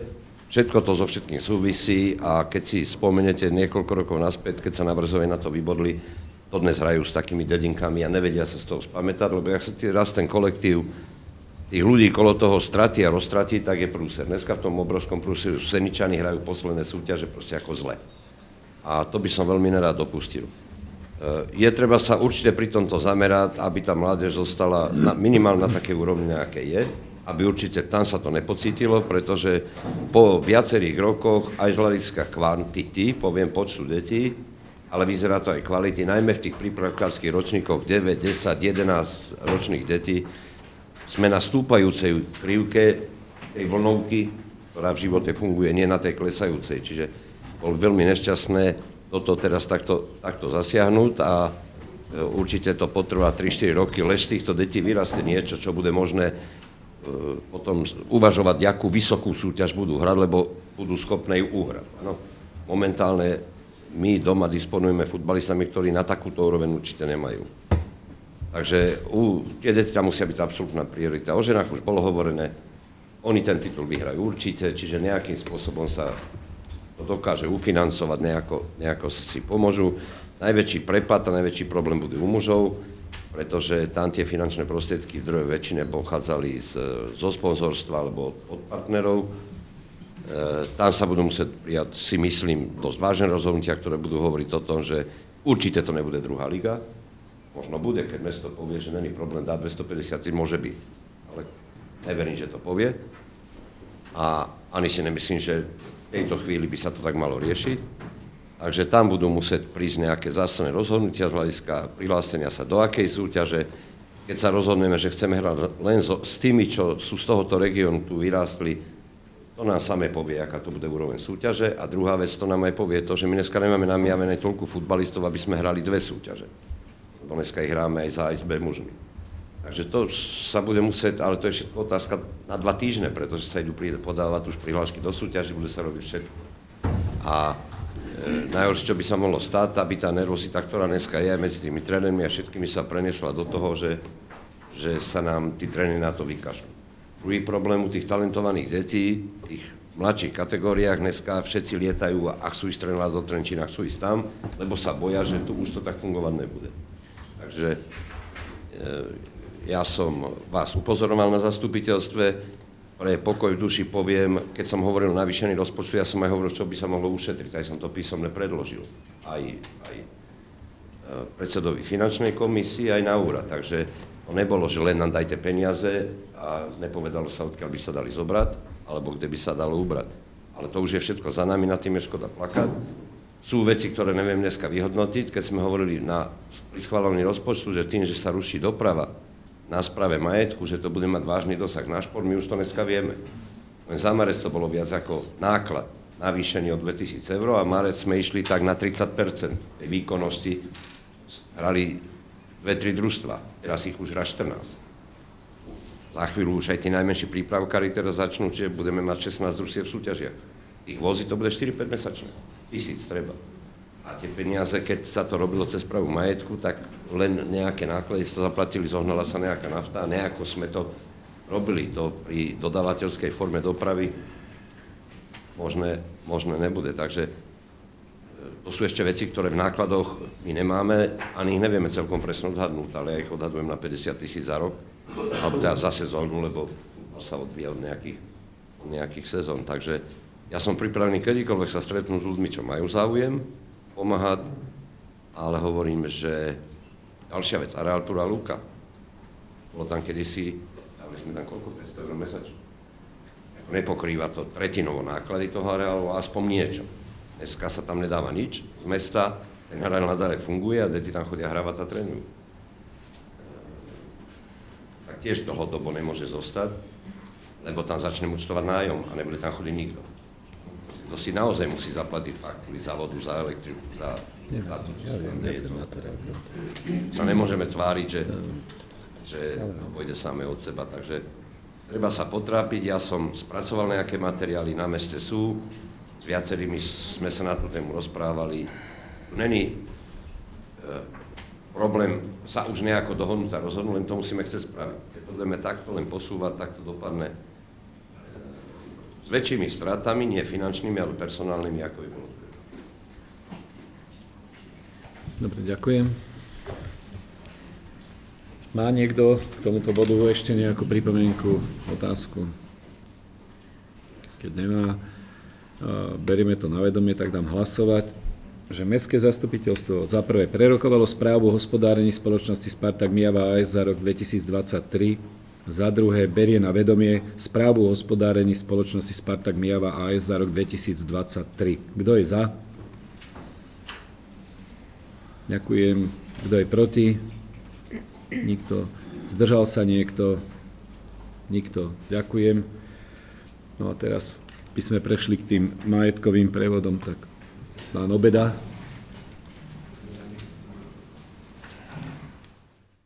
Ďakujem za slovo.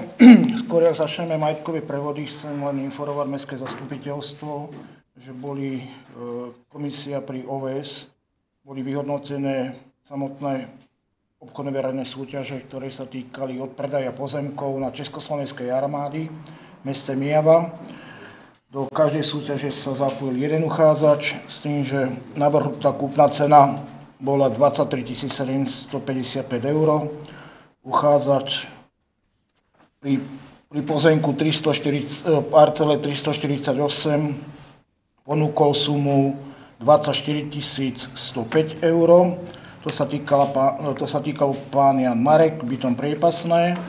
Pri druhej súťaži bola obdobná cena 23 755, opäť ponúknutá suma bola 24 105 eur, ktorú ponúkol pán Peter Kulíšek, bytom Dolná štvrť Mijava. Takže rozdiel medzi uvidenými sumami bol 300, 350 eur. Tu nás sa uznesenie neschvaluje, nakoľko obchodná verejná súťaž bola vyhlásená, takže tak ako rozhodla e, komisia pri OVS, to dávame len na vedomie Mestskému zastupiteľstvu. Tu ja by som len chcel podotknúť, aby sme to urychlene riešili, aby sme náhodou nedopadli jak minule. Takže treba to len dotiahnuť, všetko sprocesovať. Hm? Mhm, jasne, ale nech sa to sprocesuje. Dobre, môžeme Dobre. ďalej. Mhm. Takže k majetkovým prevodom bod číslo 6162 je tu návrh na odpredaj nehnuteľného majetku budovy bez súpisného čísla. Bývalá budova LTO, postavená na pozemku parcela 1696 o výmere 114 m štvorcových. Nehnuteľnosti sa nachádzajú v bývalom areáli Slovenskej armatúrke v Mijave. Navrhovaný spôsob odpredaja je formou obchodnej verejnej súťaže. E, navrhovaná kúpna cena je, vychádza z ceny podľa znaleckého posudku, ktorý bol vypracovaný 4.4.2024 a minimálna kúpna cena je 17 400 eur za tieto nehnuteľnosti.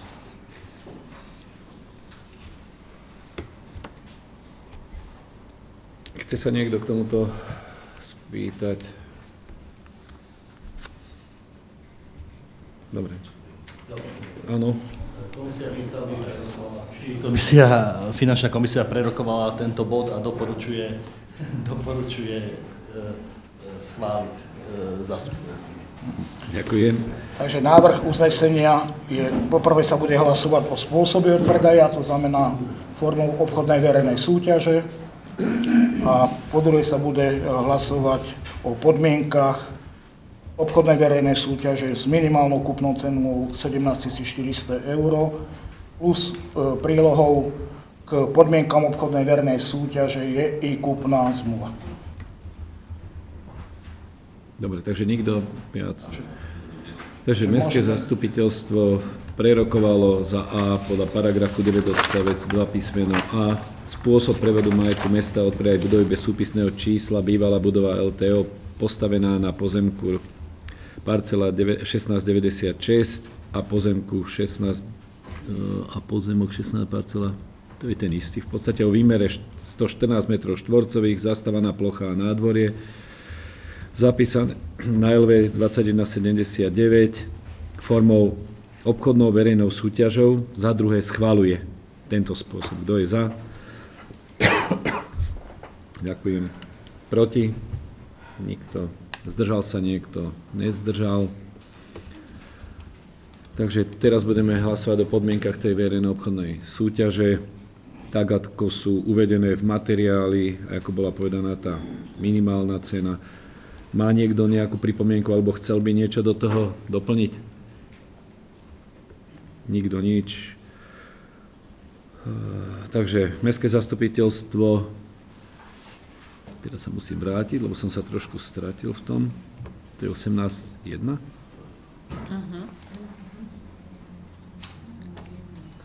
Uh-huh.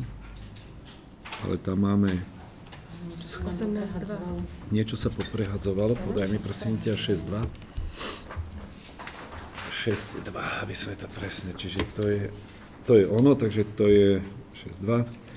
Uznesenie uh, Tie podmienky tej verejno obchodnej súťaže sú zverejnené, vy ich máte všetci v materiáloch, nebudem ich celé čítať. V podstate Mestské zastupiteľstvo námiave prerokovalo za A podľa paragrafu 9, odsade 2 písmeno B podmienky obchodno-verejnej súťaže OVS bývalá budova LTO na pozemku 1696. Za druhé schváluje uh, tieto podmienky, tak ako sú uvedené v materiáli. Nebudem to všetko čítať samozrejme. Kto je za? Ďakujem. Proti? Ďakujem. Nikto. Zdržal sa? Nikto. Takže prijali sme uznesenie. Môžeme ísť na ďalší bod? 6. Bod 6364. Je tu návrh na odpredaj e, pozemkov novovytvorených parciel, ktoré sa nachádzajú na ulici Pirte pre žiadateľa Západoslovenská distribučná AS. E, so žiadateľom o kúpu týchto pozemkov bola spísaná e, zmluva o budúcej kúpnej zmluve, v ktorej bola stanovená kúpna cena 30 eur za meter štvorcový. Ide o novovytvorené parcelky 943 lomeno 3 o výmere 9 m štvorcových a 943 lomeno 4 o výmere 32 m štvorcových Takže dohromady je to výmera 41 m štvorcových pri cene 30 eur m štvorcový, to suma 1230 eur. Tu nás sa navrhuje odpredaj spôsobom, e, spôsobom z dôvodu hodného osobitného zretela, kde je opäť potrebné hlasovať dvakrát. Jedenkrát sa hlasuje o spôsobe odpredaja a druhýkrát sa hlasuje o tom, že odpredaj bol schválený trojpetinovou väčšinou všetkých poslancov za, za minimálnu všeobecnú hodnotu pozemkov, ktorá neprevyšila sumu 3000 eur.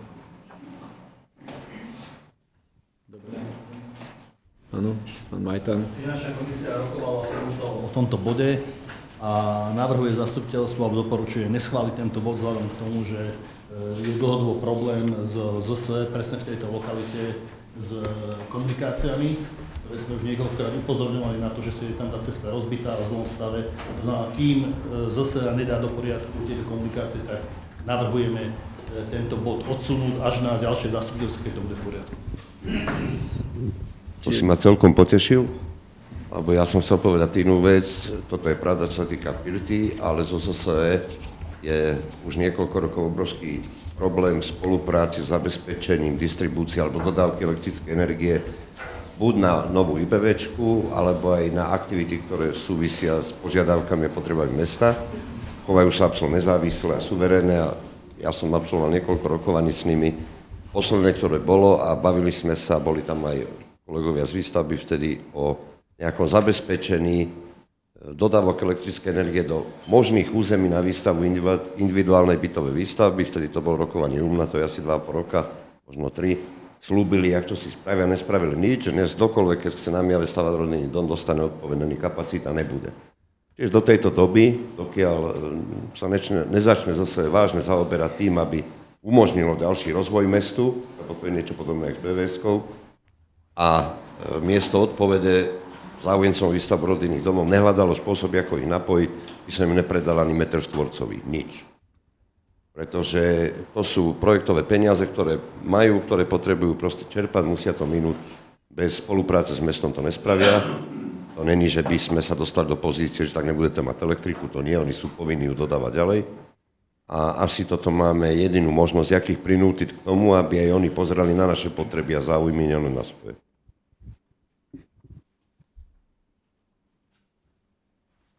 Ďakujem. Tak ste počuli aj stanovisko komisie. Takže dám hlasovať. Čiže budeme hlasovať o Mestské zastupiteľstvo na Mijave prerokovalo spôsob prevodu od mestského majetku, tak ako je to uvedené v materiáloch, a za druhé schvaluje spôsob prevodu od mestského majetku nehnuteľnosti v prospech z západoslovenská distribučná. Kto je za? Nikto proti? Zdržal sa niekto hlasovania? Dvaja. Dobre. Ďakujem. Môžeme ďalej.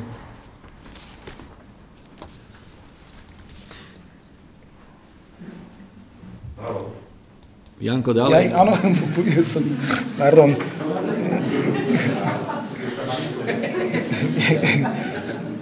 Bod 6.5 je tu žiadosť e, firmy Arcadia DCA SRO so sídlom Otrkovická 4134 14 Dubnica nad Váhom, ktorá je spoluvlastníkom nehnuteľností pozemkov e, v jednej štvrtine, nachádzajúcich sa v časti sídliska Kamene, kde mesto Mieva je vlastníkom pozemkov v jednej štvrtine a žiada odkúpenie tohoto podielu pre ďalšiu realizáciu budúcej výstavby obchodného centra v tejto lokalite.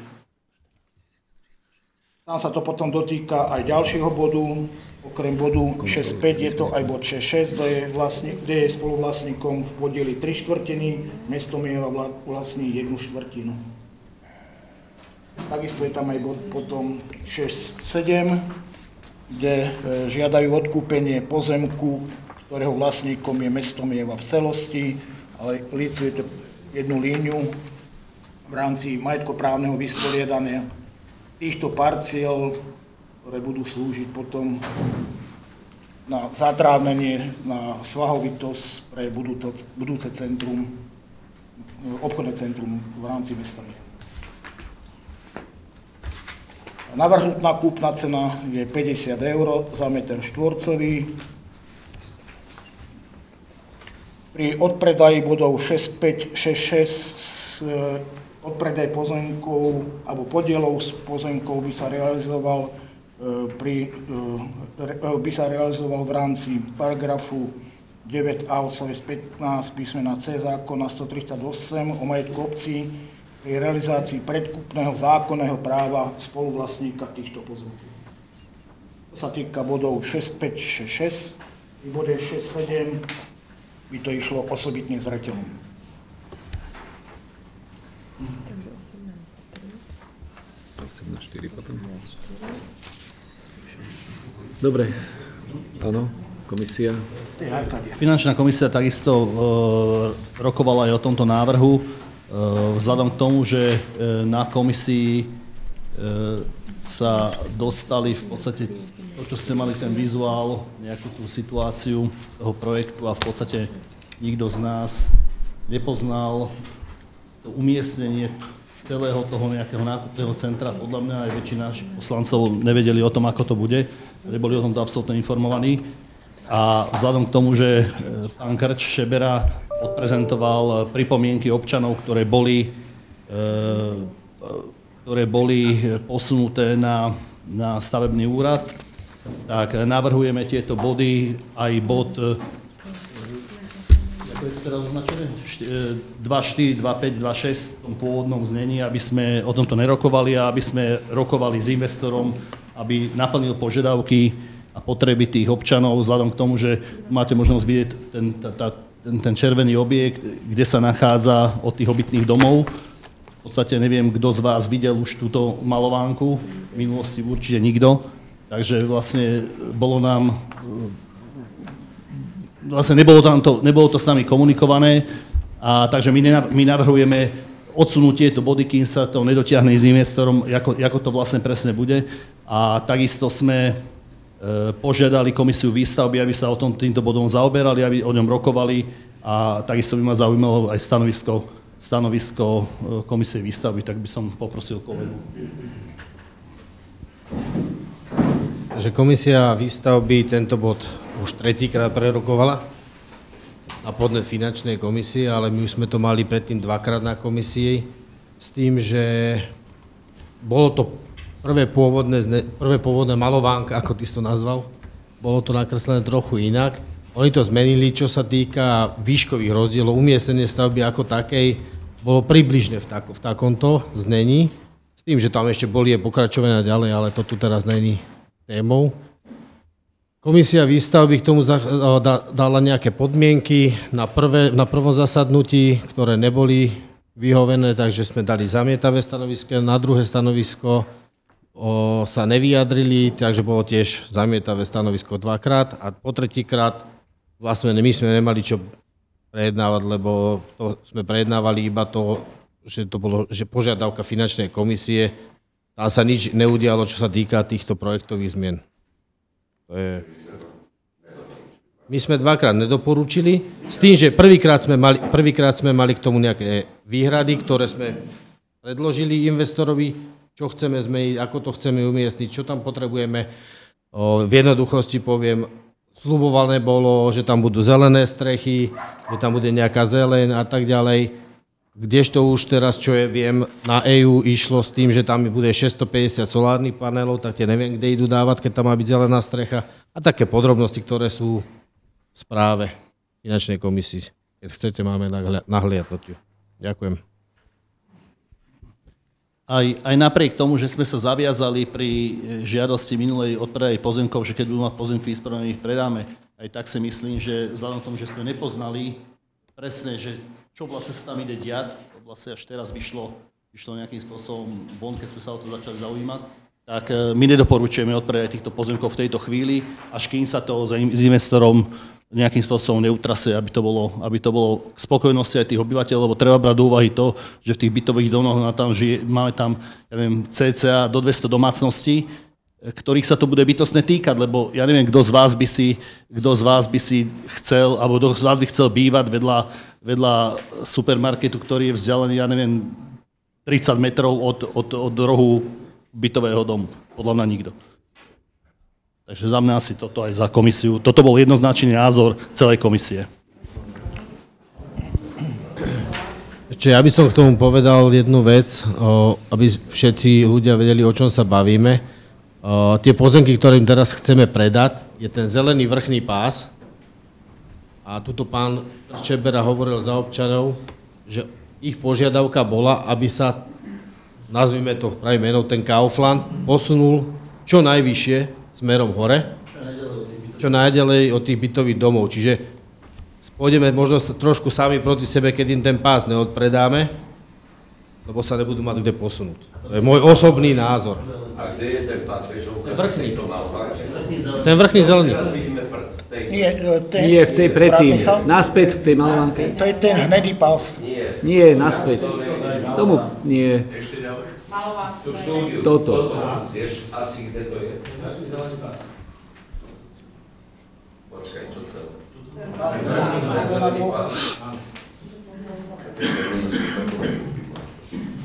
Tam, tam sa jedná o to, že oni to musia zhodnúť, že tam bolo to projektu zakopať a tam vedie peta, ale to, je- to je jeden pozemok. A ďalší pozemok je, ukáž ten ďalší, ktorý je tam ten cvik, ktorý je do tých parkovisk. Ďalší pozemok je na na ceste je taniato, to je ďalšia parcelka, ktorá je na predaj, ale to je pre tú firmu Enon, o ktorej tu na pán poslanec alebo pán predseda hovoril, že kde bolo predkupné právo, ktoré majú do konca tohoto roku, s tým, že majú podmienku si to majetkoprávne vyspodávať. To sú, tam sú tri firmy, je tam firma Arcadia, SRO, je tam firma Enon a plus ďalším vlastníkom je, je spoločnosť Kaufland. Tejto celé tejto celej časti. A máme niekde vizuál, ktoré pozemky patria, komu? Áno, však to, to, je, to, to je predtým.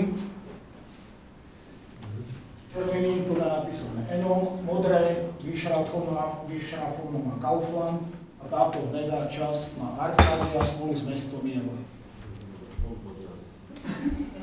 A ja sa spýtam, my sme predávali to, čo máme ten modrý pozemok Kaufland označený, tento pozemok my sme predávali o verejnej obchodnej súťaži, Áno. kde sme dali ako podmienka predaja, že ten pozemok tam bude realizovaná len KPčka a IVčka. Ja, prepáčte, ja do toho vstúpim, lebo si pripadám na Kalenka v ríši divov. My sme to predávali pred tromi rokmi vo verejnej súťaži s podmienkou KBV, IBV. Keď sa začal rozprávať o Kauflande, som vás upozornoval, že je to rozpore. S podmienkami verejnej súťaže boli ste všetci ticho, nepovedali ste ani slovo. E, podpísali sme a schválilo toto zastupiteľstvo uznesením zámer Kauflandu a primátor podpísal zmluvy o budúcich zmluvách na základe nášho uznesenia.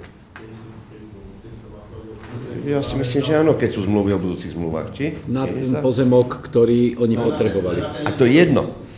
Ale tu bol predko- predložený vtedy nejaký návrh, že tam bude Kaufland. Ja si to dobre pamätám a pamätám, že som bol nahnevaný, dokonca som sa s pánom primátorom aj chytil, lebo som mu vysvetloval, že my sme to určovali kedysi na niečo iné. Menil sa zámer OK. E, dobre, keď sa dneska rozhodne nepredám, nepredáme. Len sme v nejakom zmluvnom vzťahu, kde sme sa k čomu si zaviazali. To je jedna vec. A druhá vec, vráť sa k tomu, kde je už nakreslený ten Kaufland. E, je to trošku zmetočné, pretože to vyzerá, že ten dom stojí až na ceste, to pravda, není? Áno, ja viem, to je tien, len aby ste si, si nemysleli, že ten roh tmavý, že to je dom, to není pravda. Tam je tá komunikácia. Je to dosť blízko, len si dajme pozor pri tých rokovaniach a pri tom tlaku, aby ten Kaufland neotočili naopak, lebo si vytvoríte ďaleko väčšie problémy pre to sídlisko z hľadiska dopravy, ruchu, pohybu, prachu a všetkého, ako to, keď to bude otočené tak, že celé to bude ten život prebiehať v Kauflande dve- 150 metrov od tých domov, ako keď si ich prisuneme sem. Takže aby sme sami seba nedobehli. Uh, určite si myslím, že je priestor na to, aby sa odsunuli, aby sa vytvoril nejaký zelený blok, ale ne, netlačme ich tak ďaleko, aby prišli s tým, že ho otočia a budete mať parkoviska smerom do sídliska, lebo to bude pre vás podstatné horšie. Ja len pripomínam minulosť a históriu, lebo hlava mi slúži. Ja som na to upozornoval. To bolo určené a kedysi sme to predali vo verejnej obchodnej súťaži. Účel predaja bol IBV, KBV. Investor, ktorý to kúpil, behal s tým a presviečal vás vtedy, že v druhej etape bude stavať IBV a KBV. Tak tu máte druhú etapu.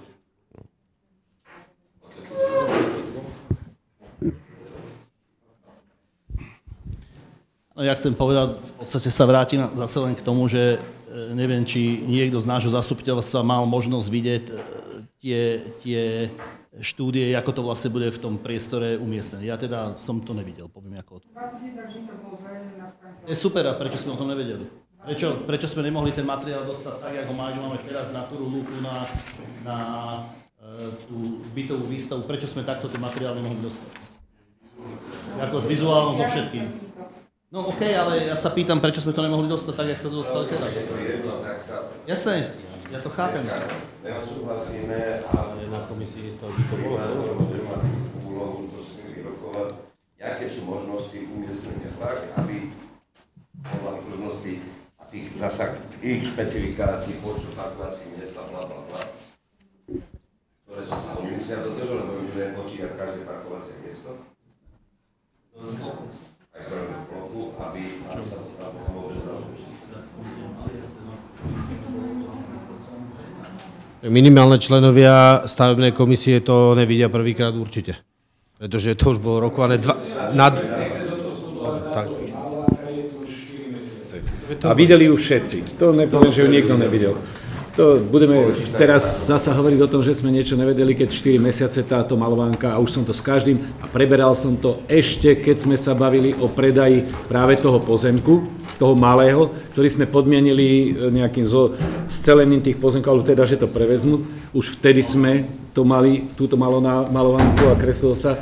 A ja poviem na rovinu ako primátor, teraz bez toho, že by som za niekoho loboval, neloboval, ja si myslím, že vtedy bola kvázi rozhodovanie, či ten Kaufland teda podporíme alebo nepodporíme. Keď sme odsúhlasili predaj toho pozemku, v podstate sme im otvorili, odviazali ruky, že oni to môžu postaviť. Teraz chcú kúpiť časť pozemku, ktorú majú spolu. Sme to podmienili. Podmienili. Ja som tu tak, takže... na zastupiteľstve, ja som tu, prepáč, no. ja som tu vtedy vystupoval asi ako jediný proti a ešte sme to podmienili nakoniec tým, že až budú mať všetko ostatné vysporiadané, potom im to predáme, preto išla zmluva o Tak, tak, tak. Takže keď oni, keď oni teraz majú, či chcú hen ten pás alebo nechcú, nemá to absolútne vplyv na ich zámer a oni, keď budú chcieť neposunú, keď budú chcieť posunú. Jednoducho dneska ich môže zastaviť len nejaké porušenie zákona alebo proti predpisom, nejaké normy, ale to už nie na zdravie. Není to, to neschvalujeme my, ale je to na okresnom úrade a na príslušných tých jednotlivých inštitúciách, ktoré ich v tom môžu určitým spôsobom zastaviť. Ja si myslím, že sú takí profesionáli, že oni v tomto smere, lebo tu padali, že není dodržaná vzdialenosť od tých obytných domov a podobné. Ja som videl iné Kauflandy, tie vzdialenosti, ja neviem odhadnúť ani neviem to, ale ako toto si myslím, že oni chybu nerobia. Čo je jedna vec, skúsme sa pozrieť na to aj pán Krč, ktorý tu vystúpil za občanov, povedal podľa mňa veľmi rozumnú vec, ktorú som ja trošku e, si teraz tu aj poznačil. Urobme to, schválme im ten pozemok a skúsme do zmluvy zapracovať žiad, e, posun. Že ich vlastne tým zaviažeme, že im to predáme a povieme, posuniete to o 6 metrov, o 5 metrov do toho priestoru a ten zelený pás, ktorý plánujete hore urobiť, urobte a priori zo spodu. Lebo takto my sme im v podstate už odsúhlasili ten ich projekt tým predajom toho pozemku. Teraz, im, teraz vystupovať proti ním, brániť, vytvárame si podľa mňa precedens, že do budúcna za Kauflandom, keď si to postavia podľa seba a bez našeho nejakého, že im budeme len robiť nejaké naproti teraz, tak nikdy už nemôžeme za tým Kauflandom ísť, že by sme ako mesto chceli s nimi spolupracovať, tak ako spolupracujeme s Teskom v potravinovej pomoci, možno nejakými sponzorskými na rôzne akcie. To je môj názor, že už nejakým spôsobom sme ich my pustili. Teraz je len otázka, do akej miery a poďme do tej zmluvy, OK, predáme vám to za týchto podmienok, ale posuniete to o 6 metrov. Napríklad. Lebo viac nevieme. To, čo Pavel povedal, že to otočia, neotočia. Oni už majú tak tie projekty v takom štádiu, že dneska nebudú žiadať o nič vyššie. Lubo, ale ja neviem, podľa mňa si asi nepochopil, čo by sme povedali, vedli komisia e, finančná toto navrhuje. Ale s tým, že kým to nebude s nimi vyrokované a nebudeme mať istotu, že tuto nejakým spôsobom príde, tak im to neschválime. Ale veď keď im to do tej zmluvy dáme a oni tú zmluvu podpíšu, tak sú povinní to akceptovať. Rozumieš? Čiže, ne, lebo poviem na rovinu, či to budeme naťahovať ešte ďalšie zastupiteľstvo, ďalšie zastupiteľstvo a ja, jednoducho ja si myslím, že nejaké rokovania a prísľuby alebo niečo, že to je vlastne v tej zmluve, neviem, Nemám skúsenosti úplne s týmto, ale môžeme takúto podmienku my do toho zapracovať?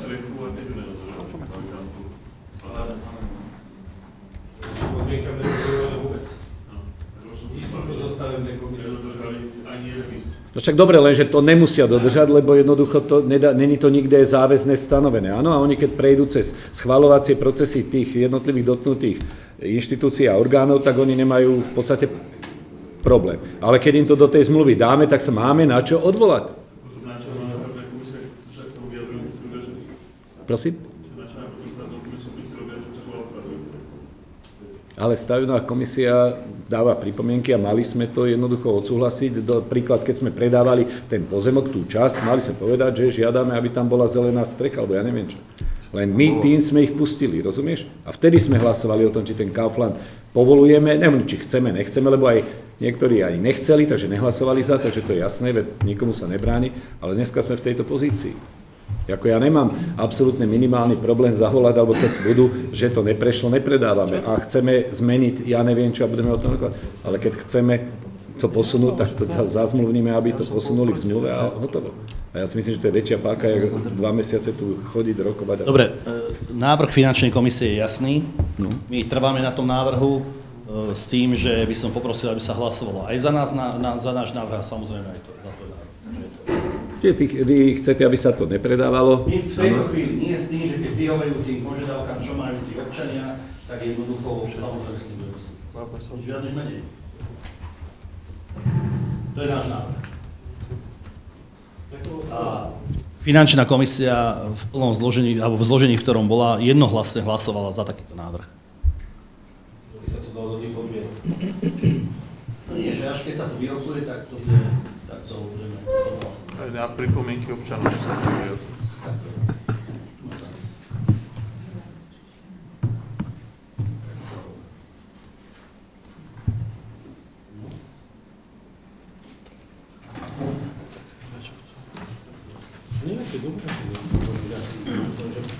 že sa to dá do podmienok. My sme navrhovali, že je ale je to návrh. Takže to obyšli. Oni sa ešte hlukové štúdie, prachové štúdie, to je na EU. Dobre, však ja som to na to, aby som predložil vaše návrhy, len jednu vec si treba uvedomiť, že keď im to náhodou nepredáme, oni sa rozhodnú postaviť to v takomto štádiu, takže si to postavia tak či tak. Takže...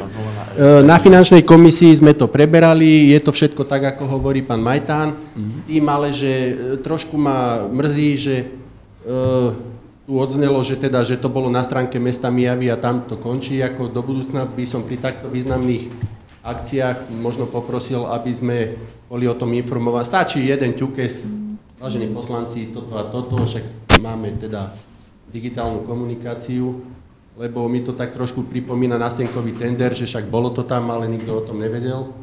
Ale... Na toto musím zareagovať bez toho, aby si to dopovedal. Nikto tu nerobí nástenkový tender, o tomto sme veľmi tvrdo a dlho diskutovali, dokonca som ja s každým jedným z vás sedel a vtedy sme sa bavili o tom projekte a boli tieto nákazy. To, že to bolo niekde zavesené, není ani povinnosť v meste, aby sme zverejnili, lebo je to zverejnené, takže každý, kto sa tým zaoberá, má pozrieť. Dokonca ešte Janka Caboková upozornila dva dní alebo tri dní predtým ich, alebo im dala informáciu, že to tam je. Takže to bolo ešte, by som povedal, nad rámec toho, keby sme, lebo keby sa to nebolo keby to nebola zverejnila, úplne lehota, je to bez pripomienok a ide sa ďalej. Takže ja by som skôr povedal, že chvála Bohu, že to Janka zachytila a tú informáciu dala, pretože není mesto povinné toto dávať. A o tomto ja osobne som to ani nesledoval, kedy to vyvesia na lebo pre mňa bolo rozhodujúce, keď sme odhlasovávali ten pozemok, ktorý sme im predali. Vtedy som zobral, že áno, schválili sme projekt Kaufland na Miavu s tým, že OK, oni majú ďalšiu, ďalšiu požiadavku a kedy je ich v tej požiadavke môžeme teraz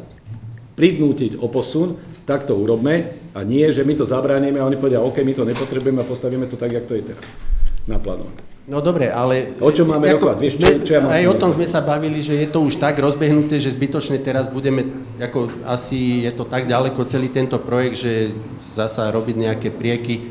Tu ide naozaj o to, že keď e, vystúpili tí obyvateľia tam s tými požiadavkami, tak sme chceli aspoň z toho minima vyťažiť to maximum, že, že teda im, nech im ten Kaufland vyhovie. No, a, Vieš, ja, veď ja, že... ja som záveď, no. ja ti teraz hovorím, využíme to. Ale využíme to tak, že chcú kúpiť, dobre, kúp, my vám to predáme, ale zaviažeme vás nejakou požiadavkou. Lebo takto budeme vyjednávať a čo vyjednáme? Dobre, my to posunieme a vy nám to predajte. Tak my to e, súhlas, odsúhlasme teraz. A keď to neurobia, neposunú, tak ten pozemok jednoducho nedostanú. Nebude to, bude to v podmienkach. Čiže oni budú tlačení do toho, aby to vyriešili. Nie, aby sme my s nimi rokovali. Rozumieš? Áno, Janka.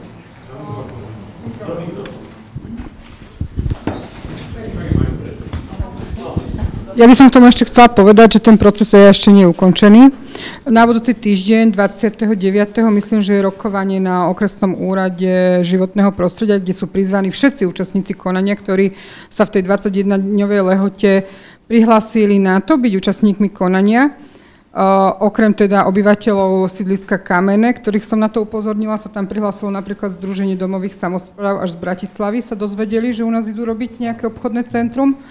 A potom sú tam aj, majú kopec požiadaviek, preto ešte som takto, ešte som pri procese EIA, nebolo takéto prerokovanie, pretože sú tam asi nejaké podstatné požiadavky, či už obyvateľov, alebo alebo aj toho združenia, s ktorými sa ten orgán musí nejakým spôsobom vysporiadať. A preto tam prizvali orgán aj územného plánovania, aj orgán ochrany prírody, aj teda všetkých zúčastnených, ktorí dúfam, že sa zúčastnia, tí, čo hlavne majú do toho čo povedať, takže ešte stále nie je ukončený proces EIA. Ukončený proces EIA bude až rozhodnutím, v tom rozhodnutí buď uh, im dajú robiť nejaké variantné riešenie, alebo im dajú ešte ďalej niečo posudzovať, alebo to odsúhlasia s nejakými podmienkami, ktoré oni budú musieť zapracovať do stavebného, alebo teda do, do projektu pre územné rozhodnutie. Takže stále ešte prebiehajú tieto procesy a stále ešte máme do toho čo povedať.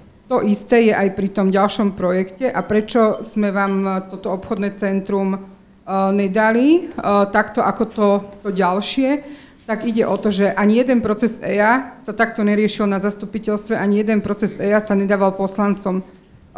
Ak si to vyžiadate, ja vám môžem každý jeden proces EIA posielať do, do schránok a môžete, môžete ho vidieť počas toho 21-dňového lehoty, ale ja som mala za to, že nakoľko je to na úradnej tabuli, ide to cez aplikáciu, ide to cez webovú stránku, ide to cez facebookovú stránku, každý jeden tam mal link na tie dokumenty a každý jeden ste to mali možnosť do toho nahliadnúť. A kto nevedel, tak tam bola vlastne napísaná uh, tá, tá poznámka, že, že projekt je nahliadnutiu na oddelení výstavby, kde by sme sa vedeli o tom pobaviť, ale nikto, nikto naozaj neprišiel.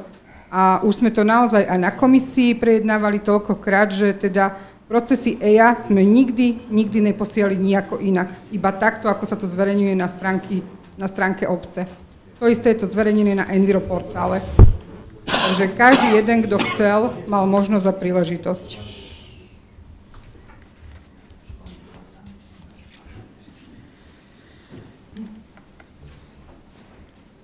Dobre. Ak nemá nikto nič ďalšie, tak dáme hlasovať keď uh, oni ten pozemok nutne potrebujú na to, aby mohli začať stavať. Však áno, potom pôjdeme. Čo sa stalo? Ešte raz potrebujú na to, aby začali stavať. Nie, ja som to, no. Nie. Ak by si teda si povedali, že OK, tak si robíte prieky, tak my ten pozemok nechceme, ale a môže to vyzerať v takovej podobe, ako to je tak, teraz? Tak, presne teraz si to povedal, že oni už podali nejaký návrh na, aj na EU, aj projektový zámer s tým, že majú to zatiaľ bez tých pozemkov, lebo ich nevlastnia, nemôžu to tam zapracovať. To je jedna vec. Čiže oni už, keby aj hento nekúpili, tak jednoducho môžu v podstate to postaviť v tomto, v tomto variante. Samozrejme, keď si prejdú cez všetky tie pripomienky, lebo tam ešte občania budú. A ja zase som presvedčený, že keď vidím Kaufland, kde všade postavil a ako postavil, že ten Kaufland to postaví. To je ako, som o tom presvedčený. A teraz práve... No, my to, toto je, to sa snažím ja vysvetliť. A bez toho, že by som tu za niekoho loboval, neloboval. Ale berem zasa z pohľadu iných súvislostí. Áno, my dneska ich zabrzdiť nemôžeme. Môže ich zabrzdiť nejaké niečo iné.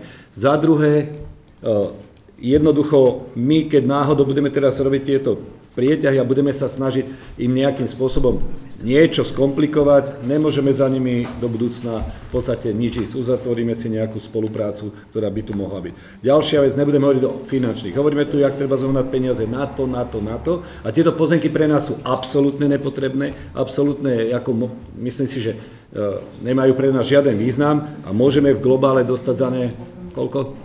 Dokopy 50 tisíc plus minus. Áno, to je jedna vec. Za druhé, vytvár, čím skôr sa to rozbehne, čím skôr sa to postaví, tým skôr bude po týchto debatách, po tejto eufórii a po tomto a do mestskej kasy bude plynúť okolo 35 až 40 tisíc eur v, daniach každoročné za nehnuteľnosti. Takže my sa nebavíme len o tom, či ho tu povolíme, nepovolíme. On už povolený je z našej strany. Je len otázka, či budeme im to komplikovať, nebudeme a do akej miery môžeme z toho niečo vyťažiť. To je môj ekonomický pohľad. Ja viem, že tí obyvateľia majú na to pripomienky, majú nejaké veci, ale sme v meste, kde sa stavajú aj iné veci. Áno, kde sa vždy niečo ovplyvní. Kedy si na vršku bol jeden činžiak a videl až na bradlo a videl na čachtice. Potom tam postavili ďalšie dokola a teraz vidí dvom susedom do okien. Takže ja viem, že je to obmedzenie určitých vecí, ale je to určitým spôsobom daň z toho, že žijeme v nejakej zastávanej oblasti a že to ide. A že tento vývoj jednoducho ide tými mestami a my sme posledné mesto, do ktorého to môže prísť, alebo že to chce ísť, tak ja neviem. No. Môj názor je, že ja by som skôr hlasoval o to, alebo by som navrhoval odpredať s podmienkou, aby sme ich teda OK, a chcete to, my vám to radi predáme, ale o tento pozemok vy posuniete zo spodu nahore. Rozumiete? Lebo ja s ním budem rokovať, že posunte to, a oni povedia, kam, nemáme pozemok, alebo nemáme kde. Určite nebudú z tých parkovíc a z tých ciest odoberať. A keď im povieme, OK, predáme vám tých, ja neviem, koľko je to široký pás, 6 metrov som povedal, aj keď som to len typol, a poviem, OK, ale o tento pás, čo vám predávame, to posuniete vyššie a ten zelený pás, čo hore plánujete, urobíte podný. Otočiť ten zelený pás. A to bude legitímna požiadavka, to, čo chcú aj obyvateľia. A za druhé, my ich to v tej kúpnej zmluve zaviažeme. Rozumieš, Milan?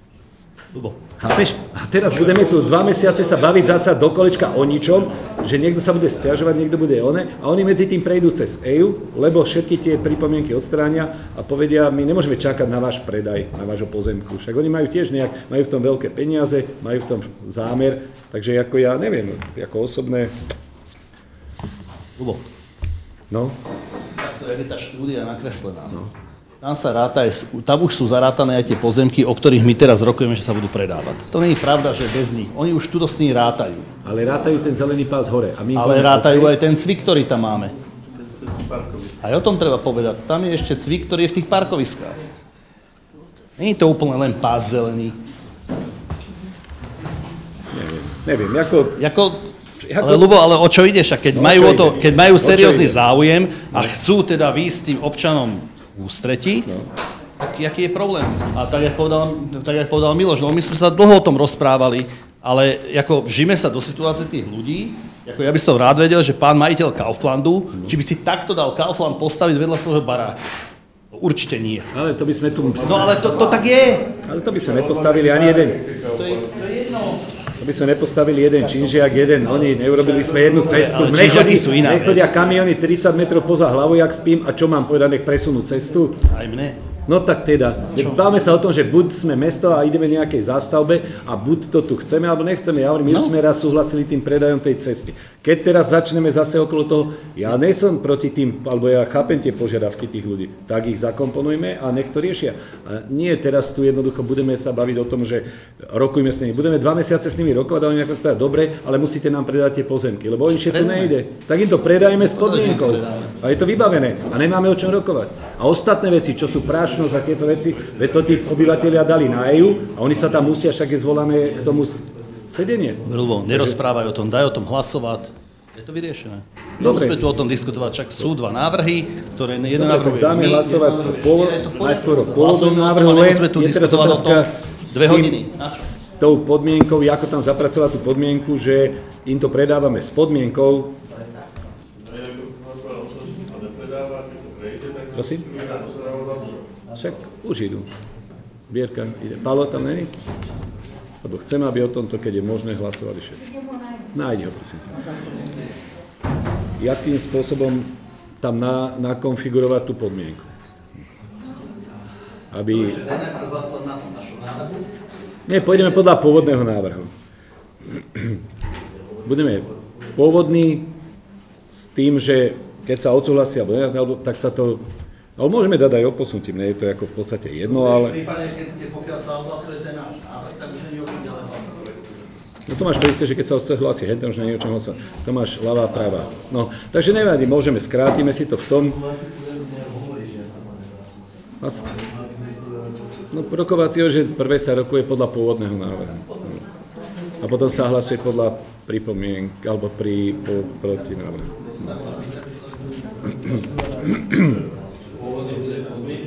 Ja by som ho dal s podmienkou. Lebo toto je... Nie? Nemôže? Môžem? Potom budeme sa hlasovať proti. proti Bude viacej. Môžem? Áno. E, Pán primátor, ale musíš priznať aj ty, že, teda, mu- že tu k nejakej komunikačnej, e, k ne- k nejakému komunikačnému skratu muselo prísť, pretože mohli sme sa tejto celej debate vyhnúť s tým, že keby sme teda o tomto všetkom vedeli, alebo že teda, áno, však sme akože, niečo sme o tom dis- diskutovali, ale teda nemuselo to zajsť až takto ďaleko, aby sme sa tu kvôli teda tomuto pásiku, ako hovoríme, tak dlho o tom bavili a debatovali. Ešte raz, to, že ten Kaufland tu bude, ako to, ako, netreba o tom polemizovať. Ale tak, no, buďme realisti. E, druhá vec, že teda, ak chceme, ja neviem, v konečnom dôsledku tam bude, áno, bodka. Teraz ide o to, že či tí majiteľia, alebo tí, tí ľudia, ktorí tam bývajú, teda z toho nejaký ten benefit vytlčú v úvodzovkách, že teda či to bude o 6 metrov ďalej, alebo nebude. Ak to teda by im neprekážalo, tak ako neviem. Ale veď... My sme na finančnej komisii sme to e, prejednávali tiež dosť dlho. Išlo o to, že teda, ak to už takto ďaleko došlo, že teda ten benefit pre tých obyvateľov tam z toho vytlc o tých 6 metrov to posunú. Ale Hovorím, nemuselo to takto ďaleko zajsť, aby sme sa tú hodinu o tom bavili. Poriadku, takže ale tak treba, vieš, podiskutovať. Teraz je komunikačná- otázka, že či zlyhalo komunikačne, alebo nezlyhalo. Priznám sa, v ča- v- v čase, kedy sme schválili tú cestu, v podstate sme im dali zelenú. Áno, povedzme si to nároviť.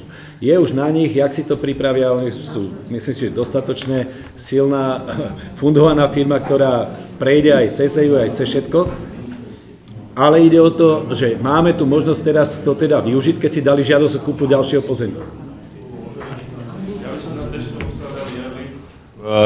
Ja to nevidím prvý rád, my sa o tom bavíme už dlhšiu dobu na komisii, ale tiež sme tam mali nejaké podmienky, treba si uvedomiť, že oni idú na úroveň toho obchvatu, takže tam bude 6-metrový múr plus 8-metrová ocelová stena. Takže... To už je zmenené. No to sme práve od nich žiadali a oni to zmenili. No, Napríklad urobili takže furt no. tam bude aj tak, či tak plechová stena, oni tam chcú mať billboardy a ďalšie veci. My sme sa pôvodne o tom bavili, že, to bude, že tam bude nejaká zelená stena, zelená strecha, aby to bolo odhlučenie a ďalšie veci. V podstate, čo teraz tady počúvame, uh, není z toho držané nič. Hej? Takže ja súhlasím uh, s pánovým Majtánovým návrhom, aby sme to v podstate ich niekde chytili, ja to poviem tak jednoducho za gule, aby sme ich mali stále nejakú páku na vyjednávanie. Takže určite. Ja iba poviem, že posudzovaní EIA není treba, aby mali vysporiadané tieto pozemky. Ne, není treba. Samozrejme, že čím dlhšie budeme čakať, tak tým dlhšie budeme čakať potom na tie peniaze, alebo, na tie peniaze, alebo to nekúpia ten pozemok. Ale No ale veď ja nejsom proti tomu, čo tu všetko hovoríte. Ja hovorím, predajme im to s podmienkou a budú sa musieť s tou podmienkou vysporiadať. Lebo keď to náhodou povedia, že, na, na, že nechcú to, že ich zbytočne do niečoho tlačíme, čo oni nemusia teoreticky, tak si to nekúpia. Keď povieme, dobre, kúpi, kúpte to, máme nejaké garantované peniaze, s tým, že ale musíte to urobiť. A to je to, čo, o čom tu chceme vyjednávať. Ale máme tam, to musíme v zmluve si podchytiť, veď na to sú zmluvy, aby sa dala podmienka a jednoducho, aby to bolo právne vymáhateľné. To už je vec právneho nejakého... Ako dobre, však, ako dobre. Je na vás, na poslancoch. Jar, pán, áno, Jari, no, len mikrofón minimálne. Bol som teraz v bode za obyvateľ Kamenného, aby som to trošku chcel ukázať na tom obrázku, čo som hovoril. Mo- Možno, že som hovoril rýchlo. Eh, aby- ste trošku pochopili, nejde, nejde tu žiadnu nejakú zásadnú eh, požiadavku, čo sa týka tých stavebných úprav. To, že ja som hovoril o tom, že eh, v prípade, že by sa odpredával ten zelený pás, ktorý má zhruba 6 metrov, No. či sa odpredá alebo neodpredá, tak e, e, ten Kaufland tu bude stáť. Ale v prípade, že by sme to teda odpredali, mestské zastupiteľstvo, že by schválilo odpredaj tohto pozemku, tak my sme tam pripomienkovali, alebo ja som umiedol vetu, že bolo by možno reálne, keď my im predávame, vy im predávate 6 metrov, že by to mohli o 2, o 3 metre posunúť smerom von od sídliska Kamennej, aby v týchto priestoroch tu na je teraz nakreslených 3 metre medzi chodníkom stávajúcim a rohom e, Kauflandu. No. Oni tam operujú s tým, že v tomto priestore bude zelená stena a vzra- vzrastlé stromy, ktoré oddelia tento Kaufland od sídliska. My preto navrhujeme ešte pridať k tomuto aspoň 2-3 metre, aby ten priestor tento sa zvýšil na nejakých 5-6 metrov, kde už vrastlé stromy môžu byť a tieto by dokázali vlastne esteticky odstrániť, oddeliť to sídlisko od, ka- od e, obchodnej zóny, takisto znižiť prašnosť a hlučnosť. To je všetko, čo sa týka tohoto. Nejde o žiadne otáčanie toho objektu, presúvanie, no, ide, hovoríme o 2-3 metroch, čo by nám vyriešilo možno tento problém aspoň, aby sa nie že nezhoršil, aby sa minimalizoval vplyv na život a komfort bývania obyvateľov sídliska Kamenné. Čo sa týka prašnosti a tej štúdie, ktorú sme požadovali, sami uvádzajú, sami uvádzajú, že v Namiave prevládajú severné a severozápadné vetry. To znamená, severný, severozápadný. Toto sú dva múry, ktoré majú 8 metrov výšku. Absolútny koridor, ktorý smeruje do centra sídliska Kamenné, do detského ihriska, ktoré je jedno z najkrajších na Miave. Ďaká obyvateľom Kamenného. Takže uvádzajú, bolo to tu spomenuté, že budú zelené steny. Áno, tá zelená stena je tu navrhnutá, tu na, môže byť, má byť zelená strecha, môže byť, na ktorej na obi dvoch má byť umiestnených 666 uh, foto, fotovoltaických jednotiek. Takže takisto tu nebude úplná pravda. Uvádzajú, že tento roh, od tohoto rohu je minimálne 50 metrov, na tom materiáli je nakreslených 23,7. V skutočnosti je to tak, premeral som to, takže e, nevadí.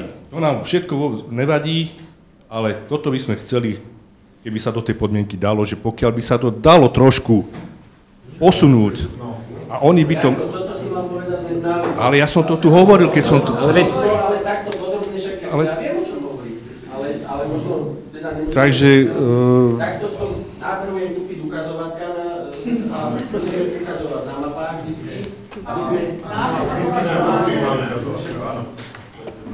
Toto malo ostať na úvod, ale musím o toto ide celé, aj finančnej aby sme vyhoveli tomu, čo teraz povedal pán Šedera. No, a veď o tom hovorím aj ja. Presne o tom hovorím aj ja. Pred, dajme, dajme zmluva o budúcej zmluve, alebo kúpnu zmluvu, neviem, s podmienkou, podmienkou posunutia o minimálne 4 metre, keď ja som povedal 6 metrov, aby to posunuli o celé. Nechcem tiež hádzať metre hore dole, pretože aj kvôli svahovitosti a všetkému, neviem. Ale keď im to dáme, tak sa s tým budú musieť oni vysporiadať a nie my teraz keď tu od, hlavne o to ide. A práve pove- v tom priestore bude viac priestoru aj na tú zelenú nejakú e, zeleň, ktorá tam bude, nie len na úrovni dvoch metrov alebo čo medzi chodníkom. Určite nemá len 3 metre. No veď preto hovorím, že... Čiže no, z toho dôvodu zasa len koruny strono, stromov budú zasahovať do chodníka. No, a Áno? preto to treba a, posunúť A preto to treba posunúť. Veď ja s tým súhlasím, to nie je, že by som nesúhlasil. Áno, pred- ja by som povedala predať s podmienkou. sa tu dohadovať a potom budeme sedieť zasa na zastupiteľstve. Tá, tá stena. No to. Ide to písať. Stíhaš?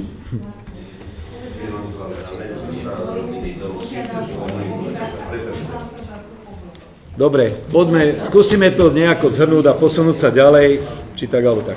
Ja dám návrh na hlasovanie v podstate o pôvodnom návrhu s tým, že sa tam doplní e, podmienka posunutia toho Kauflandu minimálne o 4 metre. Áno, ja by som dal o celý ten pás, ako s tým ja nemám problém. Ale keď teraz aj ste povedali, že tu tam máte premerané, prekrokované, všetko dáme minimálne a oni musia potom povedať, či áno alebo nie. Oni možno povedia, no my nič posúvať nebudeme, nechceme váš pozemok, postavíme si to tak, jak sme si to naplánovali. Ale povedia, super, idete nám v ústrety, ideme to my posunúť, lebo musíme. Áno? Takže ako, ja len hovorím, že nejakými vyrokovávačkami my nemôžeme s nimi rokovať o zelenej stene, o týchto veciach, alebo teda stene streche, lebo sme im to do podmienok my nedali. Takže neviem, ide o to, čo na EI obyvateľia, občania a tie pripomienky, e, či oni tam prejdú. Však Janka povedala, to není už uzavretý, tam sa bude rokovať o tom. Tam začnú až také rokovania, len aby sme si my nezavreli tým, že im teraz povieme nie a oni povedia, keď vy nie, tak my si ideme po svojom a budú tlačiť všetko hlavané. Dobre, takže dá, skúsime naformu, na, ako, naformovať to uznesenie, že pri tých, myslím si, že to sa týka všetkých, áno, Jani? A všade je návrh spôsobu a potom je odpredaj. Čiže ten spôsob si myslím, že není problém, keď od, ale ide o to, že aká forma bude toho odpredaj. Teda forma ten odpredaj bude potom dôležitý. Spôsob je, keď odsúhlasíme spôsob a neodsúhlasíme predaj, tak vlastne je to aj tak jedno. Dobre? Dá sa navrhnúť aj taká vec, že sa e, uznesenia schvália a samotné zmluvy budú podpísané, až keď dodržia podmienky. Že tam dáme, že tam dáme odkladný účinok. A to sú len dva pozemky? Hovoríme o troch. Dva sú podľa predkupné právo. Jedno je 6, 5. Toto je 1, 4, toto je 3, 4. Počkaj, dva sú s predkupným právom, nie? 6, 5. A 6, 6. 6, 6. Super. Vec sa ja neviem, na,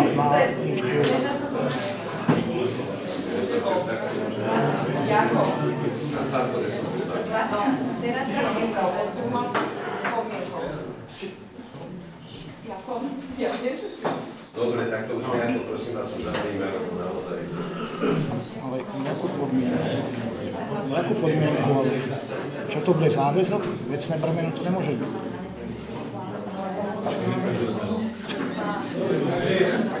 Ja, Daj zvlášť, si odsúhlasí s tou podmienkou. Ideme na 6, 5. Halo, môžem vás poprosiť, poďme teda ďalej.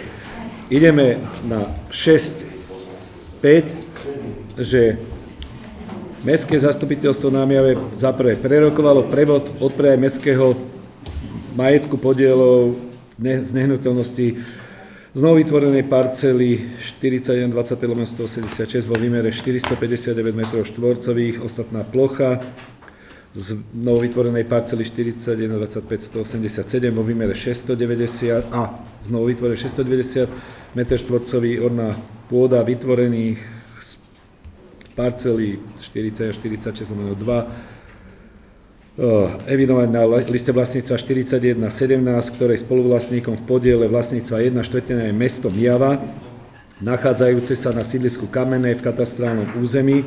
Novitvorné parcely sú vytvorené podľa geometrického plánu za cenu 14 362,50, to je 50 eur za meter štvorcový, za podiely s pozemkou.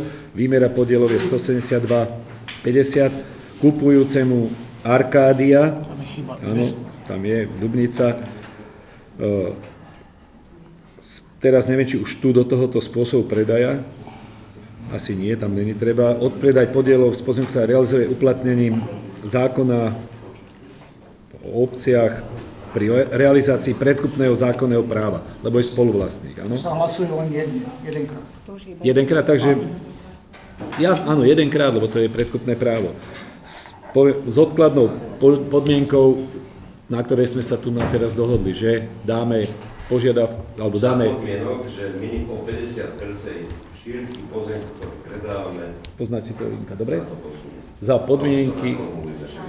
No však tak, aby sme, dobre? S tým, že musíme potom ten odkladný spôsob si tam... Za druhé schváluje toto, čo som v podstate teraz, čo som čítal a s tou podmienkou samozrejme, že to bude prevedené, až keď oni zakomponujú túto, túto našu požiadavku. Kto je za? No, ale tie ostatné, oni naj budú, my nemôžeme teraz prašnosť a tieto veci riešiť, lebo my sme ich nedali do podmienok predaja, do ničoho, čiže my nemôžeme od nich, my môžeme akurát napísať, alebo Janka, keď pôjde, že podporujeme občanov a jednoducho tam sú zákony. Oni keď preukážu, že netreba tam z oného túto e, štúdiu o prašnosti nebude prašnosť, tak ako my tam nemôžeme o prašnosti bojovať. My môžeme bojovať, aby tam dali tú zeleň, aby to posunuli a ako takto čiastočne tomu zamedziť tým nejakým ich prípadom, alebo teda, aby sa akceptovali veci, ktoré ich budú trápiť.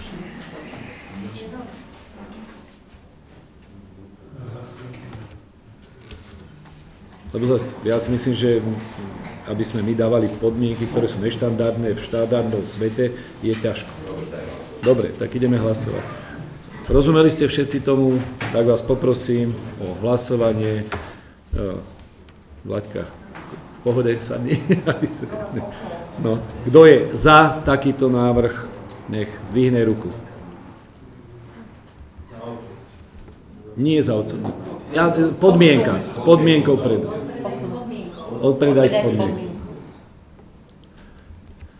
Dobre, ďakujem. Kto je proti? Dva. Zdržali sa? Traja. Ja potom máme s počtami? Teriska Tuto je nadpolovičná väčšina. Zdržala sa. Traja sa zdržali. Traja sa zdržali. Tomič, Milan Majtán a... Pán Omasta. A Stano Omasta. Dobre, a ostatní boli za. A ako to máme teda? Proti boli dvaja. Proti boli dvaja, zdržali sa 5, teda, traja. takže väčšina. Proti boli dvaja, e, zádražný a podmer. Určite, toto prešlo. Dobre. Takže 66, jasne, ty si tam odťukaj. 66 je v podstate To isté. čiže s tou istou podmienkou, takisto je to akurát, že my predávame 3 štvrtiny spoluvlastníctva, pod spolupodielníctva. Takže Mestské zastupiteľstvo námjave prerokovalo, za prvé prerokovalo prevod od predaja mestského majetku podielu z nehnuteľnosti z pozemku parcely číslo 4146 lomeno 3 vo výmere 478 m štvorcových, horná pôda evidovanej na LV 4775, ktorej spoluvlastníkom v podieli vlastníctva 3 štvrtiny je mesto Mijava, nachádzajúce sa na sídlisku Kamenné v meste Mijava. Cena podielu z pozemku je vo výške 17 925 eur, to je 50 eur za meter štvorcový. Výmera podielu je 358,5 m štvorcového. Kupujúcemu Arkádia e, Dubnica do jej vlastníctva podiele vlastníctva 3 štvrtiny s odkladnou podmienkou, ktorá bude presne taká ako predtým, že minimálne posun toho, tej budovy Kauflandu o 50% šírky. Tam ešte možno neviem, či je vhodné dať 50, lebo neviem presne, aké sú tam šírky a nikde teší. Bude minimálne 4 metre alebo tak, áno? Však budú tu overovatelia zápisnice, tí si to najskôr prečítajú a budú garantovať, že to je plus minus, jak sme sa, alebo že je to tak, jak sme sa dohodli, nie plus minus, áno? Máte, aj vám to môžeme poslať, aby, sme, aby niekto potom povedal. Dobre, teraz máme 6, 7, áno? 6, 7, 6, 8. 6, 7, 6, 8, to sú, to je o jednom pozemku, ale musíme dvakrát hlasovať, áno? Áno. To je o jednom pozemku. Trojpetinová väčšina. Počkaj, není, to je odbor. 6, 7, 6, 8. 6, 7 je najprv spôsob predaja, teda spôsob prevodu, teda odpredaj. A potom odpredaj máme kde? A potom je prevod odpredaj vo schválne trojpetinovou väčšinou. Takže spôsob pre- prevodu musí to byť trojpetinovou väčšinou. Dobre, takže Mestské zastupiteľstvo nám aj prerokovalo za prvé spôsob prevodu odpredaj mestského majetku nehnuteľnosti novovytvorenej parcely parcely číslo 4125 lomeno 189 vo výmere 34 m štvorcových vytvorenú z pozemku 4124 evidovanú na liste vlastníca 2179, ktorej vlastníkom v podelníctve vlastníctva 1 ako 1 je mesto Mijava, nachádzajúce sa na sídlisku Kamenom. Novetvená parcela je vytvorená geometrickým plánom číslo za cenu 1700 eur za, e, za 34 m štvorcových, ktorá vychádza zo všeobecnej hodnoty majetku mesta kupujúcemu Arkádia do vlastníctva v podiele 1, 1 ku 1 s odkladnou podmienkou ako u tých predchádzajúcich, čiže 55. Odpredaj pozemku sa realizuje s uplatnením zákona číslo 138 lomeno 91 zbierky z dôvodu hodného osobitného zretela zodpovedajúci nasledovným skutočnostiam. Pozemok na jeho využitie je v súlade s územným plánom mesta. Pozemok s ohľadom na svoju polohu a využitie je účelné, aby ho nadobudol žiadateľ o jeho kúpu. Pozemok pre vlastníka mesto Miavo je prebytočný, ďalšiemu jeho využitiu v koncepcii rozvoja mesta nevyžuje si jeho využitím. Odpredaj pozemku je v súlade s, s VZN o zásadách hospodárenia s majetkom mesta Mijava. Kúpna cena je stanovená 50 eur za meter štvorcový, to je 1700 eur za 34 m štvorcových, ktorá prevyšuje cenu určenú náleckým posudkom, ktorý je 40 eur za meter štvorcový. S tým, že tu nám musíme dať, že tá budova bude posunutá o 3, o 4 metre, lebo tento pozemok ťažko o 50% šírky tohto pozemku. A za druhé schváluje spôsob predvodu tohoto, tohoto pozemku. Tak, ako to bolo. Kto je za? Ďakujem. Kto je proti? Nikto. Zdržali sa? Raz, dva, tri, štyri, päť. Päť, piati. A nemáme ten odpredaj, lebo ten mi tu chýba teraz. Neprešlo. Ktorý? Ten odpredaj. ako... Myslím si, že to neprešlo. Ale neviem, kto sa zdržal. Zdržal sa 5. Pán Omasta, pán Tomič, pán Maritán. Áno. A Miloš Zábradlík. A Miloš ty, že? Takže 5. A Zábradlík. Počkaj. Podmajerský? Aha, Podmajerský, tak dobre. Jak to bude? Podľa mňa táto trepetina neprešla. A budú zo všetky, a keď štyria tu neboli, tak podľa mňa je problém. Toto, toto sa tam stalo. Teraz to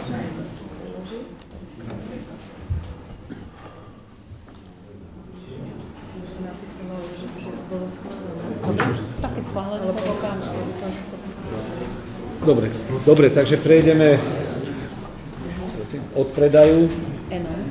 No, to isté by sme mali, áno? Áno. Len je to... Enom. To je 6, 9, 6, 10.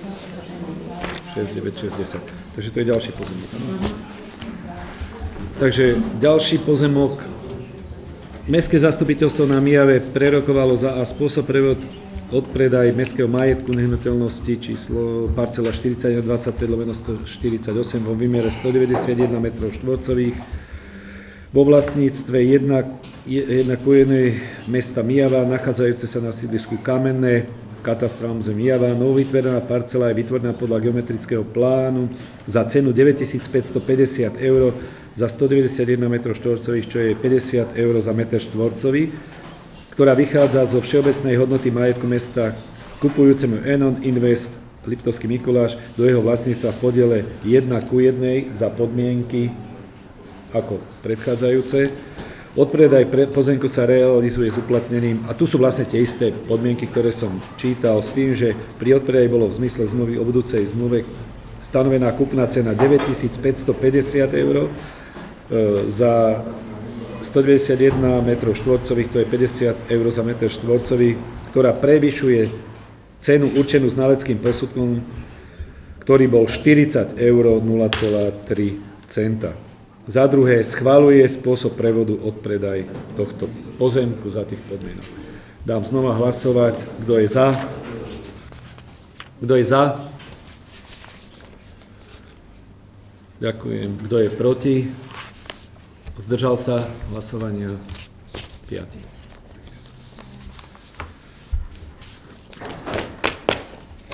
Takže ak nás neklame tu na náš internetový pomocník, tak by to malo byť schválené s tým, že ešte určite tú, tú formuláciu toho odlo, odkladajúceho nejaké podmienky vám presné.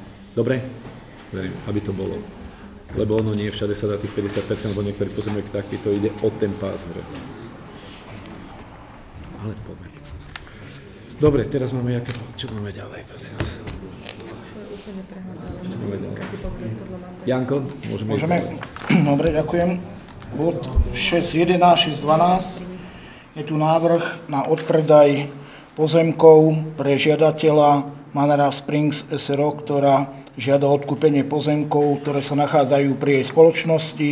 Ide o pozemky na Nadražnej ulici medzi chodníkom a e, nehnuteľnosťami budovou. To je tá časť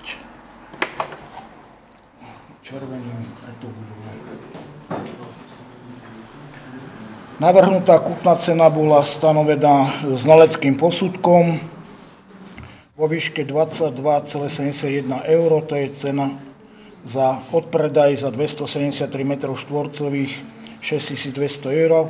Ide o, ide o, o novovytvorené pozemky parcela číslo 1759 lomeno 4 o výmere 205 m štvorcových a novovytvorenej parcelky 1759 eh, lomeno 5 o výmere 68 m štvorcových. Ulica Nádražná podľa geometrického plánu. Zase ide o eh, odpredaj z dôvodu hodného osobitného zreteľa. Tie podmienky sú tu nadané. Takže zase je potrebné hlasovať o spôsobu prevodu a zase odpredaj musí byť schválený trojpetinovou väčšinou všetkých poslancov. To znamená, 11 poslancov musí byť za.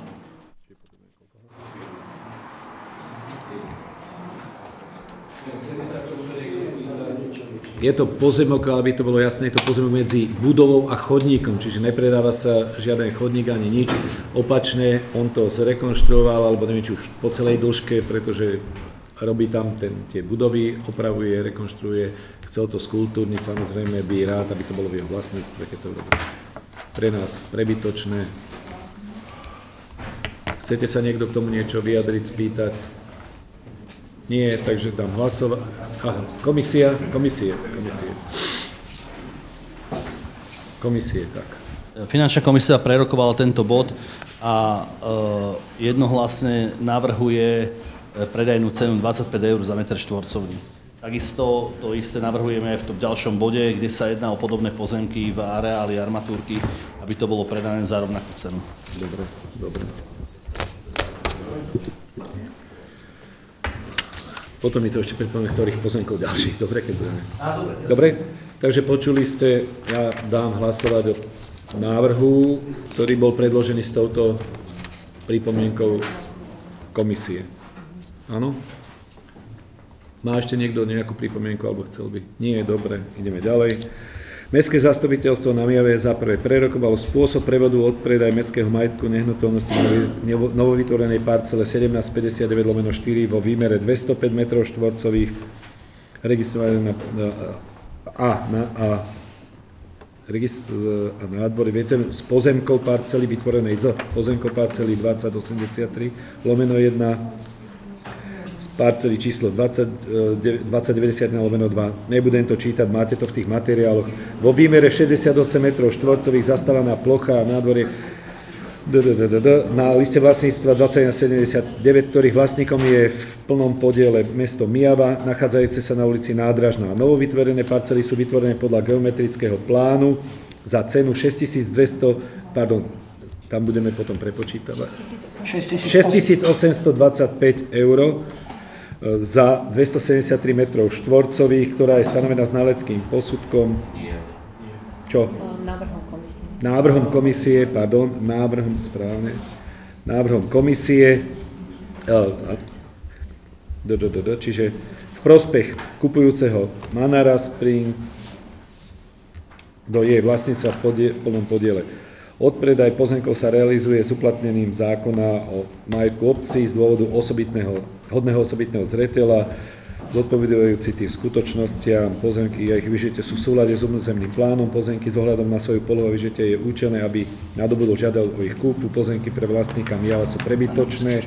Odpredaj pozemkov je v súlade s VZN o zásadách hospodárenia. Pri odpredaji, je stanovená kúpna cena 6825 eur za 273 m štvorcových, čo je 25 eur za meter štvorcový. Za druhé schváluje spôsob predaja a odpredaj tak, ako to bolo uvedené. Kto je za?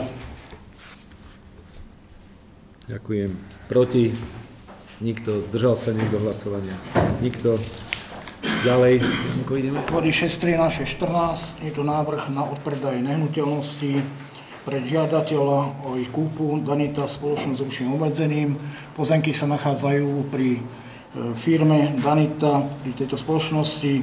Je to v areáli bývalej, bývalého areálu Slovenskej armatúrky Mijava. E, firma Danita tieto pozemky využíva na parkoň, tak ako vidíte, a na dočasné uskladňovanie E, materiálu, ktorý firma využíva.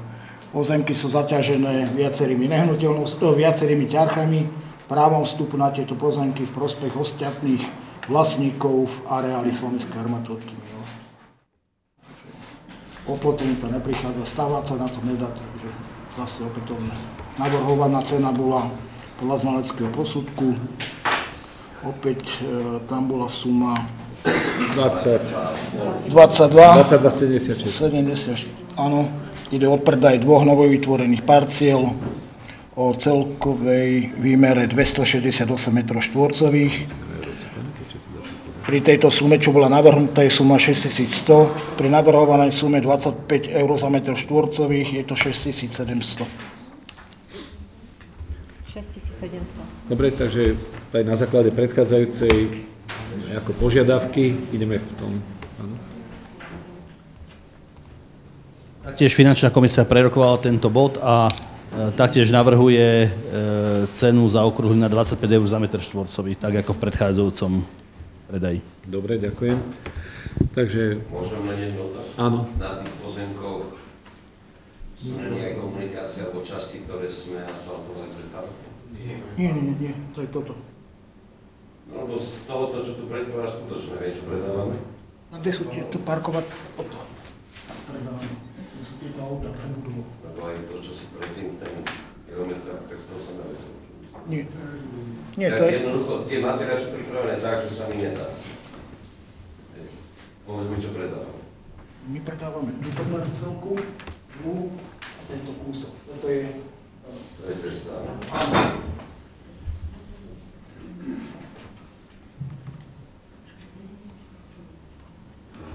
Dobre, môžeme dať hlasovať? Takže Mestské zastupiteľstvo námiave za prvé prerokovalo spôsob predaju, odpredaj mestského majetku, nehnuteľnosti novovytvorenej parcely 1759 lomeno 4 a parcely 2083 lomeno 1 vo výmere 68 m štvorcových, ktoré sú, v pode, sú vo vlastníctve plnom vlastníctve, v plnom podiele mesta Mijava, nachádzajúci sa na ulici Nádražná v meste Mijava. Novytvorené parcely sú vytvorené podľa geometrického plánu za cenu 6700 eur za 268 m štvorcových, ktorá je, je na základe návrhu, na, na, na základe návrhu finančnej komisie do vlastníctva spoločnosti kupujúcej Danita SRO Niava podiel 1 ku 1. Odpredaj pozemkov sa realizuje takisto z dôvodu hodného osobitného zreteľa ako predtým s tým, že je upravená cena na 6725 eur za meter štvorcový. A za druhé schváluje spôsob prevodu odpredaj, ako je to, ako to bolo uvedené. Kto je za? Ďakujem. Proti?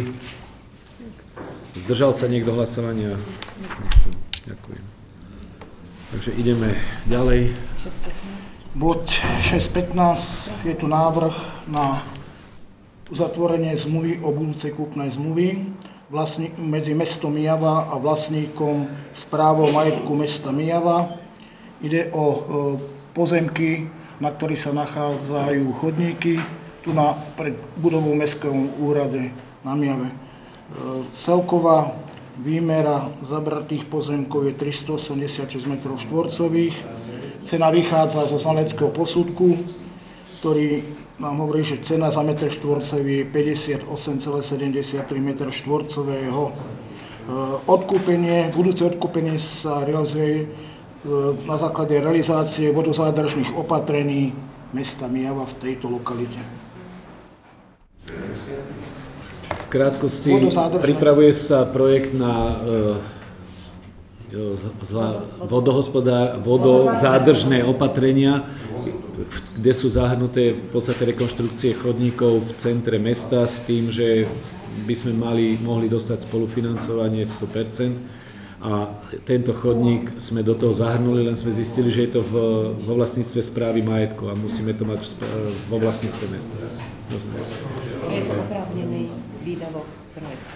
A tento predaj je okrem iného aj oprávnený výdavok projektu. Áno, takže iba škoda, že není 100 eur za meter štvorcov. Musíme ísť podľa znaleckého, to je škoda. No nemôžeš, vieš, musíš ten prevediť podľa Finančná komisia prerokovala a doporučuje zastupiteľstvo schváliť tento bod. Dobre. Takže Mestské zastupiteľstvo na Miave za prvé prerokovalo budúcu kúpu zmluvu o budúcej kúpnej zmluve k nehnuteľnosti pozemkov novytvorených parcela číslo 2044 lomeno 10 vo výmere 198 m2 a parcely 2044 lomeno 11 o výmere 53 m2 a parcely 2044 lomeno 12 o výmere 135 m2 vo vlastníctve 100% podiel správa majetku mesta Mijava e, v prospech, alebo teda pre budúceho kupujúceho mesto Mijava. Predmetné pozemky sa nachádzajú na námestí Milára Steslava Štefánika, v meste Miela pod chodníkmi spolu o výmere 386 m štvorcových. Cena za odkupované pozemky je určená znaleckým posudkom vo výške 22 670 eur, to je 58,73 eur za meter štvorcový. Zmluva o budúcej zmluve sa uzatvára medzi mestom Mijava a správou majetku mesto Mijava na dobu určitú, to je do doby ukončenia realizácie vodozádržných opatrení mesta najneskôr, do, však do 31.12.2030. Za druhé, schváluje túto budúcu zmluvu, alebo túto zmluvu o budúcej kupnej zmluve, tak ako bola prečítaná. A ako máte materiál. Kto je za? Ďakujem. Proti? Nikto. Zdržal sa niekto? Nikto. Môžeme ďalej. Bod číslo 616 je to návrh na uzatvorenie zmluvy o budúcom mestnom bremene katastrom území Túra Lúka medzi mestom Mijava a západoslovenskou distribučnou, ktorá realizuje svoj zámer e, prechádza na nové distribučné elektrické podzemné vedenie časti Ujunasov, Štverna, nebudem citovať všetky tie parcelky, ktoré sú tu na, Zmluva sa uzatvára na dobu, alebo sa navrhuje uzatvoriť do 31.12.2030. Jednorázová od, odmena za zriadenie vecného bremena bude stanovená znaleckým posudkom.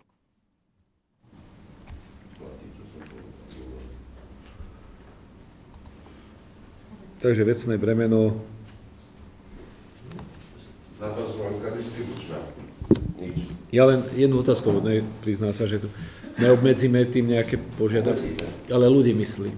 Obmedzíte čerpanie fondov a využívate peniaze, čiže budú nútení jednoducho, jednoducho sa bavíte aj o tom, čo by sme aj my potrebovali, lebo nás obmedzujú neustále.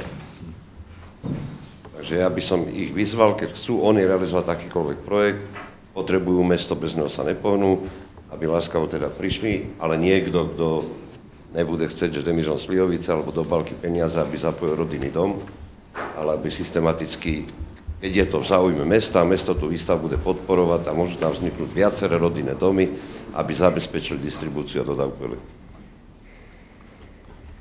Takto by som ich oficiálne oslovil s tým, že Mestské zastupiteľstvo sa zaoberalo, neschvaluje nič do doby, lež sa toto nevyrieši to, že ty slúbia potom, ja ich poznám. Potom neviem. Mám povedať, že toto riešia investičáci, ja to riešia obchodníci, toto riešia.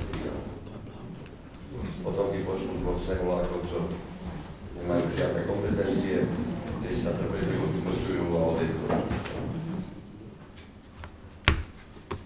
Dobre, toto je vec, ktorá sa tu už dlhodobo v podstate hľadá riešenie, ako tieto spoločnosti Vždy to fungovalo len tak, keď sme, jak to povedal pán poslanec Podmerský, chytili do tazaku. Ide o to, že sme boli hotoví aby sme potom my na výstavbe alebo kde, alebo s majetkom vypracovali tie, tie veci, ktoré musí, alebo chceme od nich, aby doriešili, aby sme potom im predložili, že áno, toto schválime vtedy, keď toto bude nejakým spôsobom. Stačí, ty bola pripravená IBV. Poštáky na to ruke rozšírené, kde môžu vznikať ďalšie pozemky, okamžite ich zastaviť. Bavili sme sa o viacerých IBVčkách, Janka Cabuková a naša výstavba, ty bude vedieť povedať. Čiže preto hovorím, že my si musíme E, sa doteraz pripraviť si tieto body. vyriešená Slobodárka a tie záujmy, ktoré boli tam. No. Dobre, takže dostali ste informáciu, Informáciu. No, je aj pre mňa zásadná, lebo priznám sa, neviem, aké páky na tieto spoločnosti môžu byť. Tu sme sa bavili aj o rozkopávkach, aj o všetkom, o pôvodnom stave a podobné veci. Takže komisia. E, Komisia, sa, komisia finančná sa zaoberala týmto bodom, ale vzhľadom na tieto vzniknuté nové informácie od e, pána exprimátora, tak e, myslím, že jednohlasne súhlasíme s takouto alternatívou, to znamená, aby, aby sme tento bod a nie len tento, ale tam tých bodov je viac. Čo, čo sa týka z, z, z, distribúcie, Dobre, a aby teraz boli... ako, nebudeme o tom hlasovať, alebo to zamietneme? Čo? Áno? Dobre, dobre. Nie, môžeme to posunúť, že toto vám od- odsúhlasíme, až keď toto, toto všetko spadne. Nehlasoval by som na tom mieste to riešil tak, lebo už prijaté uznesenie, ktoré zákon nie je dobré, tak, že zastupiteľ odmietlo vôbec o tomto hlasovať z dôvodu, že sú takéto otvorené otázky a riešiť. Dobre, tak som to myslel, že jednoducho bude uznesenie, že mestské zastupiteľ, teraz ho ešte len tak, že kde sme, je to nejaké uznesenie? Kam? Kde máme uznesenie? To sa potom týka aj bodu 6.17 a 6.18. Ja, to je celé uznesenie. Áno, že uznesenie by malo byť, že mestské zastupiteľstvo na Mijave za prvé prerokovalo tie uzatvorenie zriadenia budúceho vecného bremena, tak ako to tu je, áno.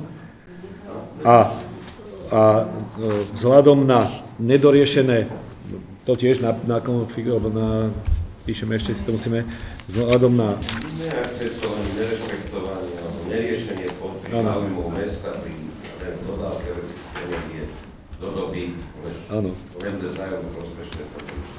nebude sa to riešiť. Ako sa, nebude o tom hlasovať. Sa, sa rozhodol stia, ako, e, stiahnuť tento bod. Áno, to musíme stiahnuť, nemôžeme hlasovať, nehlasovať za proti. Áno? Alebo my nemôžeme, nemôžeme také, takto zastupiteľstvo, nie, my Ten môžeme iba, my môžeme iba uznesenie Mestské zastupiteľstvo Mijava prerokovalo a e, bod zmluvy o zriadení budúceho vecného bremena a na, na, z dôvodu nedoriešených e, viacerých, to si už dáme, e, stiahuje toto z hlasovania alebo z prerokovania. Hotovo. Takže stiahlo, vieš, odmietlo, to je ako stiahuje. Odsúhlasilo stiahnutie z, ako z pre, prerokovávania.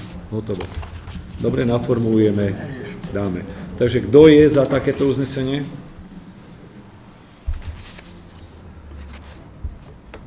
Ďakujem. Je proti niekto? Zdržal sa niekto? Nezdržal? Ďalej? Všetko. To je všetko? Fú, nebudem musieť teraz na týmto všetkým sedieť a... Čo? Nevadí. Návod je upravené. No. Jak- Budú musieť všetko nahodiť znova. Tam je to úplne mimo, oprehadzované. Ako podľa mňa úplne nám rozhádzali majetkové.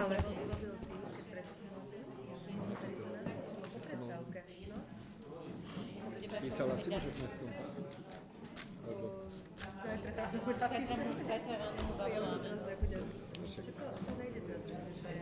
Dobre, takže prejdeme návrh zločine právnych subjektov sme zrušili. Bod rôzne. Bod rôzne. Prečo máme záver pred rôznym? To tak, to tak blbo nám tam neviem. To je úplne... Dobre, úplne jedno. takže prejdeme k bodu 19, rôzne. Informatívna správa o projektoch. Informatívna správa o projektoch Lenka pod.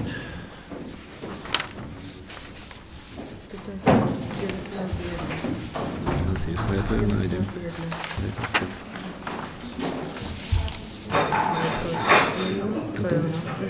A čo tu mám teraz to? Takže dovolujem si vám predložiť v rámci tohto podbodu krátku informatívnu správu o súčasnom stave implementovaných a pripravovaných projektov v rámci oddelenia rozvoja, spolufinancovaných respektíve financovaných z externých finančných zdrojov, ako sú fondy Európskej únie, národné dotačné schémy a nadačné schémy. Projekty vlastne v tomto prípade sa jedná o žiadosti o nenávratný finančný príspevok, žiadosti o dotácie a príspevky. Z pracovného hľadiska my rozdielujeme tie projekty vlastne na dve také hlavné skupiny. Jednak sú to fondové projekty, ktoré sú v trvaní niekoľko rokov od prípravy až po 5-ročný monitoring po ukončení e, projektov z hľadiska finančného ukončenia. A potom sú to projekty, ktoré trvajú jeden, maximálne 2 roky, to sú z ostatných grantov a tie končia vlastne vyúčtovaním a zaslaním záverečnej správy. V rámci, túto správu som koncipovala do takej tabulkovej formy. Je tam vlastne 6 takých základných skupín projektov. K tomu len stručne, pri každom projekte máte vlastne zobrazené alebo teda uvádzané informácie, čo sa týka poskytovateľa, buď zazmluvnenej sumy alebo podľa posledného dodatku zazmluvnenej sumy a takisto žiadaného príspevku Zároveň tam teda nájdete aj informáciu stručnú o aktuálnom stave projektu a takisto nejaký krátky popis. Prvá skupina projektov vlastne sú to monitorované projekty, ktoré máme z realizácie v roku 2017 až 2019, ktoré v súčasnosti sú ukončované, v najbližších dvoch rokoch budú vlastne končiť ich monitoringy. Potom sú to druhá skupina, sú to projekty, ktoré boli ukončené fyzicky v roku 2023, ale približne 8 eh, teda tých projektov, myslím si, že 8 ich je, ktoré boli a ešte aj sú momentálne teda finančné a administratívne ukončované Ďalšie dva projekty z nich, e, teda z týchto najvýznamnejších to boli prestupné bývanie, komunitné centrum v meste Miava, ktoré boli vlastne dobiehali mzdové výdavky na asistentov bývania, potom e, kultúrny dom, vybavenie technika, revitalizácia sídliska pri štadióne a ďalej sú to dva projekty z management údajov, malé zlepšenia ego služieb a potom vlastne sú to projekty cez Kopaničiarský región, miestnu akčnú skupinu, ako je rekonštrukcia ihriska MŠSNP, nákup elektrobicyklov a cyklostojanov a prístrežkov. Tieto všetky projekty vlastne nám vstupujú postupne do 5-ročného monitorovaného obdobia, kde takisto ešte vlastne trvajú tie zmluvné vzťahy, kedy môžu prísť kontroly a musia sa dodržiavať aj tie e, naplánované ukazovatele. Dva projekty, ktoré boli taktiež eurofondové, ale už nie sú monitorované, boli, súviseli s pomocou v rámci konfliktu na Ukrajine a boli to vlastne projekt na riešenie migračných víziev, ktorý bol vlastne jednorázovým paušálom a takisto národný projekt, do ktorého sme sa zapojili, a, a pomoc osobám z Ukrajiny, v rámci ktorého sme získali teda nejaké finančné prostriedky na mzdové výdavky. Potom ešte teda spomínané boli tu také tri menšie projekty, na ktorých sa spolupracovalo aj s ostatnými organizáciami, a ktoré vlastne prispeli k rozvoju mesta. Boli to v rámci nejakých dotačných schém. Ďalšou skupinou sú projekty, ktoré sú v súčasnosti realizované. Momentálne sme teda v tzv. ešte medziobdobí eurofondovom, takže tieto projekty sa týkajú, sú nestavebného charakteru a týkajú sa nejakého vybavenia pomôckami zo Znezabudka Zuška Miava.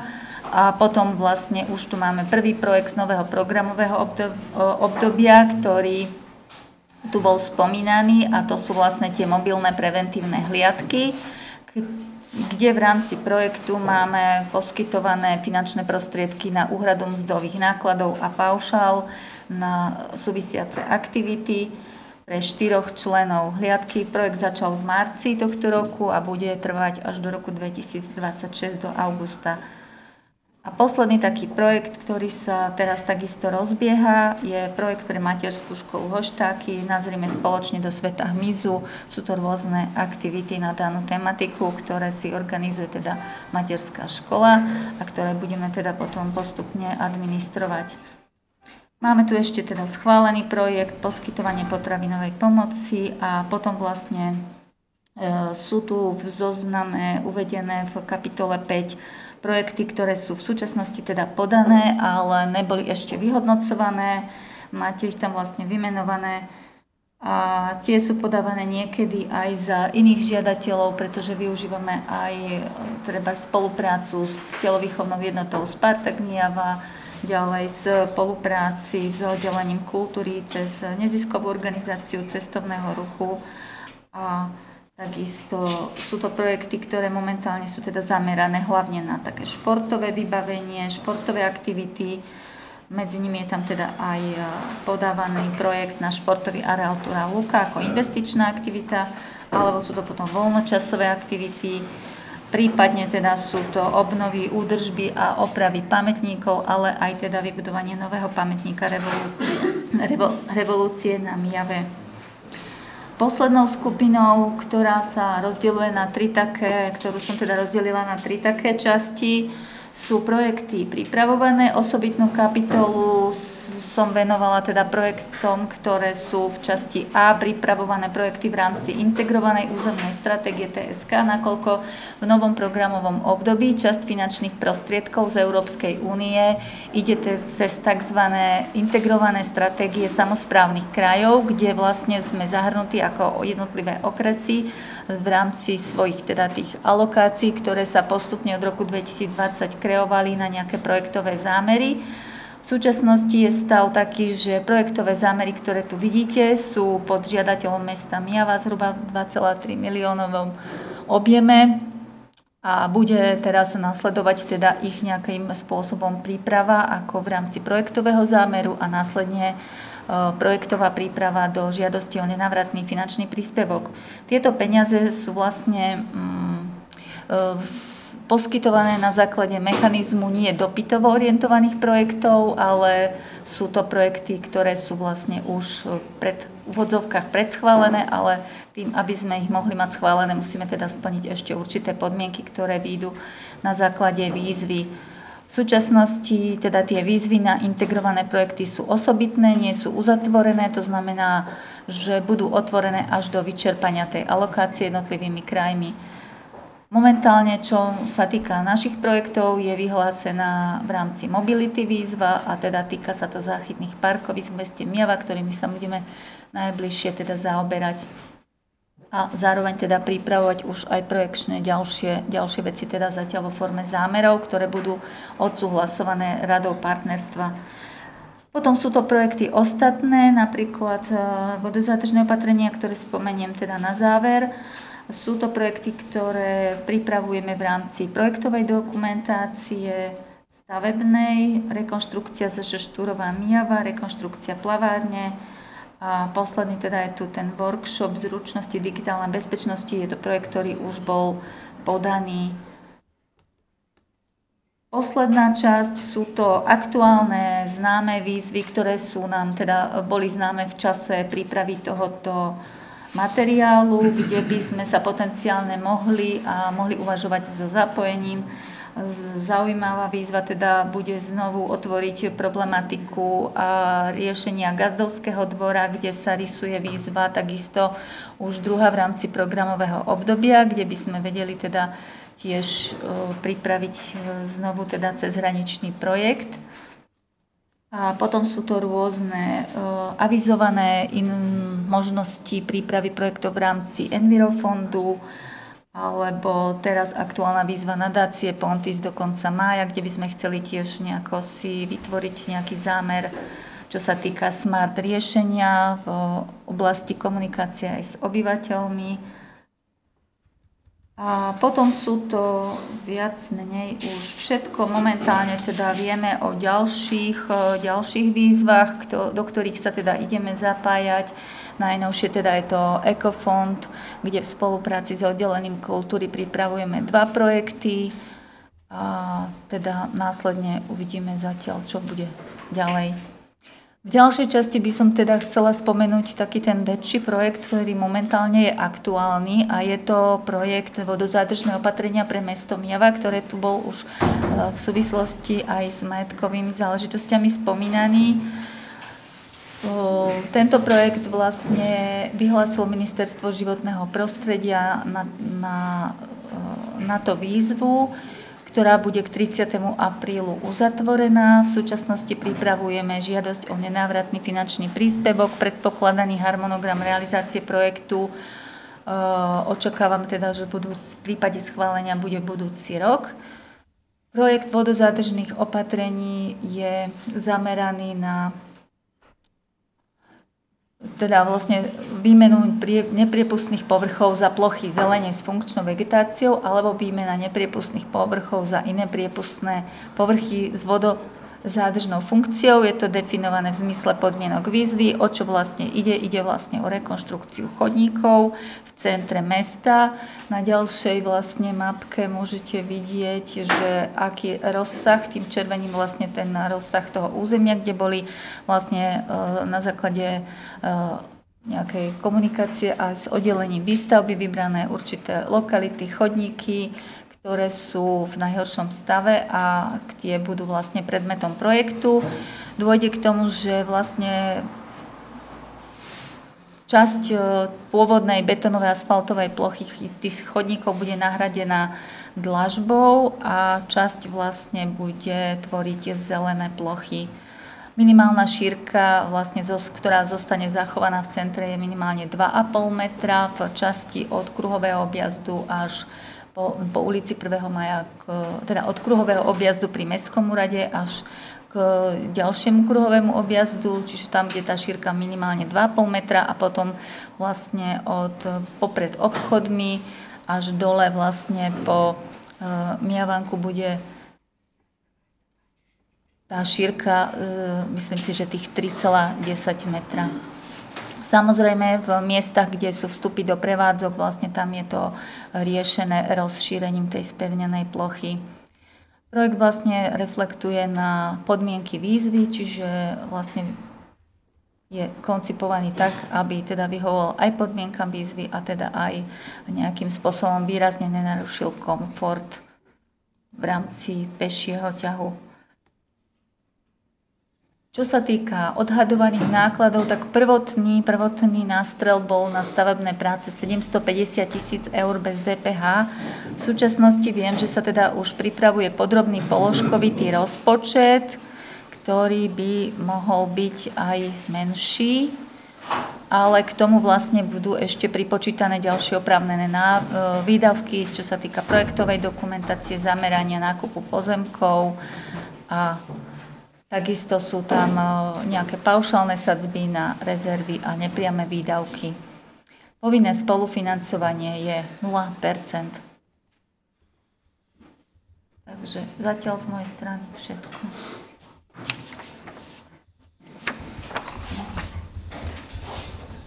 Dobre, ďakujem. Lenka. Pán Marko. To len nezachytil, ale nevidel som tam nikde ten bývalý projekt pre multifunkčné ihrisko Tura Lúka. To tam bolo len nejak nazvané, alebo nebolo vôbec? Aký? Aký projekt? Uh, multifunkčné ihrisko na Ture Lúka. Je tam. Areál Miava, je tam. Areál Miava, šport, uh, Miava Tura Lúka. Ja som sa Športový areál Miava Tura Lúka. 176 tisíc alebo koľko je tam. Je, je tam. Je. Je, však treba si to ešte preštudovať, lebo toto je viac menej informácia, čo sa tu robí, čo sa chystá a skutočne teraz taká naj, naj aktívnejšia činnosť sa vyvíja v súvislosti s týmito vodozádržnými opatreniami, pretože povedzme na rovinu je to síce vodozádržné opatrenia, princípom je vymieňať nepriepustné povrchy za priepustné, je tam stanovený nejaký pomer, nejaké parametre, všetko. Je to skutočne ideálna šanca vysporiadať sa s týmito chodníkmi, na ktoré ťažko budú iné výzvy vyhlasované z mestského rozpočtu. Takže bude to, my to podáme do toho 34. dúfam, že to všetko dáme. Či už ja áno. A kto ešte nie? Aj výstavba áno. Ešte budeme potom čakať na nejaké potvrdenie, ale no. byť. Robí sa na tom aktívne. Určite, určite. Ja osobne sa budem modliť, aby to prešlo, pretože to bude dosť, dosť významná vec pre mesto v tomto smere. Aj keď už sme narazili na nejaké pripomienky a, ja by som povedal, nesúhlas s niektorými časťami, lebo niekde príde e, k zmene šírky chodníkov, áno, s tým, že ako, bola, ako Lenka spomenula, pri vstupoch do tých jednotlivých prevádzok sa bude zohľadnovať, takže sa tam budú robiť rozšírenia, tak aby to aj zapadalo, ostatné sa bude nahádzať trávou, zámková dlažba a podobné veci, takže ja si myslím, že to bude perfektné. Problém je, niektorí hovoria, že je to centrum mesta, tam sa majú šírka tých chodníkov zachovať a podobné, ale už je dávno doba tých, toho pohybu ľudí v meste, kedy boli jediné obchody, tie, ktoré sú tam, Takže ja si myslím, že to je absolútne v poriadku. E, prečo sme to nedali urobiť nejakej odbornej, nejakej tejto, bolo to pre krátko, z času sa nedalo a ja si myslím, že to, čo je pripravené, bude absolútne vyhovujúce a aj správne, aj dobré. Nehovorím, že sa to nebude dať lepšie spraviť, lebo nedalo, ale ja si myslím, že to bude dobré. Dobre, ak máte ešte nejaké pripomienky celkovo k tým, myslím si, že je tam vidieť, že roboty je dosť aj v realizácii, aj v príprave, aj v nejakých predpokladoch, alebo teda v nejakých víziách. Jasné, že do toho vstupujú ešte ďalšie nejaké výzvy, kde sa občas na niečo zaprvé niekedy aj natrafíme, lebo v tej splety tých víziev zo všetkých strán je to aj o náhode, niekedy zasa niekedy nás niekto na to upozorní, niekto sa nám ponúkne a my už len vyhodnocujeme, že čo skutočne je pre nás momentálne priorita, na druhej strane aj z hľadiska spolufinancovania, takže aby sme sa nezahltili nejakými projektami, ktoré nás potom otiahnú od toho takého by si si takýchto väčších projektov. Dobre, má niekto otázku tomu? Ak nie, tak si myslím, že toto berieme len na vedomie. Áno. Ďakujem, Lenka. Takže Mestské zastupiteľstvo na Mijave za prvé prerokovalo informatívnu správu o projektoch, za druhé, berie na vedomie túto informatívnu správu o projektoch, prílohy, všetko máte. Kto je za? Ďakujem. Zdržal sa, e, bol proti niekto? Nikto. Zdržal sa niekto hlasovania? Ďakujem. Ja by som poprosil teraz pani Filanovú k bodu schválenie vstupu mesta Mijava do OCR Záhorie a Kopanece krátkosti. V podstate myslím, že už sme to aj preberali. Takže ja by som teda nadviazala na minulé zastupiteľstvo, kde pán eh, výkonný riaditeľ eh, oblastnej organizácie z testovného ruchu, pán Lidaj, poskytol teda obširné informácie ohľadom tejto OOCR-ky. Takže v podstate, ja iba v skrátke teda pripomeniem, oblastná organizácia cestovného ruchu Záhoria a Kopanice je právnická osoba založená podľa zákona číslo 91 lomeno 2010 zbierky zákonov o podpore cestovného ruchu v znení neskorších predpisov. Cieľom je podpora a propagácia cestovného ruchu a vytváranie podmienok rozvoja cestovného ruchu na území zakladateľov a členov. Hlavným zámerom organizácie je vytvoriť do Záhoria a Kopaníc významnú navštevovanú turistickú destináciu. Vstupom do tejto oblastnej organizácie je mesto povinné uhrádzať každoročne poplatok vo výške 50 centov na obyvateľa, čo predstavuje čiastku do 6 tisíc eur. Schválením vstupu mesta Mijava do OCR bude ďalej zrealizovaná aj úprava rozpočtu. Orgánmi organizácie sú teda valné zhromaždenie, predstavenstvo, dozorná rada a výkonný riaditeľ, stanovách OOCR, ktoré ste teda mali možnosť vidieť Digispráve, záhory a kopanice sú ďalej upravené predmet činnosti, pôsobnosť organizácie a členstvo v nej, práva a povinnosti jej členov, spôsob stanovenia výšky členského príspevku, majetok a hospodárenie organizácie, zrušenie a zánik. Takže zdrojom teda financovania organizácie sú najmä členské príspevky, dotácie zo štátneho rozpočtu, dary a dobrovoľné príspevky samozprávy, fyzických a právnických osôb, dotácie, granty, nenávratné finančné príspevky, vrátanie príspevkov z prostriedkov Európskej únie, príjmy z činnosti z predaja produktov a služieb, odmeny za sprostredkovanie, výnosy z turisticko-informačných kancelárií, príjmy z predaja reklamnej plochy. Takže to je len také v skratke také zhrnutie ohľadom tejto oblastnej organizácie. Chce sa niekto k tomuto niečo spýtať? V podstate boli, už sme to tu určitým spôsobom preberali, na základe toho sme podali takú neformálnu žiadosť o prijatie a o zmenu názvu, lebo to bolo pôvodne OOCR Záhorie, tak oni vyšli v ústrety v týchto veciach, v podstate aj formálne nás už prijali, my to len musíme teraz tu na ratifikovať. Jedná sa o to, že je to, teraz neviem odhadnúť úplne dopady toho, ale je to určitým spôsobom poloprofesionálna organizácia, ktorá nám môže pomôcť v určitom propagácii a zvýšení záujmu prepojením jednotlivých atrakcií a historických rôznych miest v rámci Záhoria a Kopaníc. Chce sa niekto k tomu niečo spýtať? Ja sa iba spýtam, za mesto Mijava tam bude v orgánoch niekto? V momente, kedy oficiálne budeme, ratifikujeme, tak budeme rokovať o budúcom našom vstupe do tých jednotlivých orgánov. Koľko členov tam treba za mesto?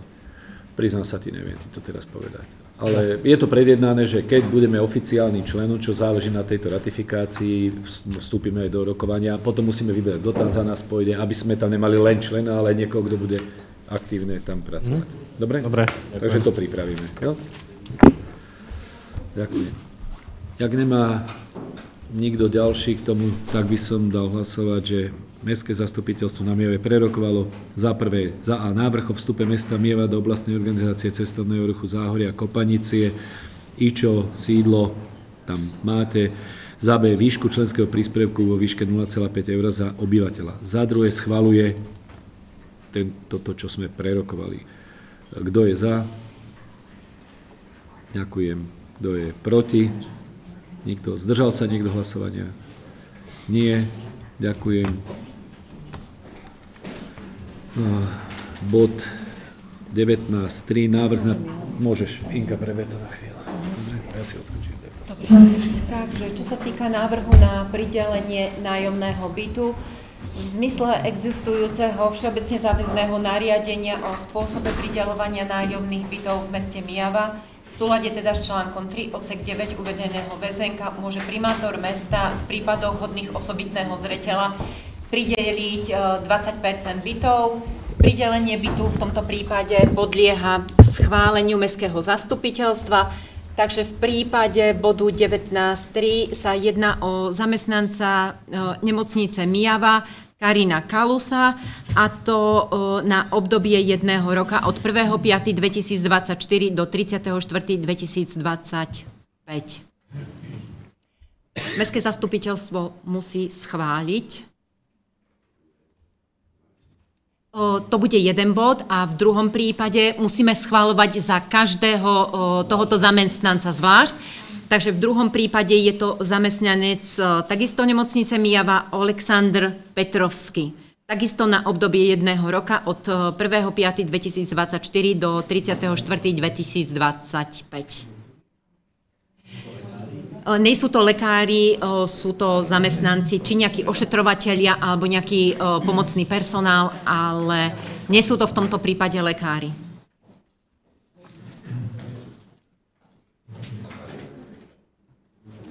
Ale mali aj doteraz pri, pridelené teda byty, takže ide o opakovaný nájom v obidvoch prípadoch. Ja neviem, môžeme dať hlasovať? Áno, môže. Takže poprosíme vás o hlasovanie v prvom prípade, takže za Karina Kalusa. Karinu. Alebo Karinu, i ja neviem, bolo to tak napísané, takže moje sklonovanie je trošku divné, ale nevadí. Takže Karina, Karinu Kalusa. Takže kto je za? Niekto sa zdržal proti? Dobre, takže schválili sme. V druhom prípade Aleksandr Petrovský. Kto je za? Zdržal sa niekto? Proti? Dobre, takže schválili sme aj druhý. Uh, druhý teda prenájom uh, bytu. Takže čo sa týka potom ďalšieho bodu 19.5. Čakaj, 19.5 Spartak AS, 19.6. Delegovanie zástupcov mesta do Mestskej školskej rady. Mesto Mijava kedysi malo zriadenú Mestskú školskú radu. V zmysle platnej legislatívy, teda zákona 596 o štátnej správe, školstve a školskej samozpráve, by, ak má mesto najmenej tri školské obvody alebo je zriadených najmenej 10 škôl, tak mesto Mijava by malo mať, alebo teda obec alebo mesto by malo mať v tomto prípade zriadenú mestskú školskú radu. V podstate, keď sme v roku 2022 delegovali zástupcov mesta do Račkôl, v, ne, v tomto období sme pozabudli trošku, trošku na delegovanie zástupcov mesta do tejto rady. Mestská, alebo obecná školská rada má mať 11 členov. Za mesto by mali byť delegovaní dvaja zástupcovia. Navrhujeme v tomto prípade delegovať magistru Lenku Pípovú a magistru Vladimíru Klandúchovú. Ona existuje tá rada? Uh, vieš čo, vtedy sa neprevolovalo, takže či v podstate neboli ani uh, obnovené delegovanie, či už s predsedou ráčkôl, takže v podstate spravíme iba predelegovanie a pripraví sa nový štatút a vlastne Mestská školská rada bude, bude fungovať. I keď je to trošku akože zdvojené fungovanie, ale legislatíva nám ukladá povinnosť mať Mestskú školskú radu, takže zriadíme ju, alebo lepšie povedané, obnovíme a dodelegujeme a bude teda Mestská školská rada fungovať. Nie. Nie, nie, to je nezávislé, úplne nezávislé, v podstate nejaký porad, ani nie, že poradný orgán. Aby bola. Len aby bola. Oni súhlasia? O, nie, no, čo mi... Áno, oni daj, áno, áno. Ono to zákon je zákon. Takže aj táto škola bude Takže môže teda si hlasovať. Prečo to zober to hlasovanie? Dobre. Aha. Takže prednesieme teda návrh uznesenia. Mestské zastupiteľstvo prerokovalo návrh na delegovanie zástupcov mesta do Mestskej školskej rady, a to magistru Lenku Pípovu a magistru Vladimíru Klanduchovu a po druhé schvaluje o, túto toto delegovanie. Kto je za? Zdržal sa? Dve. Je niekto proti? Takže všetko.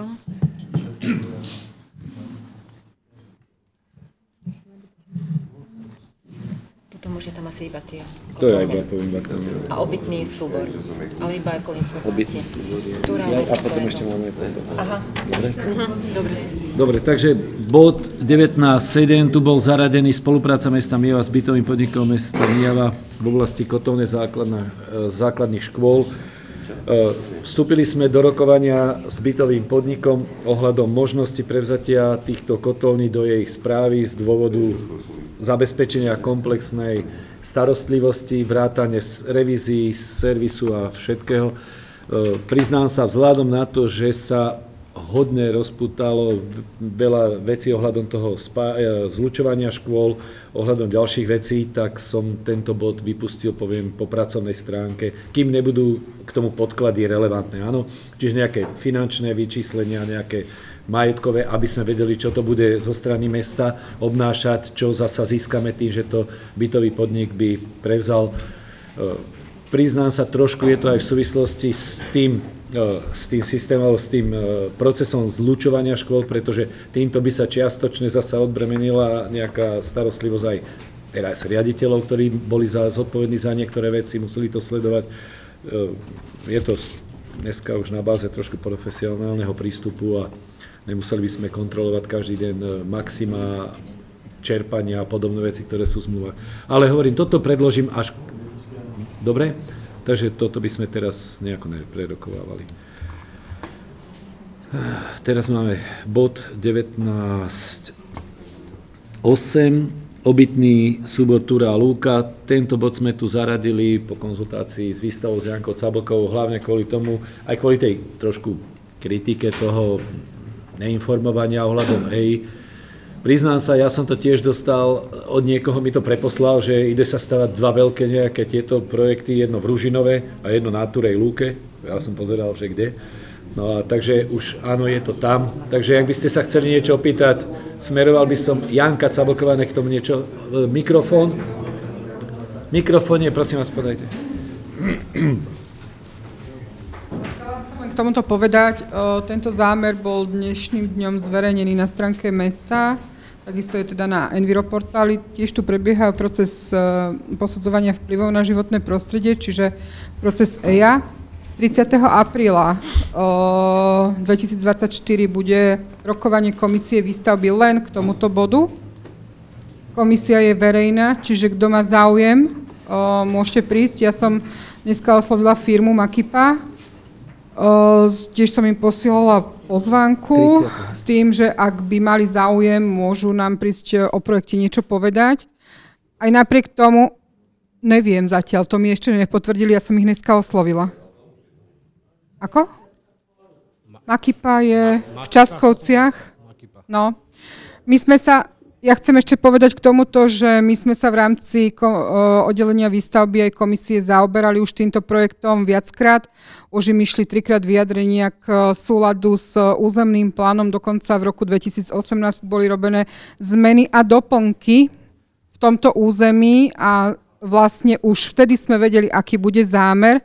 Takže, takže týmto zámerom toto nie je nová vec. O, Týmto zámerom sa mesto Mijava zaoberalo už viackrát, aj zastupiteľstvo, aj teda komisia výstavby, aj oddelenie výstavby.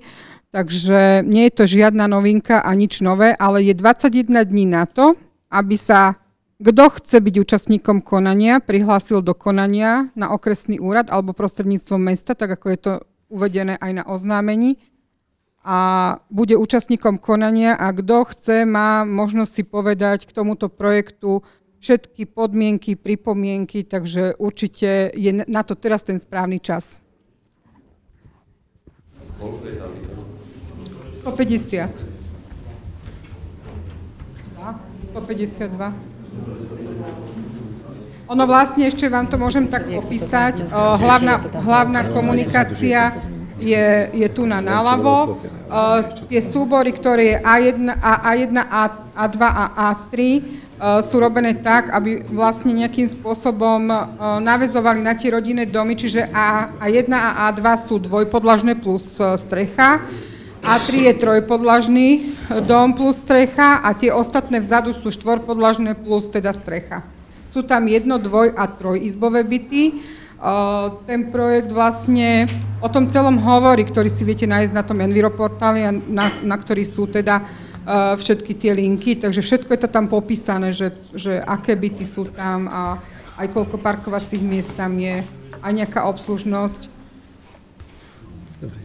OK, ja nemám žiadne výhrady, ja som Mhm. rád, bod, aby sa tam niečo robilo. Hej. Otázku len mám jednu, keď si pamätáš, keďže sme rokovali niekoľkokrát s tým predchádzajúcim investorom v podstate, ktorý skúpil tie pozemky a vyčistil to územie a prišli vtedy s takými prvými štúdiami a návrhmi, tak my sme s nimi vtedy rozprávali o tom, že jednou z našich podmienok bude to, že kanalizačná sieť, ktorá sa tam bude budovať, bude dimenzovaná tak, aby sa mohlo pokračovať v tých zámeroch mesta, kde sú štúdie na výstavbu IBVčky. IBVčky, Áno. potom smerom ku kopánke Mijavskej, lebo tam by sa to kedysi malo zrásť. Áno. Oni vtedy povedali, že nemajú s tým problém. Tam bola aj tá trafostanica. My sme im vtedy aj hovorili, že v prípade, že by to bolo, budem si vymýšľať, že teraz tam má byť 30, ale je tam treba 60, že mesto určite by hľadalo spôsoby, ak finančné sa k tomu prihlási, lebo inak by sme to územie za tým potom vlastne zlikvidovali a zabili. A druhá vec bola e, elektrická energia, ktorá sa mala z tej trafačky, ktorá je vyvolaná investícia robiť, mala by už byť tiež robená tak, aby bolo možné na toto územie sa potom ďalej pokračovať a napájať. Komunikácii, to sme všetko s nimi. Áno. OK, tak som Áno, spokojný. hej. Dobre. Teraz najväčším hráčom tu bude BVS. Dobre, ďakujem. No oni v tej bvs tam majú aj uvedené, že momentálne nemajú súhlas tej bvs na napojenie, ale že vlastne s projektom by mali oni kvázi finišovať až e, po tom, keď bude zrekonštruovaná ČOVčka, lebo tam sa pripravuje aj zámer ČOVčky, rekonštrukcie. A čiže tam oni to majú nejakým spôsobom asi predjednané. A je to tam v tom projekte spomenuté toto. Tak chvála Bohu. pri tom. Dobre. Chce sa niekto? Iba, ja som chcel iba doplniť, však už to povedala Janka, že 34. bude tá komisia. mimoriadná komisia, takže kto má záujem sa môže zúčastniť, je to verejné. O tretej. Pod majom. Dobre. Ja mám ešte jeden bod, ktorý není uvedený, lebo vznikol dodatočne. E, Vzhľadom na to, že museli, museli sme vy, e, musíme, museli sme e, vyhlásiť výberové konanie na post riaditeľa ZOS Nezábudka, vzhľadom na to, že pani Šimoniová ako skončila s pracovnom pomere a do určitej doby je potrebné vyhlásiť výberové konanie. Tak sa vyhlásilo, ale máme tu dve, dve také záležitosti, ktoré to trošku, nie že komplikujú, ale musíme ich vyriešiť. Je, že z osobných dôvodov sa vzdali funkcie vo výberovej komisii, e, ktorá je schválená predchádzajúcimi, predchádzajúcim zastup, alebo uznesením. Sa vzdal z osobných dôvodov pán Karika a pani e, doktorka Hanna Feriancová. E, Iba pre pripomenutie, súčasní členovia sú predseda, magister Karika, členovia magister Marko, doktor Filan, inžinier Majtán, doktorka Feriancová, zapisovateľ Ingrid Váňová. Takže potrebujeme vymeniť dvoch členov tejto výberovej komisie. E, Na základe nejakých stretnutí alebo toho navrhujeme, aby sa miesto pána Kariku stá, bol členom inžinier Rastisl, e, Rasto Eliáš, áno, ktorého zároveň by som v podstate navrhol aj na predsedu tej komisie, aby to zobral komplet potom Karikovi. A s tým, že miesto pani, pani Hani Feriancovej bude pani doktorka PHDR, ešte neviem čo, Martina Mutalová. To, je, to by som chcel poprosiť, lebo to je návrh zo sociálneho oddelenia. To sme chceli niekoho zo...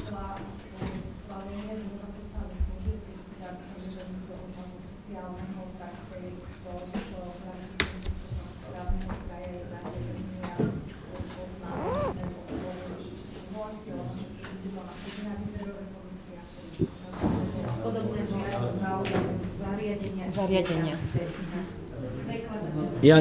Keby si to ale zopakovala do mikrofónu, lebo možno aj niekto z ľudí potom nevedia, koho, že kto to je. O, to je riaditeľka zariadenia sociálnych služieb v rámci Trenčaského samozprávneho kraja a v podstate o, som, ja som sa jej pýtala, že či súhlasí s týmto a ona povedala, že súhlasí, že ona chodí na takéto výberové komisie. Je Mijavka? Nie, není, ale na Mijave nemáme inú, iného, Je to odborná pracovnička v tomto sektore, aby tam takže bol za o to, sociálne aby... niekto. Ja navrhujem pána primátora, mi- by- by- ex-primátora, ex-primátora. Namiesto tej páne, lebo to neviem, kto je. Tak ale tam by mal byť niekto zo sociálneho, kto bude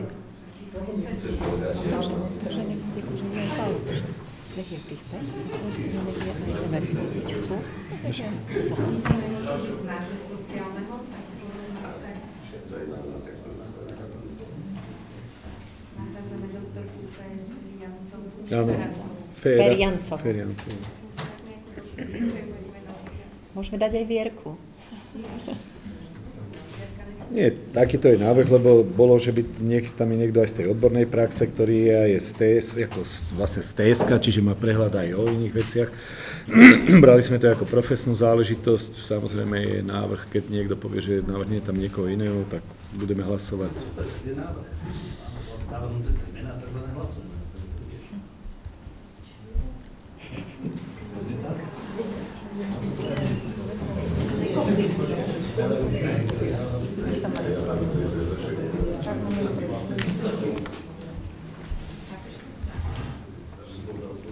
Neviem, ja som to nepočul, takže neviem, čo Ja si povedal zle. Že, že máme troch kandidátov, no tak za nich teda koho zvolíme. no. Dvoch musíme obsadiť. Dvoch musíme doplniť.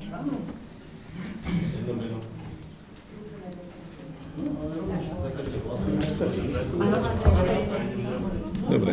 Takže daj menovite. Dám menovite po jednom, nebudeme dávať na dvoch, ja si potom musieť dvakrát. Dobre, takže prvé hlasovanie. Mestské zastupiteľstvo na Mijave schvaluje zmenu e, člena zloženia komisie, výberovej komisie na post riaditeľka ZOS Nezábudka prerokovalo z- e, zmenu člena pána Lubomíra Kár za Lubomír, alebo nie, to nemusím, to dáme len na vedomie, že odstúpil? O, áno, vzdali sa. Takto, aby sú tak. Vzdali sa dvaja členovia, takže na jedno uvoľnené miesto navrhujeme e, na post Predsedu. predsedu a zároveň aj na post predsedu e, inžiniera Rastia Eliáša. Za druhé schvalujeme tento návrh a túto nomináciu. Kto je za? Ďakujem. Zdržal sa niekto hlasovania? Rastio, to je jasné. Proti? Nemáš proti kandidáta. Dobro, za druhé, v podstate Mestské zastupiteľstvo schváluje nového člena výberovej, výber, e, výberovej komisie pre posriaditeľa zo Nezábudka. Pôjdeme tak, ako sme to navrali postupne, aby sme to dodržali. Pani doktorku Matul, Matal, Mutalovú a za druhé schvaluje, kto je za.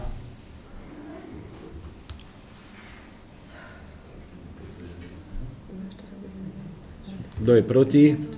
Počkaj, jeden, dva. Zapíš si proti. Raz, dva, tri, štyri, päť. Zdržal sa hlasovania niekto? Jeden. Jeden.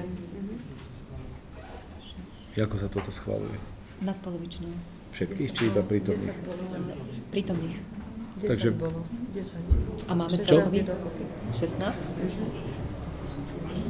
Áno, 10 za. áno. Však musíme to spočítať, Mhm. lebo raz sa trojpetinou všetkých, potom prítomných, potom polovičná, tak sme sa...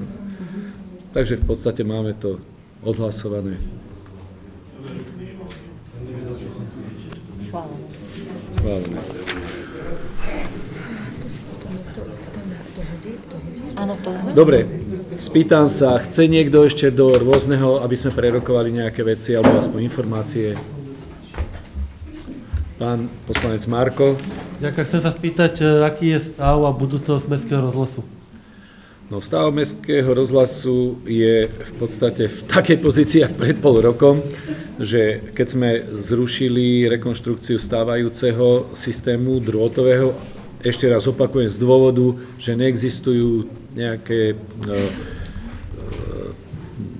výkresy projektová alebo dokumentácia o tom, že nevieme nájsť, kadiaľ niektoré trasy vedú a podobne, tak sa musela, musela sa zrušiť tá pôvodná varianta, tým pádom sa zrušila aj zmluva s Brandnerom, ktorý to mal realizovať.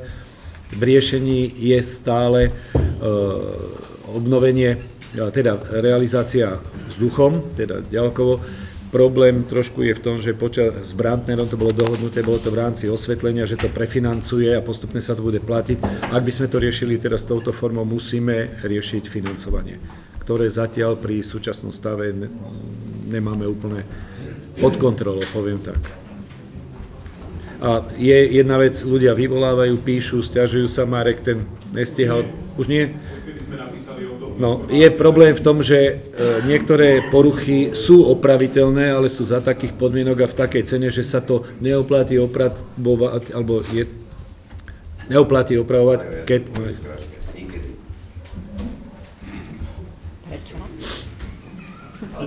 Není ešte o tom rozhodnuté, takže ťažko je povedať, či niekedy alebo nikedy, ale, ale dávame si, hľadáme, už sme mali aj cenové ponuky, aj... Máme tu jednu cenovú ponuku, tá je zhruba na 120 tisíc eur a o, teraz nás kontaktoval jeden pán zo Senice, to sú, neviem aký je názov tej spoločnosti, rád by prišiel s, nejakou, s nejakým návrhom cenovej, o, cenovej ponuky, o, takže máme sa dohodnúť na nejakom akože stretnutí, ale tá prvá ponuka je zhruba do 120 tisíc eur. Ale- náhodou niekedy reč aj o tom, že to zrušíme Ale, O, Bolo, ale nehlasovalo sa. Návrh bol, ale Poviem tak, že ešte sme ako zámesto, keď to navrhnú poslanci, musíme to reálne akceptovať, ale ono to nie je tak, že by sme to úplne zavrhli. bojujeme tu, lebo chodia pripomienky, pýtajú sa a podobne. Lenže máme da, teraz 120 tisíc, nevieme nejakým spôsobom vyfinancovať, nájsť na to nejaký úver alebo niečo. Samozrejme dá sa, ale priznám sa, je tu veľa vecí, ktoré sa riešili alebo riešia. Máme tu ešte ten nešťastný, e, ten múr, áno, v tom, v tom havarijnom stave, kde bol rozpočet 110 tisíc napríklad. Riešime, čo s tým vôbec. Takže je teraz otázka priority. Robilo sa to, e, tá stretávacia miestnosť pre tie rôzne organizácie, či klub dôchodcov a podobné. Ja osobne som presvedčený, že určite to miesto je dôležitejšie ako e, mestský rozhlas. Takže sme išli do toho, čo... Pán Majtan, e, pán Fúsek. Dobre, ja by som vás chcel iba oboznámiť v rýchlosti, nechcem zdržovať. E, na stavebnej komisii bolo návrh od pani inžinierky Dobrudskej na návrh, e, návrh znel asi tak, že hlavného architekta mesta Mijavy, s tým, že nie sú podklady ešte na to prichystané, ona dala niečo, ale jednohlasne sme schválili, že mesto by sa malo uberať týmto smerom. Akým spôsobom, či to bude na plný úvezok, externé, Všetci hovorí, že by to malo byť na plný úvezok. Bavili sme sa o tom dosť obšírne, ale chceli by sme to pripraviť nejako do budúceho zastupiteľstva. Buď sa to schváli, alebo sa to neschváli. Len ako informáciu vám dávam, že bolo to prejednané na výstavbe. A jednoznačne schválené. Dobre, tu Ďakujem. súhlasím, ja len budem čakať ako na ten návrh, pretože ja som s pani aj Dobrúcku, ktorá ten návrh dávala, sme sa bavili o možných adeptoch, alebo teda potenciálnych potom o možnosti pracovný pomer, nejaké vedľajšie alebo niečo. Je to zložité, ale pripravte nejaký návrh a bude. Dobre?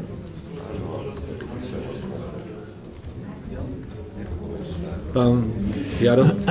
Takže by som chcel ešte raz sa uh, Prosím vás, ešte vyjadriť k tomu, že, že proste cez stred mesta jazdia kamiony, či sa to nedá nejak umedziť.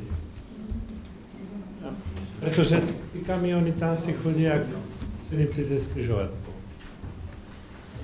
Keď by sa to dalo, že by nešli cez stred, by sa to nedá umedziť, pretože je to nebezpečné, niektorí idú ozaj rýchlo a cez stred mesta, kde by to nemalo patriť.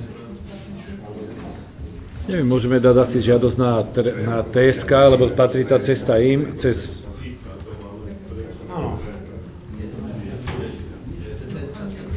Lebo oni to majú v navigáciách asi, takže oni idú automaticky. Však áno, lebo im to nájde najkračšiu cestu alebo najrychlejšiu a Pohli sme sa niekde v rokovaní z TSK o tej No, pohli sme sa zrovna tento týždeň, či minulý týždeň prišla od nich žiadosť o vrátenie troch pozemkov a budovy mikrobiológie.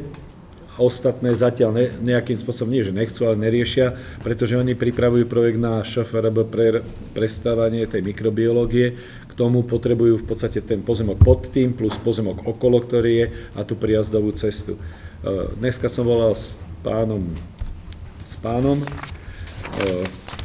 jak sa volá, Kyselica, čo je správneho oddelenia, kde som mu prezentoval názor, že podporujeme túto jej aktivitu, pretože je to aj v záujme nás, aby to zrekonštruovali a vytvorili tam byty, to, čo sme, mesto sa zaviazalo, ale s tým, že asi budeme musieť sa dohodnúť alebo rokovať o tom pozemku tej prístupovej cesty, pretože má nás zostať celý pozemok nad tým a my by sme nemali prístup k, tej, k tomu. Čiže do budúcna, keď sme tam chceli nejaký rozvoj alebo niečo, tak jednoducho nemáme tam vlastný prístup.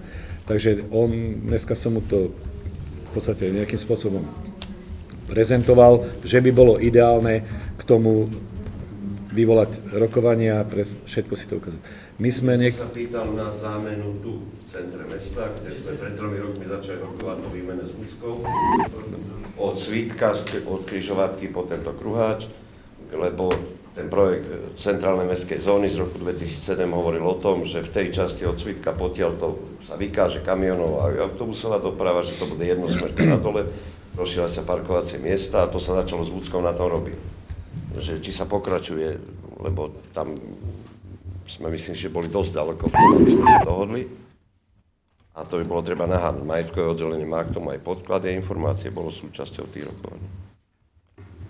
No, majetkové, takto, ono sa to trošku teraz otočilo aj týmto smerom, keď oni požiadali o vrátenie tohto, týchto pozemkov s tým, že je tam nejakých cez 300 tisíc vyrovnaní a voči tomu sme práve dali jednu z vecí aj výmena, zámena tejto cesty.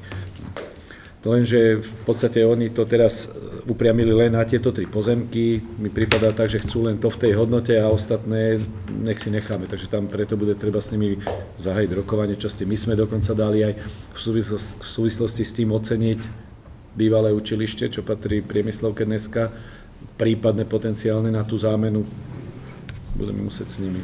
Máme vypísané e, majetkové, vypísalo pozemky, ktoré e, vlastníme pod cestou, no, áno, pod cestou, e, čo vlastní kraj. Bohužiaľ je tam toľko všelijaký, je tam toľko tých pozemkov a niektoré majú pár metrov, ani nie, tak je, najskôr to musíme rozrokovať, aby keď to dáme zamerať, aby sme vôbec vedeli, že to prejde. Všetko máme to tam.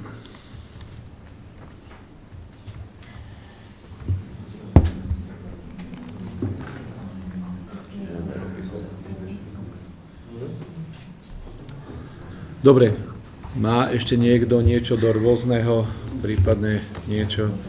Ak nie, tak ešte vás raz chcem pripomenúť a to poprosiť, aby ste budúci týždeň v pondelok na to zastupiteľstvo o tretej prišli. O 15. Áno, Ne, zajtra. nechceli sme to dávať na jednu hodinu, lebo mnohí to trošku koliduje a keď teraz, tak na tú 15. Filip, čo? Krútiš hlavu? Dobre. O tretej môže byť? Áno, áno. To nebude do 8 zase. Nie, to bude jeden bod. Poviem, ja osobne som bol zástanca toho, aby sme to dneska pustili do hlasovania, či to prejde alebo neprejde, lebo zbytočne sa okolo toho veľa uh, diskutuje, mnohokrát nerelevantne k tomu, o čo tu ide. Na druhej strane bolo tu požiadavka aj poslancov, aj ľudí z tých rád, že potrebujú ešte niečo vysvetliť a podobne. Trošku ma aj po dnešku mrzí jedna vec, že aj tam, kde som to vysvetlil a kde Inka Váňová pekne v kľude všetko, kroky, dôvody, postupnosti vysvetlila, Dneska som zistil, že to nepochopili ani tí, ktorí by mali na tom spolupracovať. Takže mám obavu, že keď budeme vysvetľovať ešte týždeň niekomu, kto cíti len nejakú možno budúcu krivdu, alebo ich niekto podpichuje kvôli nejakým iným osobným e, záujmom, tak jednoducho nechaj ma dovyprávať pán Podmajerský. Dobre? Keď sa, tak si zober mikrofón a môžeš k tomu povedať. Ja som sa opýtal, či niekto niečo má. Ja som vás chcel požiadať o to, aby ste nezabudli, aby ste všetci prišli hlasovať a ideme ďalej. Dobre? Takže ďakujem vám za dnešnú účasť a pekný zbytok večera.